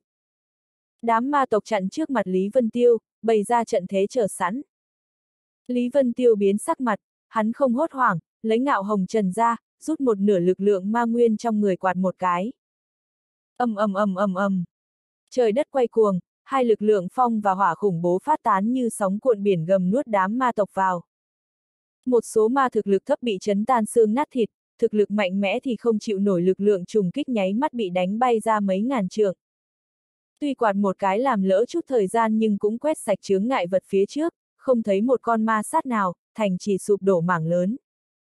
Minh truy kích đằng sau con người co rút, chợt khựng lại, kinh hoàng nhìn Lý Vân Tiêu. Mãi khi Lý Vân Tiêu cất cây quạt lại chạy trốn thì Minh mới phản ứng lại, gã do dự một chút nhưng không đuổi theo. Vì lực lượng đòn công kích vừa rồi quá đáng sợ, dù là Minh cũng chưa chắc tiếp được, nếu lỗ mãng đuổi theo không chừng sẽ chết. Lý Vân Tiêu bay mấy chục dặm phát hiện đằng sau không có người mới ngừng lại, một mình đứng trên cao suy tư. Lý Vân Tiêu nghĩ cả buổi cũng không ra tình hình trong đó. Thôi, tạm mặc kệ mấy chuyện này, theo lạc nói thì sắp đến ngày khu trung tâm hành lang phù đồ mở ra rồi, ta dùng hết hóa lân ma cốt của tử thiên tinh trước đã, không chừng sẽ thẳng lên ma tôn, à không, là tạo hóa cảnh. Lý Vân Tiêu ở trong ma giới lâu cũng nuôi vài thói quen của ma tộc. Quyết định xong Lý Vân Tiêu tìm một chỗ ma khí rồi rào bắt đầu bày trận. Nơi ma khí rồi rào hay có nhiều ma vật, bế quan tu luyện thì không cho phép bị quấy dày chút nào. Lý Vân Tiêu liên tiếp bày ra bảy, tám cấm chế, lúc này mới an lòng. Giữa chán Lý Vân Tiêu lóe sáng, một luồng sáng bắn ra, trước mắt hiện thân hình Tiểu Hồng. Tiểu Hồng vẫn mặc đồ đỏ trói mắt, mặt hồng hào, mắt đẹp lấp lánh nhìn Lý Vân Tiêu, không thấy chỗ nào bị thương. Lý Vân Tiêu vui vẻ hỏi. Vết thương của nàng lành hết rồi. Tiểu Hồng nhẹ gật đầu nói. Trong giới thần bi không có ma khí, nên phục hồi hơi chậm, không thì đã sớm khỏe lại. Lý Vân Tiêu cốc đầu mình, cười khổ nói. Ta quên mất việc này, đều tại ta. Tiểu Hồng không cảm thấy có gì, tuy nhiên vẫn hờn dỗi nói. Đúng rồi, nên trách Vân Tiêu ca ca, đến bây giờ mới nhớ tới ta. Hiện tại đi ra cũng không muộn. Lý Vân Tiêu cười nói. Nơi đây ma khí cực kỳ dồi dào, nàng hãy tu luyện ở đây, sẵn hộ pháp cho ta luôn. Tiểu Hồng thận trọng gật đầu, nét mặt hưng phấn. Ừm, chọn người hộ pháp cho mình đương nhiên là người gần gũi nhất, ít ra trong lòng Lý Vân Tiêu đã xem nàng là người thân thiết nhất. Tiểu Hồng nhớ lúc mới vào ma giới, chuyện xảy ra khi bị thương nặng, gò má nàng đỏ hồng. Lý Vân Tiêu thấy Tiểu Hồng khác lạ thì quan tâm hỏi. Mặt nàng sao vậy, sao đỏ như thế, có bị gì không? Tiểu Hồng có cảm giác bị nhìn thấu, tim đập nhanh, xấu hổ cúi đầu. Không, không có gì. Lý Vân Tiêu nói. Không có việc gì thì tốt. Lý Vân Tiêu lấy nhiều ma nguyên thạch cực phẩm ra, chia cho Tiểu Hồng một nửa, còn lại thì chất đống xung quanh, hắn lại lấy hóa lân ma cốt ra, bắt đầu bế quan. Tiểu Hồng không chịu nhận những ma nguyên thạch cực phẩm này, nhưng không thuyết phục được Lý Vân Tiêu nên đành nhận. Chờ Lý Vân Tiêu nhập định, Tiểu Hồng tìm một chỗ trống gần đó yên lặng hấp thu ma khí tu luyện. Sau nửa tháng, đột nhiên trên bầu trời cuồn cuộn ma khí hình thành vòng xoáy, tia chớp đi đùng dáng xuống thanh niên ngồi khoanh chân trên không trung. Hơi thở Lý Vân Tiêu đều đều, người lấp lánh sáng, tia chớp tím hình cung lấp lóe trên người hắn. Hai tay Lý Vân Tiêu bắt ấn hút ma khí vào người, lôi quang trên người cũng rút vào. Lý Vân Tiêu từ từ mở mắt ra, thở hắt ra, cảm nhận lực lượng trong người dâng trào. Tiểu Hồng bay tới trước mặt Lý Vân Tiêu, reo lên. Vân Tiêu ca ca đột phá rồi. Lý Vân Tiêu cảm nhận cơ thể thay đổi, hắn đứng dậy, lắc đầu cười khổ nói. Không ngờ tạo hóa cảnh khó sông như vậy. Hơn ba vạn ma nguyên thạch cực phẩm, hóa lân ma cốt bị Lý Vân Tiêu tiêu hóa hết mà vẫn không thể trùng kích tạo hóa cảnh, hắn thầm buồn bực. Tiểu Hồng trầm ngâm một chút, nói. Không trách Vân Tiêu ca ca, sợ là liên quan đến môi trường nữa. Dù sao ma tôn cảnh mạnh hơn tạo hóa cảnh, nếu Vân Tiêu ca ca ở thiên vũ giới thì có thể đến tạo hóa cảnh rồi. Lý Vân Tiêu sừng sốt, sơ cầm suy nghĩ cảm thấy Tiểu Hồng nói có lý. Lý Vân Tiêu bảo, tóm lại là còn kém một tia, hy vọng chuyến đi hành lang phù đồ lần này có thu hoạch. Lý Vân Tiêu lật tay lại, tranh phù đồ hiện ra trong lòng bàn tay, tỏa ra ma quang mập mờ, dường như có phản ứng. Bản vẽ mở rộng, một đống phù văn hiển hiện, tranh lấp lánh ánh sáng vàng. Những phù văn dần ngưng tụ trên bức tranh, lơ lửng giữa hư không hóa thành mũi tên màu vàng chỉ về một hướng. Lý Vân Tiêu giật mình kêu lên. Hành lang phủ đồ. Sau đó Lý Vân Tiêu mừng như điên nói. Chắc chắn là khu trung tâm hành lang phủ đồ xuất hiện, chúng ta đi. Hai người hóa thành ma quang bắn lên cao hướng tới nơi mũi tên màu vàng chỉ. Cùng lúc đó, trong nguyên quận, nhiều người bị kinh động. Phi bỗng lật tay lại, một tấm tranh phủ đồ giống y của Lý Vân Tiêu hiện ra. Phi nhìn mũi tên màu vàng xuất hiện, mừng rỡ giống to. Tất cả cường giả phi bộ hãy đi theo ta. Cảnh tương tự diễn ra trong bộ tộc khác. Bầu trời nguyên quận đầy bóng ma xẹt qua, như nước lạnh tĩnh lặng nhiều năm đột nhiên sôi trào lên. Nhiều ma tộc bình thường thì sợ hãi chạy vội về nhà, không biết xảy ra chuyện gì, sợ vạ lây cho mình. Ha ha ha, đúng là tranh phù đồ thật. Một góc nguyên quận, trong một thế lực khá mạnh, tộc trưởng cầm một bản vẽ, mắt nhìn chằm chằm mũi tên tỏa ánh sáng vàng. Tộc trưởng cực kỳ kích động, hai tay run bần bật. Tộc trưởng mắt hấp háy tia sáng cực kỳ hưng phấn nói. Có tấm tranh phù đồ này là bổn tọa có thể tìm được hóa lân ma cốt mạnh hơn, tu vi sẽ tiến bộ thêm một bước. Cường giả trong tộc lần lượt vuốt mông ngựa tộc trưởng, sợ người ta giành trước mình. Sau chuyến đi hành lang phù đồ này ta nghĩ thế lực nguyên quận phải phân chia lại, biến thành bốn đại thế lực. Ha ha, tộc trưởng đại nhân nhất định nhất minh kinh nhân, trùng kích ma tôn cảnh, khi đó sẽ lần át ba bộ khác. Ta thấy nữ nhi của Phi cũng đẹp, tộc trưởng đại nhân có thể đòi về làm tiểu thiếp. Tộc trưởng gật đầu, vẻ mặt thèm muốn. Đúng là đẹp, nếu lần này ta có được hóa lân ma cốt ma tôn cảnh thì thật sự có cơ hội trùng kích ma tôn cảnh, lúc đó phải đòi nàng ta về chơi chút. Bỗng một thanh âm không hài hòa vang lên. Thật ra ta cảm thấy khả năng đại nhân trùng kích ma tôn cảnh không lớn. Người trong đại sảnh sửng sốt, quét mắt nhìn quanh muốn tìm kẻ nào không biết điều. Tộc trưởng con người có rút cảnh giác quát. Là ai? Tộc trưởng lật tay lại cất tranh phù đồ đi. Không gian bên trên đại sảnh run nhẹ, hai người bước ra, là Vi Thanh và Yết. Vi Thanh lạnh nhạt nói. Ta nói thật, với tư chất thủ đoạn của đại nhân tu luyện đến bây giờ đã là chó ngáp phải ruồi, tấm tranh phù đồ cho đại nhân chỉ lãng phí, chỉ bằng nhường cho ta đi hành lang phù đồ. Nếu chờ khi ta trùng kích ma tôn cảnh xong còn dư hóa lân ma cốt thì sẽ lấy về một ít cho đại nhân. Càn dỡ. Tộc trưởng sầm mặt xuống, lạnh giọng nói.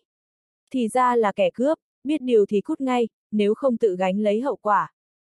Yết cười khùng khục. Nói nhiều với chúng làm gì? Khu trung tâm đã phát ra tín hiệu, nhanh chóng giết hết lấy tranh rồi đi. Tộc trưởng biến sắc mặt, gã bỗng nhiên hóa thành độn quang định lao ra. Phi Thanh cười lạnh, năm ngón khép hờ chộp vào không khí, khí thế cường đại bộc phát tỏa định thân thể tộc trưởng, khí thế tuyệt cường bao phủ nguyên đại sảnh. Lực hút nổi lên, không gian trong đại sảnh chuyển động kịch liệt ngưng tụ thành vòng xoáy. Rất nhiều cường giả đều biến sắc mặt, bọn họ hoảng sợ phát hiện mình không thể đứng vững trong lực hút. Tộc trưởng mạnh nhất, gã hoảng sợ nhìn vào chính giữa vòng xoáy không gian. Đó là cái gì? Trong vòng xoáy có một cái bình nhỏ màu bạc phun ra nuốt vào ma khí. A, à, tộc trưởng cứu ta. Chớp mắt nhiều ma tộc bị âm dương nhị khí bình hút vào. Yết cũng bỗng nhiên ra tay, ma quang dâng lên từ dưới chân gã. Đám cường giả bị hút không thể nhúc nhích bỗng nổ bùm bùm, hóa thành ma khí tinh thuần nhất bị hút vào. Tộc trưởng chưa kịp van xin đã bị yết ngắt đầu ném vào âm dương nhị khí bình. Vi Thanh bắt ấn thu về, cái bình từ không trung rớt xuống lòng bàn tay gã, chợt lóe biến mất. Vi Thanh oán trách yết. Âm dương nhị khí bình là chân bảo hiếm có trên đời, đừng tùy tiện ném rác vào trong. Thiết cười khùng khục. Ha ha ha, dù sao cuối cùng bọn chúng đều bị hàng giải thành ma khí, kệ nó đi. Thiết lật tay lại, tấm tranh phù đồ xuất hiện trong tay, gã tham lam liếm môi. Mắt phi thanh lóe tia kỳ dị nhìn bức tranh chằm chằm. Thiết nói, ngươi thật thông minh, chờ lúc nó mở ra thì cướp tranh. Ngày thường lão tử chạy khắp nơi nhưng không biết trong tay ai có tranh, uổng công hơn tháng trời. người cầm tranh đi, ta vào âm dương nhị khí bình là bớt phí một tấm. Phi Thanh nhận lấy tranh phủ đồ, cất đi, gật đầu nói. người đi vào trước, nếu dọc đường gặp ai có tranh thì cướp lấy, nếu không thấy thì ngươi hãy ở bên trong. Phi Thanh nói xong lắc người hóa thành ma quang bay hướng mũi tên đã chỉ.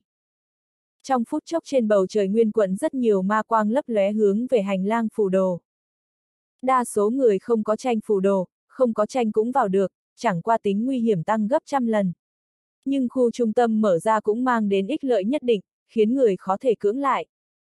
Nhiều người ôm lòng xem náo nhiệt hoặc quấy rối muốn cướp tranh của người khác. Vì thế khắp nguyên quận, thậm chí mở rộng đến băng vực, hầu như tất cả cường giả đều tập hợp lại. Lý Vân Tiêu và Tiểu Hồng bay một lúc, rất nhanh bị đoàn ma vân to lớn chặn trước mặt. Hai người lắc mình biến hóa thân hình đứng trước ma vân, kinh ngạc nhìn. Ma vân to cỡ nửa mẫu, bên trong toát ra hơi thở quỷ dị, cuồn cuộn chậm rãi ngưng tụ hóa thành một ma quân hình dạng lão nhân. He he! Lão nhân đảo trong mắt đánh giá hai người, cười tủm tìm hỏi. Hai vị bằng hữu đi đâu vậy? Tiểu Hồng lạnh lùng nói. Ngươi là cái thứ gì, liên quan gì ngươi? Lão nhân ngẩn người, cười phá lên. Ha ha ha, tiểu nha đầu nóng tính thật, lão phu không có ác ý, chỉ hỏi thôi. Lý Vân Tiêu chắp tay nói.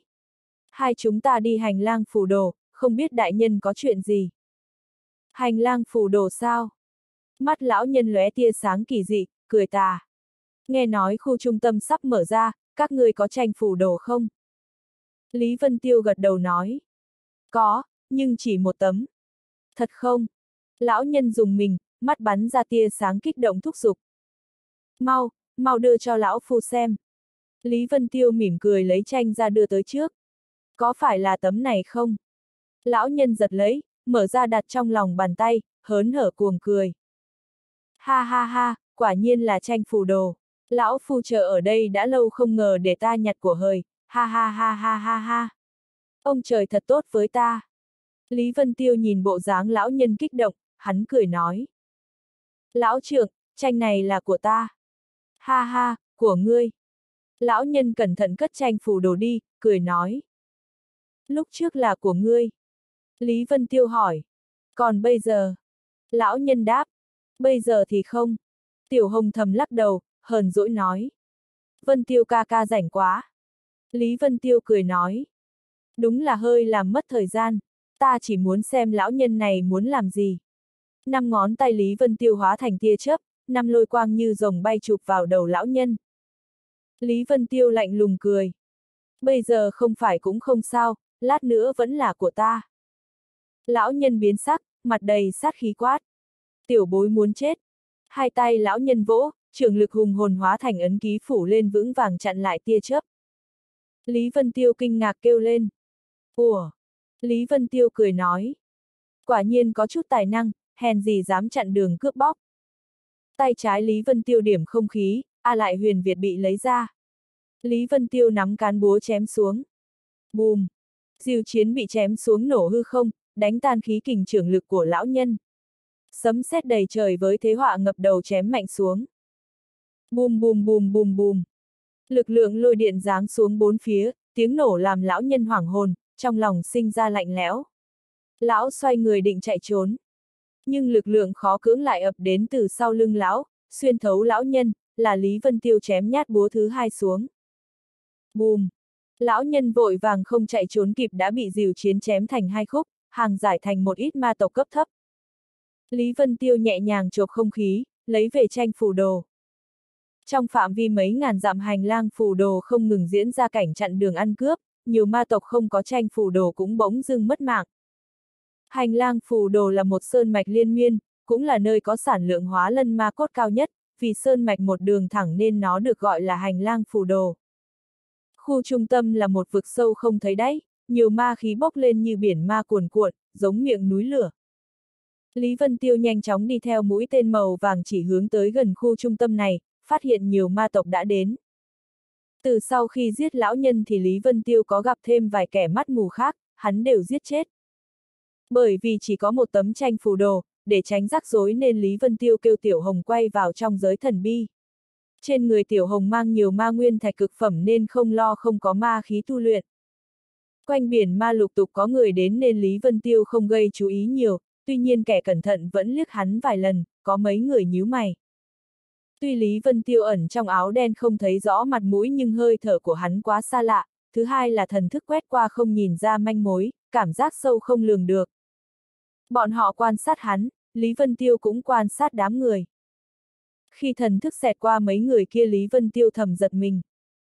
Đầu bên kia biển ma có một ngọn núi nhỏ lơ lửng, to cỡ nửa mẫu, ba lão nhân ngồi xếp bằng, đều nhắm mắt tính tọa. Ngọn núi đó hiển nhiên là huyền khí bay, trong ma giới thiếu thốn huyền khí thì rất hiếm thấy loại bay, còn có hơn 30 ma tộc cường đại bảo vệ xung quanh. Lý Vân Tiêu đều gặp qua ba lão nhân này, trong thiên đáng sơn mạch hắn từng tranh chấp với bọn họ, cường giả thế gia thánh ma băng vực, là chỉ, khanh, nhiễm. Không chỉ Lý Vân Tiêu, ma tộc nào thấy ba lão nhân đều biến sắc mặt, lộ rõ vẻ e ngại.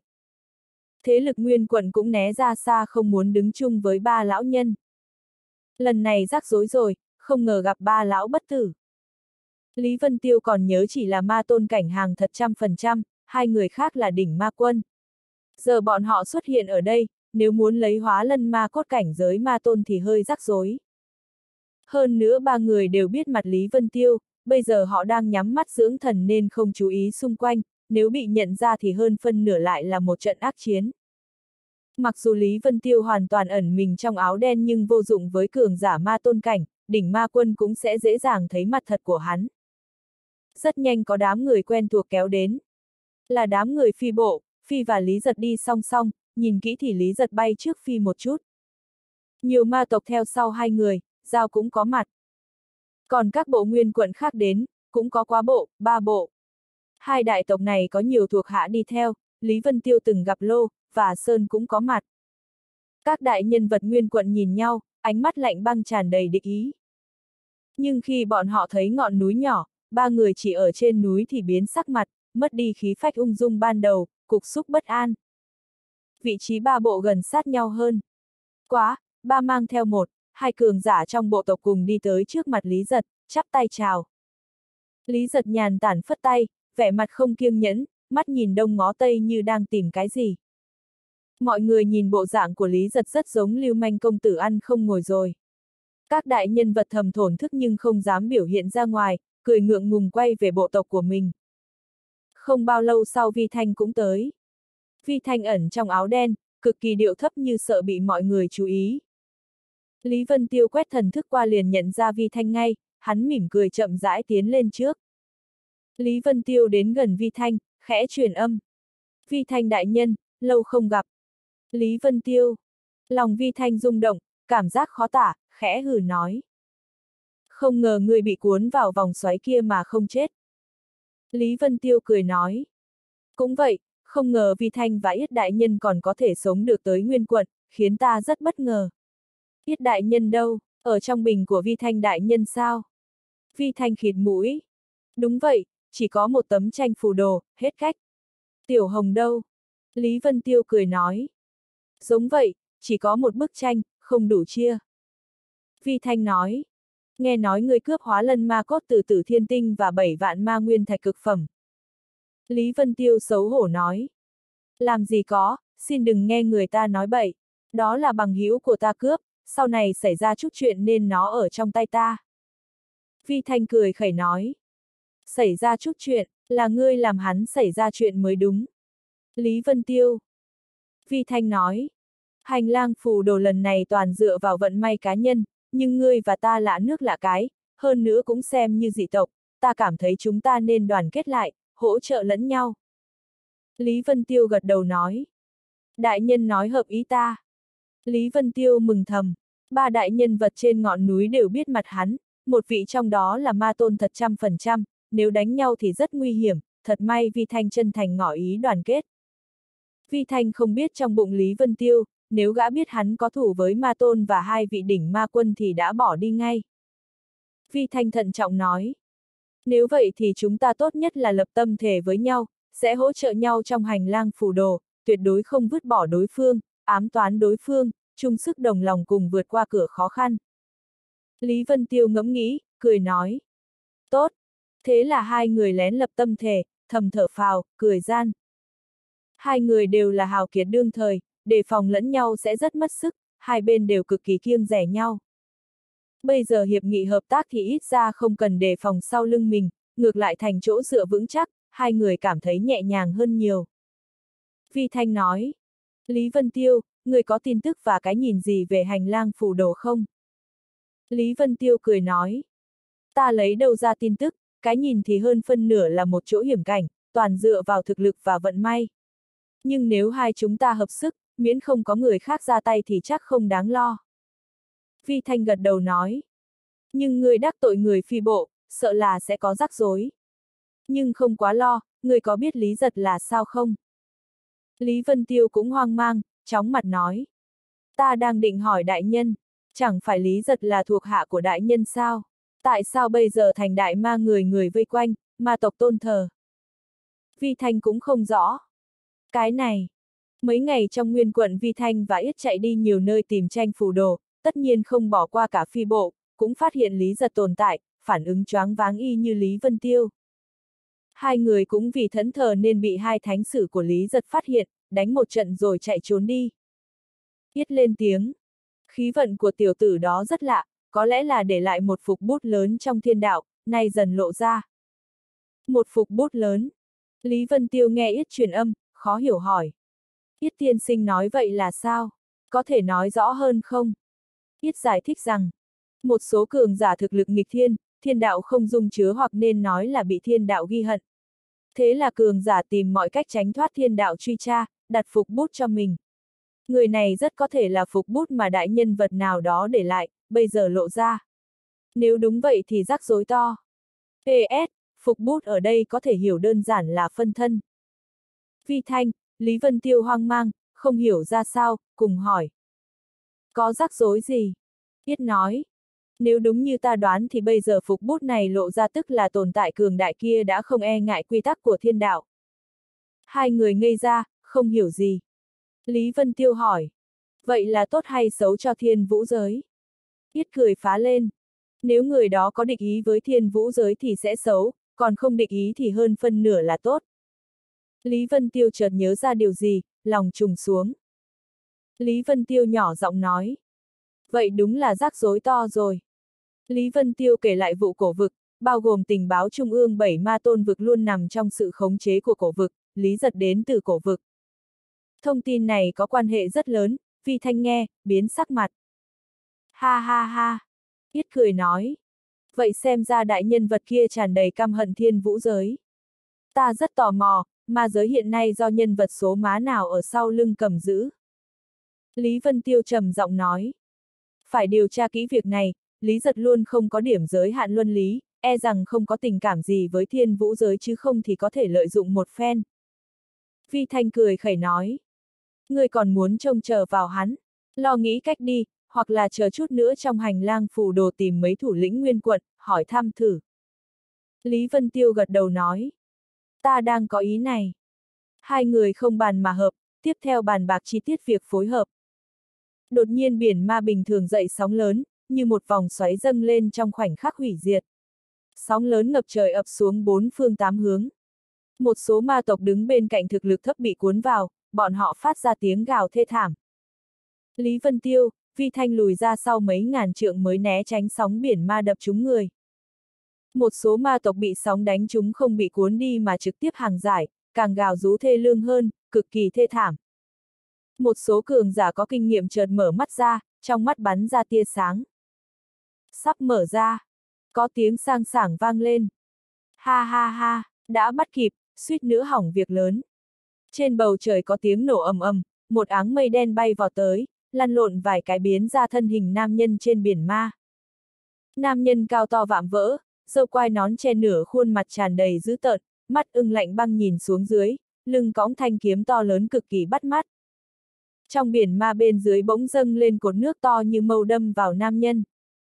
Một số ma tộc cường đại biểu tình giật mình, vì bọn họ thấy rõ đòn công kích đó không phải cột nước mà là một xúc tu màu đen nhanh như tia chớp, thế như trẻ tre.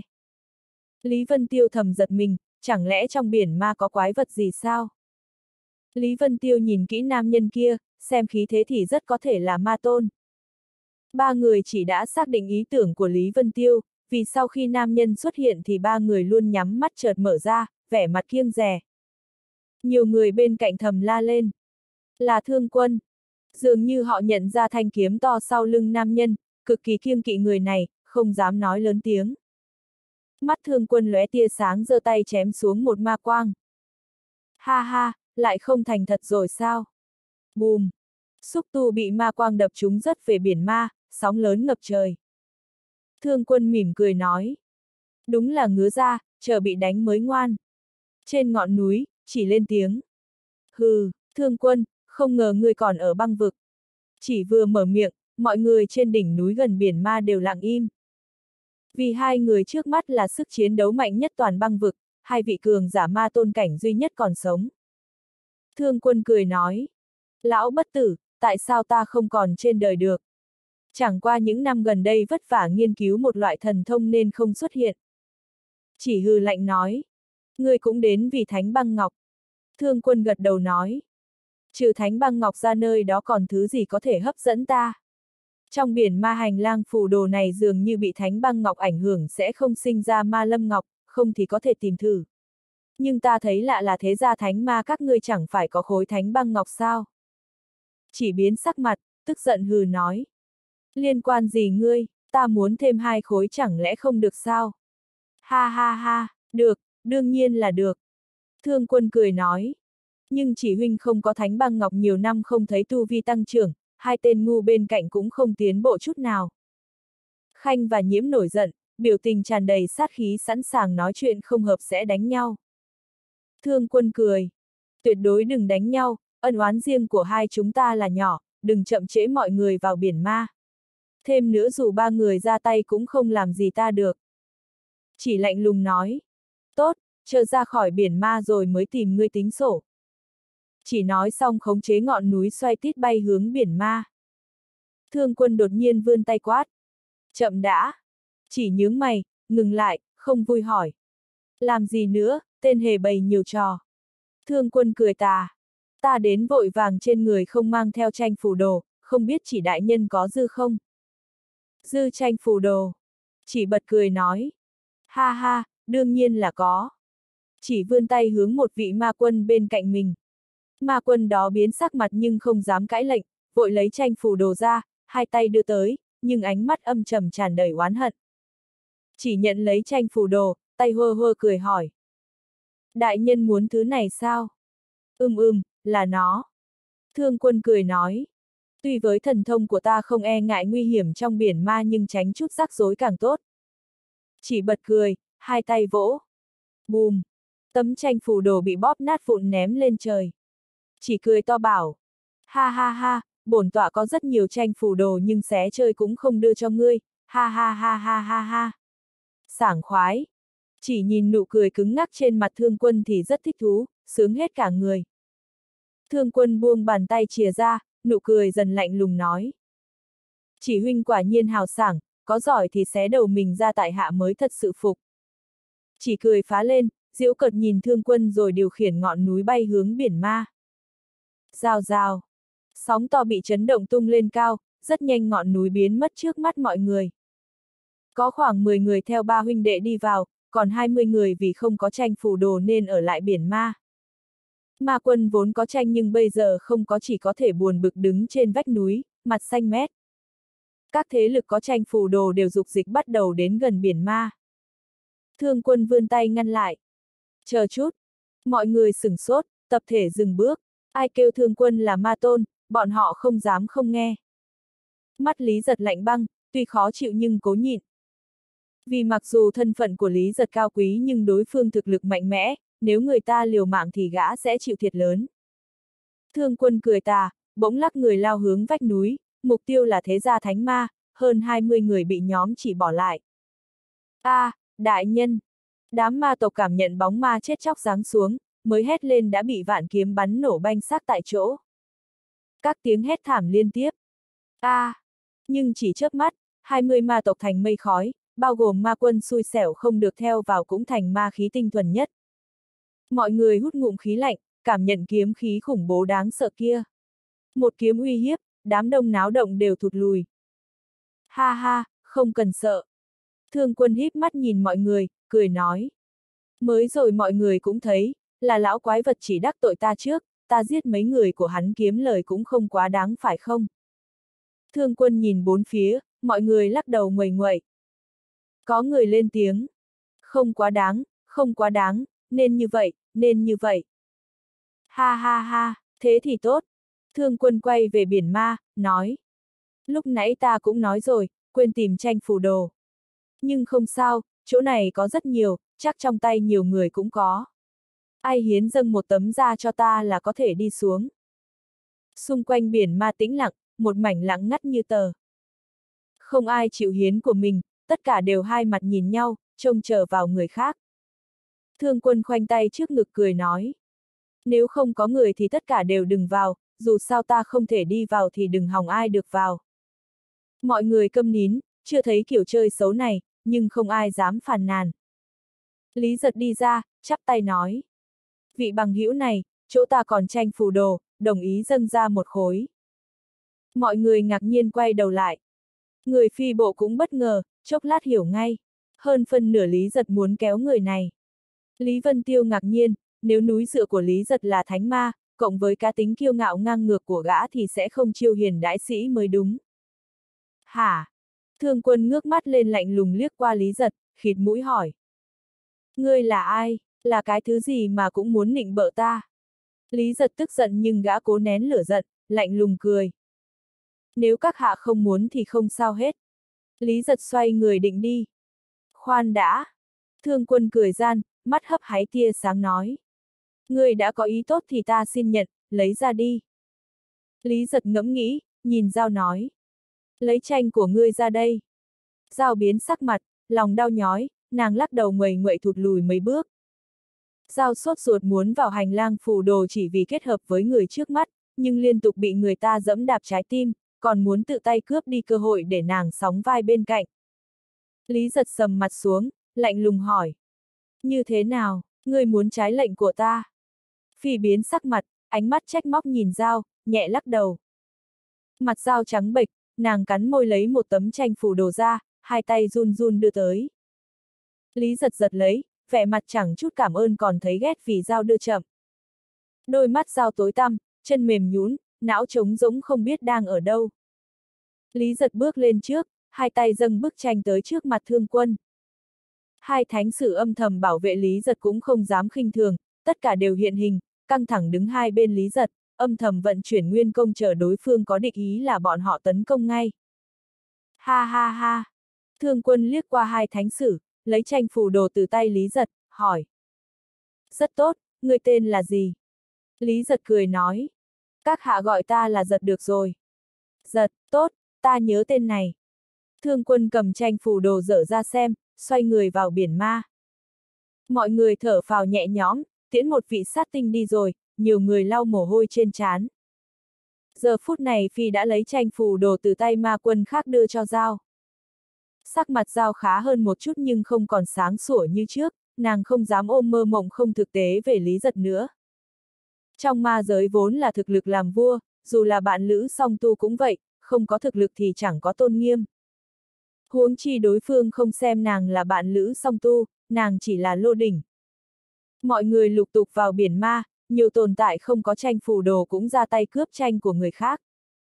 Trong phút chốc biển ma lộn xộn, tình hình hỗn loạn, rất nhiều người ra tay tấn công đám người có tranh. Nhưng chẳng biết người nào có tranh người nào không, bỗng chốc hỗn loạn, giết nhau túi bụi. Không ai dám chọc vào những thế lực cường đại, ví dụ đám nguyên quận, đại nhân vật của một số quận khác đều lần lượt vào biển ma. Lý Vân Tiêu nói, chúng ta cũng đi đi. Hai người mới nhúc nhích thì một ma quân đột nhiên lao ra từ hư không, tay lóe đao quang chém ngang đầu Lý Vân Tiêu và Vi Thanh.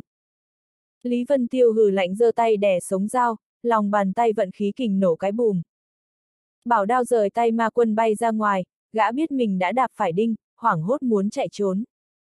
Vi Thanh lắc người, ngay khi bảo đao bay ra liền ra tay, một đấm đánh thủng ngực ma quân, thân thể ma quân nổ tung. Hai người bình tĩnh đi hướng biển ma, giữa đường có mấy kẻ mắt mù xông lên đều bị hai người giết thế mới chấn nhiếp được nhiều ma tộc. Khi trở ngại xung quanh bị dọn dẹp sạch, hai người nhảy lên rơi vào biển ma vô tận. Môi trường xung quanh trở nên đen ngòm, ma khí không ngừng đập vào người, chui vào lỗ chân lông. Mỗi một hô hấp tương đương với tính tọa nửa nén nhang, đúng là thiên đường tu luyện. Lý Vân Tiêu và Vi Thanh cảnh giác quan sát bốn phía, không dám thả lỏng. Bởi vì trước đó thấy rõ có quái vật công kích thương quân thì trong biển chắc chắn cực kỳ nguy hiểm. Nhưng bọn họ chìm xuống thật lâu mà không thấy có vật gì nguy hiểm, thầm lấy làm lạ. Đây là... Rất nhanh hai người đến đáy biển ma, dưới chân là gạch đá cực kỳ bằng phẳng. Hai người giật mình kêu lên, nhìn quanh. Cung điện. Tòa cung điện rộng lớn bao la, phía trước có một hành lang dài rộng rãi không thấy cuối. Yết cười khẽ. He he, không có gì phải giật mình, đây là thánh ma điện lưu truyền từ viễn cổ, cấu tạo bên trong vô cùng huyền diệu. Nếu không có tranh phù đồ, trừ phi có thực lực ma tôn không thì đành nghe theo số trời. Trong giọng nói của Yết tràn đầy vui sướng nói. Đi theo chỉ thị của ta, ta trực tiếp mang các ngươi đi chủ điện. Đằng trước có nhiều ma quang lấp lóe, là ma tộc từ trên biển ma rơi xuống, điểm rơi trong đại điện khác nhau nhưng khi đáp xuống đều lóe sáng rồi biến mất ở phía trước. Con người Lý Vân Tiêu co rút. Đây là... Lý Vân Tiêu nhìn một xác chết ma tộc dưới đất gục ngã bên đường, thân hình đã mục nát, khuôn mặt cũng thối giữa nhìn không ra hình dạng. Phi Thanh giật mình kêu lên. Tại sao có xác chết? Không phải đều là trực tiếp hàng giải sao? He he, vì nơi này là hành lang phù đồ, nếu trực tiếp hàng giải thì lấy đâu ra hóa lân ma cốt? Ít giải thích rằng, ma tộc chết tại đây sẽ không hàng giải mà tồn tại với trạng thái cực kỳ phức tạp, cuối cùng từ từ biến thành hóa lân ma cốt. Lý Vân Tiêu nhìn sắc mục giữa, tưởng tượng mình tìm thứ giống vậy hấp thu thì buồn nôn muốn ói. Hai người tiếp tục đi về phía trước, dọc đường thấy nhiều sắc mục giữa tương tự nhưng năm tuổi còn ngắn, chết dưới đất không ai thèm. Vi Thanh không quan tâm, mặt không biểu tình. Đột nhiên có luồng sáng đen lấp lóe phía trước, hai người dừng bước, cảnh giác. Ánh sáng đen không tấn công bọn họ mà quét qua vị trước mặt hơn 30 trượng. Đó là một xúc tu, nó cuốn cái xác ma thú đi. Xúc tu này là cái ở trên biển ma bị thương quân trục xuống. Con người Lý Vân Tiêu có rút nhìn chằm chằm hướng xúc tu biến mất, phát hiện trong hư vô dường như có đại ma đang chậm rãi mấp máy nhai nuốt cái gì. Lý Vân Tiêu nuốt nước miếng hỏi. Thiết đại nhân, con quái xúc tu đó là gì? Thiết trầm ngâm một lúc, nói. Ta cũng không rõ, ở nơi này thường hay sinh ra một số quái vật linh tinh cũng không lạ. Dù không có con quái xúc tu cũng sẽ có chủng loại khác, tóm lại cứ bình tĩnh. Lý Vân Tiêu nghẹn họng, hai người tiếp tục tiến lên phía trước. Theo ít nói hóa lân ma cốt đẳng cấp càng cao thì càng ở gần chủ điện, trong chủ điện thì ít ai vào. Năm xưa khi ít còn là ma tôn từng đến một lần vì tìm thánh băng ngọc, hy vọng có thể đột phá thánh ma cảnh nhưng vẫn thất bại. Có điều ít được hai hóa lân ma cốt ma tôn cảnh, tăng cao thực lực nhiều. Hai người chạy khoảng nửa nén nhang mới thấy cuối hàng lang. Phía trước là một quảng trường to lớn, quảng trường trống rỗng không có gì, giải rác nhiều xác ma tộc nằm sấp trên mặt đất, đã mục nát nhiều năm. Lý Vân Tiêu đăm chiêu quét mắt qua, đột nhiên hỏi. Nếu có tranh phù đồ là có thể lẩn tránh phần lớn nguy hiểm thì tại sao những người này chết ở đây? Vi Thanh đáp. Hơn phần nửa là tự tàn sát nhau. Nếu có hóa lân ma cốt ma tôn cảnh thì ngươi và ta cũng sẽ giành cướp. Lý Vân Tiêu ngẫm lại thấy cũng đúng. Quảng trường dài mấy ngàn trượng, bốn phía có hành lang kéo dài, nếu không có ít quen thuộc chỗ này thì dễ bị lạc. Ủa! Chợt có tiếng kêu nghi hoặc vang lên. Hai người hình như biết đường. Hai người lập tức ngừng lại, bởi vì chạy quá nhanh nên họ trượt dài hơn 10 trượng trên quảng trường. Không gian trước mặt đung đưa một chút, một ma tộc xuất hiện. Ma tộc cao to vạm vỡ, sau lưng cõng thanh kiếm to. Hai người biến sắc mặt, ánh mắt trầm trọng. Thương quân. Ba người thành hình tam giác đứng yên không nhúc nhích, không có tiếng động. Thương quân lên tiếng phá vỡ tĩnh lặng, giọng lạnh lùng nói. Cởi áo đen ra. Hai người không nhúc nhích. Lý Vân Tiêu xì cười. Tại sao? Thương quân lấy làm lạ. a à, người biết rõ bổn tọa là ma tôn còn dám chất vấn tại sao? Ánh mắt thương quân lạnh băng bắn ra tia sáng lạnh muốn nhìn thấu khuôn mặt trong áo đen. Lý Vân Tiêu nói. Không phải chất vấn, chỉ là tò mò. Thương quân tiến lên một bước, lạnh lùng nói. Ta không thích người tò mò. Lý Vân Tiêu cảm nhận uy nhiếp to lớn, hắn không muốn cứng rắn đấu với thương quân, thuận thế thụt lùi ra sau. Lý Vân Tiêu cười nói. Thế này hơi khinh người quá đáng. Thương quân cười khẽ. Biết thì tốt, đúng là khi dễ các ngươi, ai kêu các ngươi không đủ thực lực làm chi. Rào rào. Phi Thanh đột nhiên cởi áo đen xuống ném đi. Cởi đi, đừng xung đột với hắn. Lý Vân Tiêu ngẫm nghĩ, cũng cởi áo đen xuống lộ ra khuôn mặt thanh tú, cười hỏi. Hiện tại ngươi vừa lòng rồi đi. Con người thương quân co rút, gã cười gật đầu nói. Không sai không sai, các ngươi có thể đi qua. Dường như thương quân thật sự chỉ muốn xem mặt mũi hai người, gã nói xong đứng sang bên nhường đường. Lý Vân Tiêu, Vi Thanh nhẹ gật đầu tiếp tục chạy nhanh tới trước. Hai người không hỏi nhiều, mỗi người đều có mục đích khác nhau, thực lực không bằng người ta vừa không muốn chuốc rắc rối thì đành phải làm theo quy tắc của người khác. Nhưng mới chạy ra mấy bước Lý Vân Tiêu bỗng khựng lại, lắc mạnh biến hóa mở ảo. Một kiếm khí sắc bén đâm xuyên thân thể Lý Vân Tiêu bay ra từ trước ngực, kiếm khí đánh vào mặt đất phát ra tiếng nổ, hỏa hoa tung tóe. Vi thanh điếng người vội tạt xéo lùi ra mấy chục trượng, xoay người lại tức giận nhìn thương quân chằm chằm. Một tay thương quân giơ đằng trước, hai ngón khép lại, kiếm khí vừa rồi bắn ra từ đầu ngón tay của gã. Thân thể Lý Vân Tiêu bị kiếm quang xuyên thủng trở nên mơ hồ. Cách xa 10 trượng chợt lóe ma quang, Lý Vân Tiêu hiện hình. Thương quân thu tay về, khóe môi cong lên tràn đầy sát khí nhìn Lý Vân Tiêu chằm chằm. Có thể tránh một kích của bổn tỏa, quả nhiên có chút bản lĩnh. Lý Vân Tiêu lạnh lùng phun ra ba chữ. Tại sao? Lửa giận cháy trong lòng Lý Vân Tiêu, hắn cực kỳ tức giận. Ha ha, có nên nói cho các người biết tại sao không? Thương quân chớp chớp mắt, ngẫm nghĩ rồi cười nói. Nói cho các người biết để tránh ai đó mơ hồ không rõ ràng. Bổn tọa đến nguyên quận là vì giết ngươi, Lý Vân Tiêu. Lý Vân Tiêu sửng sốt, giật mình hỏi. Cố ý giết ta. Đầu óc Lý Vân Tiêu xoay chuyển nhanh, đối phương biết tên của hắn thì có vẻ đến có chuẩn bị. Thương quân cười gật đầu nói. Ta nhận được nhờ và cố ý tới nguyên quận giết ngươi. Lý Vân Tiêu nói. Người có thể ủy thác ngươi chắc cũng là hạng phi phàm, cái giá cũng siêu cao. Thương quân mỉm cười nói. Đúng vậy, người quả nhiên thông minh, bằng hữu tốt của bổn tọa là ma viện, người đã hiểu chưa? Trả cái giá gì thì ngươi không cần biết. Là viện. Lý Vân Tiêu, Vi Thanh giật nảy mình, biểu tình của hai người khác nhau. Lý Vân Tiêu trầm ngâm rồi lộ vẻ hiểu ra.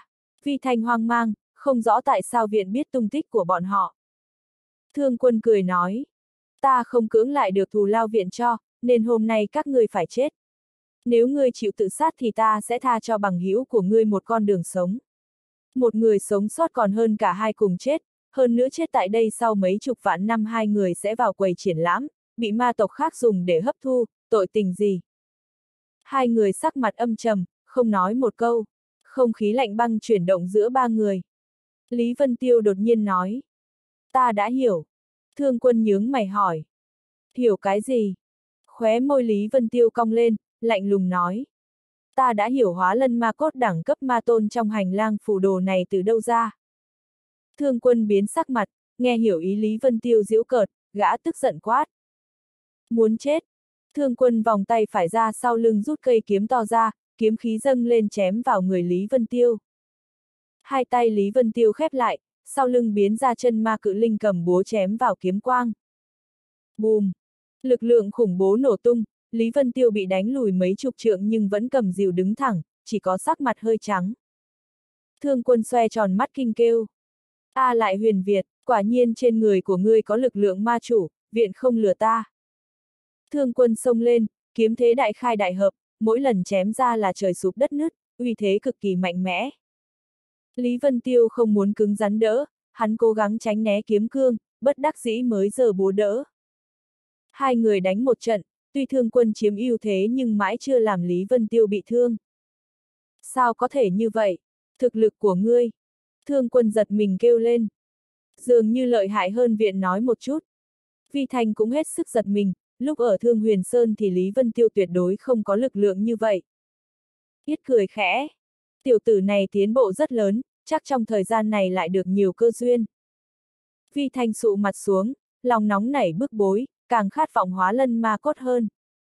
Vì ước hẹn có nạn cùng chịu lúc trước nên Thương Quân và Lý Vân Tiêu đánh nhau vài hiệp rồi Vi Thanh cũng tấn công.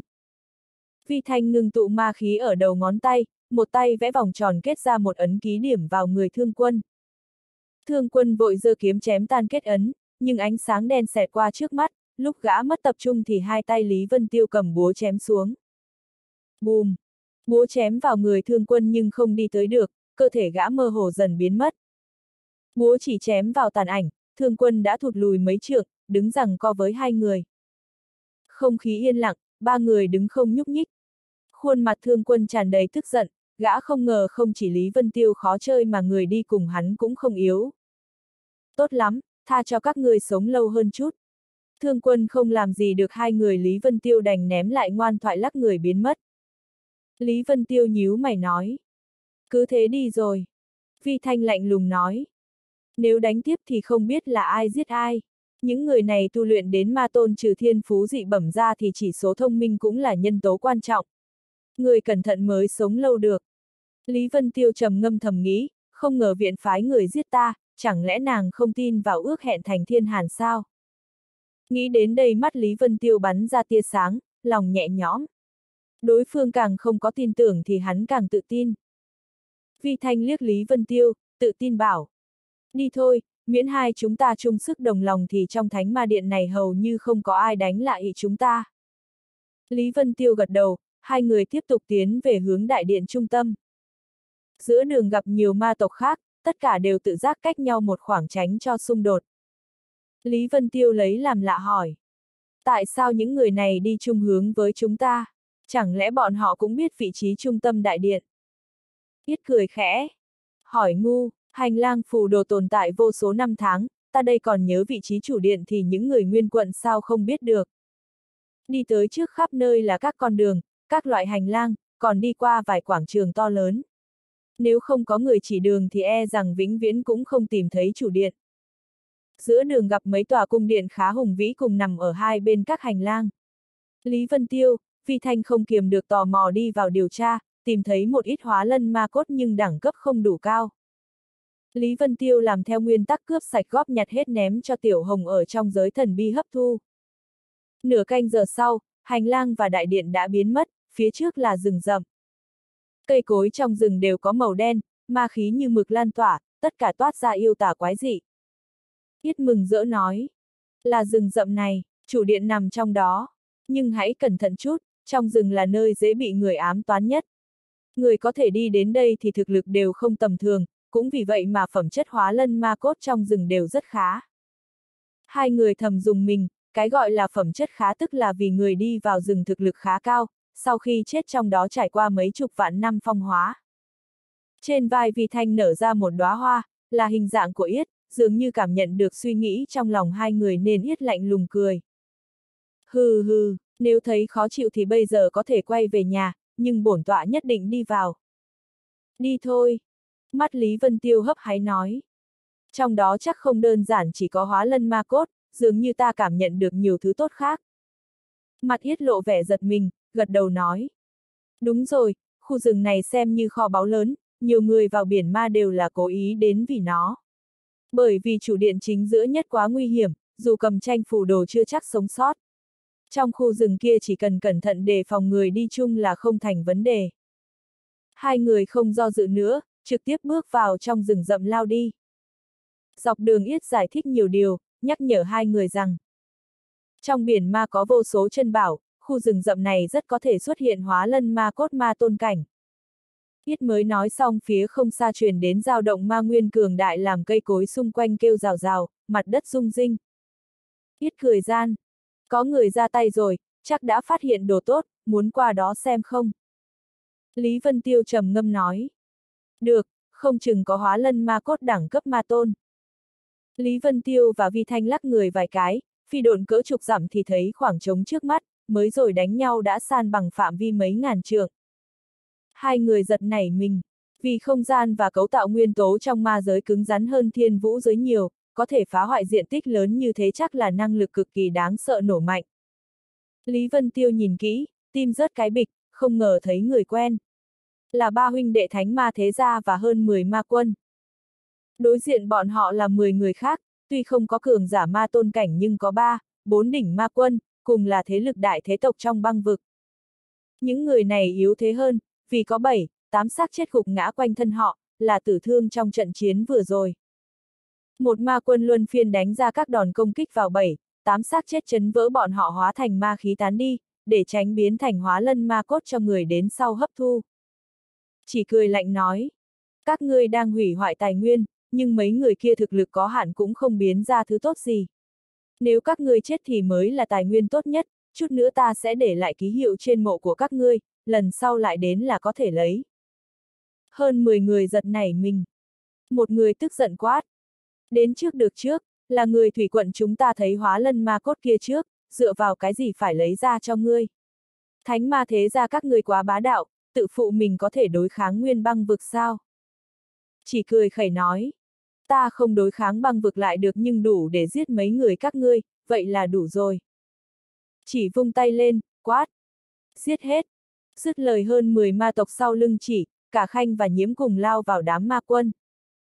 Ma tộc bên thủy quận nổi giận gầm lên. khinh người quá đáng, dù chết cũng không đưa hóa lân ma cốt cho các ngươi. Bọn họ phát cuồng liều mạng lao lên. Chỉ cười khẩy nói. Ba huynh đệ chúng ta rời khỏi băng vực nhiều năm quả nhiên không còn ai nhớ tên của chúng ta, bây giờ vừa lúc cho các ngươi nhớ lâu một chút. Ánh mắt chỉ lạnh băng quét qua mọi người, dừng lại trên người kẻ vừa nói chuyện. Chỉ lắc người hóa thành ma quang sông lên, chớp mắt xuất hiện một cạnh một ma quân phe đối phương. Chỉ xòe năm ngón tay đâm vào đầu ma quân, giết chết. Hai bên đại chiến cực kỳ kịch liệt, người thủy quận dường như biết mình chết chắc nên toàn liều mạng tác chiến, nhưng vì thực lực cách biệt quá xa nên càng giết càng thương người. Rất nhanh cuộc giết chóc kết thúc trước mắt Lý Vân Tiêu, Vi Thanh. Hai người cùng cảm ứng có nhiều kẻ ẩn nấp quanh khu rừng đánh giá cuộc đổ sát, nhưng không ai dám ló mặt ra. Lý Vân Tiêu, Vi Thanh liếc mắt nhìn nhau, đều lộ tia kinh hoàng. Thứ bọn họ thể sống chết chống cự quyết bảo vệ có khi nào là hóa lân ma cốt ma tôn cảnh không? Quả nhiên kết thúc đồ sát xong chỉ chộp một cái xác ma quân, năm ngón tay xiết lại. Bùm! Ma khí tán đi, một thứ như nhánh cây khô từ không trung rơi xuống. Chỉ chộp lấy xem, hơi cau mày, cất đi. Vi Thanh khẽ hỏi.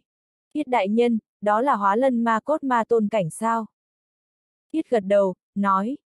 Tuy chỉ liếc sơ nhưng ta dám khẳng định đúng là nó. Có điều lượng quá ít, chắc bị khiếm khuyết, mặc dù có giá trị cũng rất lớn nhưng so với cái hoàn chỉnh thì không quá đáng giá. Vi Thanh nói. Hèn gì ma đầu kia ra vẻ không vui. Qua chiến đấu thảm liệt quy mô lớn, tuy kết thúc toàn thắng nhưng kém xa dự tính nên tâm tình của chỉ không vui. Chỉ lạnh lùng nhìn một vòng, quát lạnh. Tất cả kẻ rình ngó hãy cút xéo cho bổn tỏa. Thanh âm kia hóa thành sóng âm cực kỳ càn rỡ khuếch tán bốn phương tám hướng, chấn một mảnh rừng cây bị hủy diệt hoàn toàn. Yết nói. Chúng ta đi thôi, không cần vì một khúc hóa lân ma cốt ma tôn cảnh nhỏ mà đối đầu với họ. Hai người âm thầm chuồn đi, cảm ứng xung quanh có nhiều người lén lùi về. Đừng nói chỉ là một khúc nhỏ, dù là hóa lân ma cốt ma tôn cảnh hoàn chỉnh thì bọn họ không dám đối kháng ngay mặt với thánh ma thế gia. Hai người siêu tầm trong rừng rậm, quả nhiên phát hiện nhiều hóa lân ma cốt, giữa đường gặp một số ma quân, đều kiêng rẻ lẫn nhau tránh thật xa. Vì trong rừng rậm có nhiều tài nguyên, không cần vì một số hóa lân ma cốt cấp thấp mà xung đột. Dọc đường siêu tầm nên đi rất chậm, mấy ngày sau mới đến giữa khu rừng. Nơi đó cây cao lớn như bóng quỷ lắc lư, mơ hồ thấy một đại điện sừng sững phía sau nó. Khuôn mặt yết hơi phấn khởi nhìn chằm chằm phía trước, mắt lấp lóe ma quang, hơi kích động. Lý Vân Tiêu đột nhiên hỏi. Mục tiêu của yết đại nhân là thánh băng ngọc đúng không? Mắt yết lóe tia cảnh giác, gật đầu nói. Dĩ nhiên, hóa lân ma cốt ma tôn cảnh bình thường vô dụng với ta, trừ phi là ma tôn đại viên mãn hoặc ma lâm ngọc. Lần đầu tiên Vi Thanh nghe cái tên này, nhíu mày hỏi. Ma lâm ngọc, Yết giải thích sơ. Vi Thanh đã hiểu, giật mình hỏi. Trong đại điện này sẽ có ma lâm ngọc sao? Yết lắc đầu nói. Không biết, chắc không có, nhưng có thánh băng ngọc, chẳng qua bao nhiêu năm không vài người có được, cũng cần xem cơ duyên. Hai người tiếp tục tiến lên, Yết đột nhiên đổi sắc mặt, biến hóa từ bả vai Vi Thanh hiện hình một nam nhân đáp xuống trước một cái cây ở đằng xa. Lý Vân Tiêu, Vi Thanh giật mình chạy lại, thấy đằng trước cái cây to có một khối hóa lân ma cốt to lớn, mơ hồ có hình dạng tính tọa. Trong hóa lân ma cốt toát ra khí thế cường đại, khác hẳn với cái lúc trước họ thấy. Lý Vân Tiêu kêu lên. Ma tôn. Yết gật đầu, thở dài. Tiếc quá, năm tuổi không đủ, nếu thêm 10 vạn năm thì tốt rồi. Mắt phi thanh tràn đầy kích động rất muốn ôm lên, nhưng gã cố nén. Không thể hấp thu hóa lân ma cốt này sao? Yết nói. Đương nhiên được, nhưng hiệu quả kém một chút. Nếu Lý Vân Tiêu hấp thu thì khả năng đột phá đến ma tôn cảnh rất lớn, nếu là ngươi thì kém một chút. Phi Thanh biến sắc mặt, hiểu ý của Yết đang nói thực lực của gã thua Lý Vân Tiêu một bậc. Tuy trong lòng Vi Thanh hơi khó chịu nhưng Yết nói đúng. Vi Thanh cất bước tiến lên thu hóa lân ma cốt vào âm dương nhị khí bình, nói với Lý Vân Tiêu. Nếu tìm được càng tốt thì cho ngươi cái này, nếu không có thì đành xin lỗi. Hiếm khi Lý Vân Tiêu không phàn nàn gì, hắn cười nói. Vậy càng tốt. Vi Thanh ngạc nhiên, không ngờ Lý Vân Tiêu đồng ý sảng khoái như vậy. Thật ra Lý Vân Tiêu cách ma tôn cảnh chỉ cỡ một bức tường, dù không có hóa lân ma cốt thì không lâu nữa hắn sẽ trùng kích ma tôn. Mấy người định rời đi thì bỗng khựng lại, cảm nhận khí thế cường đại ập đến, sửng sốt. Yết quay về người vi thanh, ma hoa trên vai gã rụt về. Mấy chục bóng người từ bốn phương tám hướng đáp xuống, thành hình cánh quạt bao vây bọn họ. Có tiếng hét giật mình, tràn đầy kinh sợ, khó tin, ngạc nhiên. a à, là các ngươi. Lý Vân Tiêu nhìn lại, kinh ngạc cười nói. Thì ra là giật công tử. Vây quanh bọn họ là cường giả của thiếu niên, không chỉ có nhóm phi bộ còn có ba, quá và cường giả hai bộ. Dường như ba bộ có hiệp nghị nào đó như cùng nhau tiến lùi. Lý giật đứng ngây người ở phía trước, người cứng ngắc như gốc cây, biểu tình phức tạp. Phi kêu lên. Giật thiếu ra biết hai người này. Lý giật ngơ ngẩn không trả lời, chìm trong thẫn thờ. Giao cũng thấy Lý Vân Tiêu, hét lên. Là hắn. Mặt Giao tràn ngập oán giận mét. Phụ thân, là người này. Là người này cướp hóa lân ma cốt tử thiên tinh. Mắt Giao đỏ rực, nếu không phải Lý Vân Tiêu và Lạc gây sự trong cửa tiệm, man dợ cướp đồ thì nàng đã không chật vật như bây giờ. Mặt phi lạnh băng. a à, vậy đúng là thù mới hận cũ gộp lại. Bộ tộc xung quanh hiểu ý, mấy ma quân vòng ra sau lưng bao vây hai người lại. Lý Vân Tiêu kinh ngạc hỏi. Hả, hận cũ thì còn hiểu được, thù mới là thế nào? Phi nhìn trận bàn hình tròn nâng trong tay, lạnh lùng hỏi. Nơi này vừa rồi có một hóa lân ma cốt cường đại, có phải bị các ngươi thu đi rồi không? Cái gì? Lý Vân Tiêu, Phi Thanh giật nảy mình nhìn trận bàn hình tròn trên tay Phi. Phi Thanh khó tin hỏi. Thứ này có thể tra xét hóa lân ma cốt. Phi lật tay cất vòng tròn, lạnh lùng nói. Là ta đang hỏi các ngươi, nhưng xem bộ dạng của các ngươi thì tương đương với thừa nhận rồi. Trước tiên giao hóa lân ma cốt ma tôn cảnh đó và hóa lân ma cốt của tử thiên tinh ra, rồi quỳ một bên chờ xử lý đi. Khuôn mặt xinh đẹp của Giao vặn vẹo tràn đầy căm hận. Tuyệt đối không thể tha cho hắn. Giao lạnh lùng nói. Ta muốn nghiền xương hắn ra cho. Phi gật đầu, ở trong mắt gã thì hai người này không đáng lo. Phi vung tay ra lệnh. Nếu vậy thì khỏi phải quỳ, giết hai người này đi. Đàn ma hành động, đang định tấn công thì Lý giật bỗng hét to một tiếng. Tất cả đều dừng tay cho ta. Tập thể khựng lại không dám nhúc nhích. Phi giật mình, hỏi lại. Giật thiếu ra quen hai người này. Khuôn mặt giao kinh ngạc, có chút sợ và kinh khủng. Lý giật không trả lời, mặt trắng bệch lạnh lùng nói. Các ngươi lui ra, không cho phép bất cứ người nào lại đây, ta có lời muốn nói với hai người này. Chuyện đó, Phi sừng sốt nhưng không dám phản đối, gật đầu nói. Vậy giật thiếu ra hãy cẩn thận chút. Phi vung tay lên, người nguyên quận rút ra mấy trăm trượng canh chừng, chỉ còn lại Lý Giật và hai vị thánh sử. Lý Giật nghiêng mặt nói. Hai người cũng lùi lại. Hai thánh sử hết hồn. Một thánh sử nói. Thiếu ra. Lý Giật nạt. Lui xuống. Một người khác trầm giọng nói. Hai chúng ta phụng mệnh bảo hộ thiếu gia, yêu cầu một tấc không rời, thật sự là. Lý giật ngắt lời, lạnh lùng nói. Các ngươi còn phụng mệnh mọi chuyện theo ý ta làm chủ, nghe theo hiệu lệnh của ta. Nếu không lùi lại ta sẽ mệnh lệnh các ngươi chết đi. Hai người biến sắc mặt, liếc nhau, sau cùng thỏa hiệp. Vậy thiếu gia hãy cẩn thận. Hai thánh sử nói xong nhảy vọt ra sau. Lý Vân Tiêu kinh ngạc cười hỏi. Như thế nào, to gan yên tâm nói chuyện với chúng ta, không sợ chúng ta đánh ngươi. Mặt Lý giật trắng bệch, mắt lóe tia căm hận, khẽ hừ. Xin hai vị hãy bày kết giới ra để phòng ngừa lời chúng ta nói bị người nghe lén. Lý Vân Tiêu, vì thanh thầm lấy làm lạ, nhưng nhìn bộ dạng Lý giật thận trọng thì hai người cũng làm theo. Lý Vân Tiêu giơ tay lên, tia chớp màu tím từ lòng bàn tay hắn khuếch tán ra, bày ra một lôi giới. Lý Vân Tiêu vung tay phải lên, 36 kiếm bắn ra cắm vào mặt đất xung quanh. Vi Thanh lấy một cờ trận ra đánh vào bốn phương, chợt lóe lên biến mất. Làm xong tất cả Vi Thanh bảo. Được rồi. Lý giật gật đầu, đột nhiên lộ biểu tình sợ hãi nói. Xin hai vị đại nhân cứu ta với. Hai người ngạc nhiên. Hả? Lý Vân Tiêu lấy làm lạ hỏi. Không phải ngươi đang sống rất thoải mái, tiêu sái lắm sao? Lý giật mếu máu. Lần này ta chết thật, từ sau khi vào ma giới. Lý giật kể tỉ mỉ ra. Hóa ra hôm đó Lý giật rớt xuống khe hở thành hồng nguyệt bị lực lượng lôi kéo chỉ dẫn gã đến một nơi. Kỳ lạ là dọc đường đi như có người bảo vệ cho gã, không gặp bất cứ nguy hiểm gì. Lý giật bôn ba mấy tháng đã đến nơi, là một tòa cung điện cực kỳ hùng vĩ. Lý Vân Tiêu ngắt lời. Thánh ma điện. Lý giật sửng sốt, gật đầu nói. Đúng là thánh ma điện, lúc trước ta không biết, từng xuống biển ma nhìn cung điện rộng lớn ở đây mới hiểu rằng đại điện đó cũng xem như là thánh ma điện. Vi Thanh hỏi. Tiếp đó thì sao? Biểu tình Lý giật sợ hãi mếu máu. Rồi ta gặp một người, hoặc nên nói là cái bóng, không thấy rõ mặt mũi. Người đó nhìn ta, nói mấy câu. Thực lực quá yếu. Nhưng cũng hết cách rồi. Ngươi là một trong sáu phân thân của bổn tọa, thời gian tiếp theo bổn tọa sẽ dốc hết sức nâng cao thực lực của ngươi, sớm ngày xông lên ma tôn cảnh. Sau khi lên ma tôn cảnh là có thể trở về bản thể, khi đó ta là ngươi, ngươi chính là ta.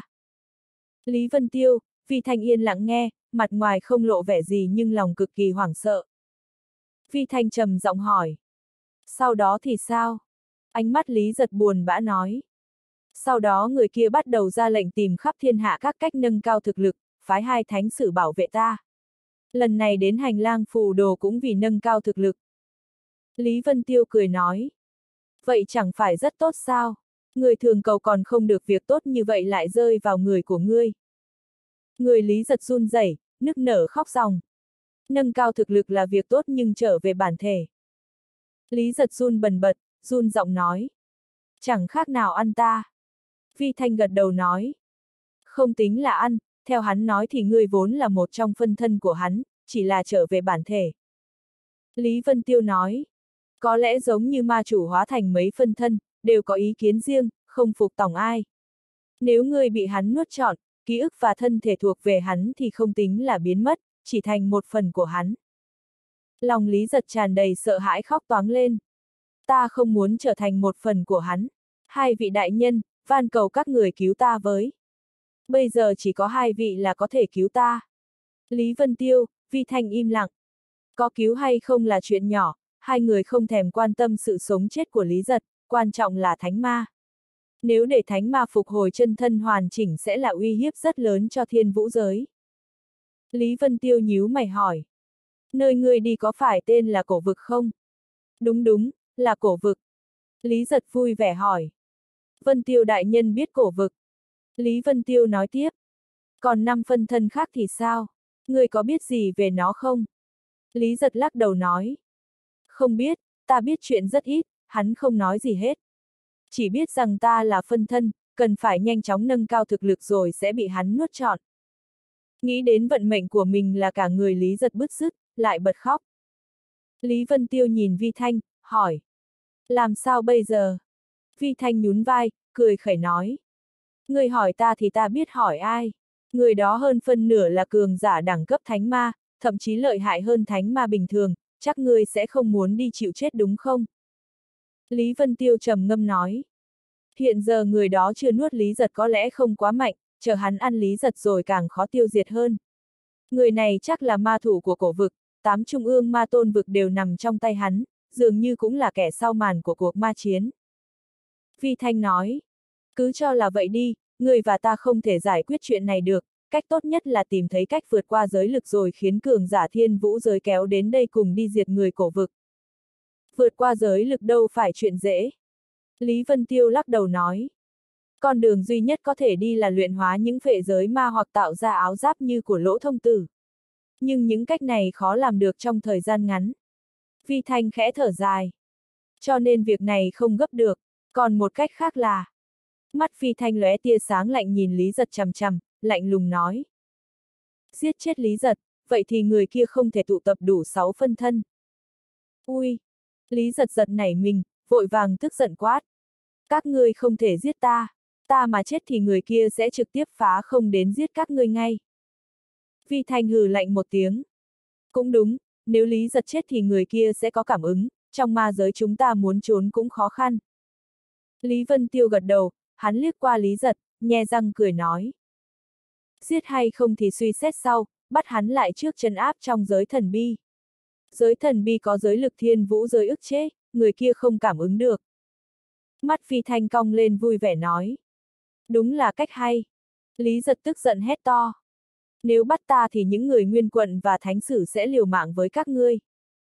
Lý giật phát hiện hai lực lượng siêu mạnh chấn áp gã không thể nhúc nhích, gã kinh hoàng muốn lớn tiếng kêu cứu nhưng xung quanh đều bị hạ cấm chế, có kêu thế nào cũng không ai nghe thấy. Lý Vân Tiêu lạnh lùng cười. Theo ta đi còn được sống, ở lại cổ vực thì chết chắc. Lý Vân Tiêu giáng xuống một trường đầy lôi điện khóa toàn thân Lý giật kéo vào trong giới thần bi. Phi Thanh nói, dù không giết cũng có thể phế tu vi của hắn, thế thì dù ma thủ có được hắn cũng vô dụng. Lý Vân Tiêu nói, chờ chúng ta trở về thiên vũ giới rồi tính tiếp, bây giờ đụng vào Lý giật sợ là bị người kia cảm ứng được. Trước tiên là chúng ta nên nói thế nào với những người nguyên quận. phi Thanh cười nhạt, khinh thường nói. Hừ, còn cần nói gì? Nếu bọn họ không phục thì sẽ làm họ phục.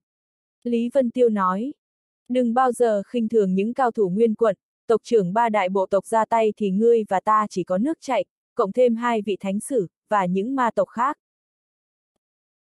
Audio điện tử võ tấn bền. Audio điện tử võ tấn bền. Hết tập 135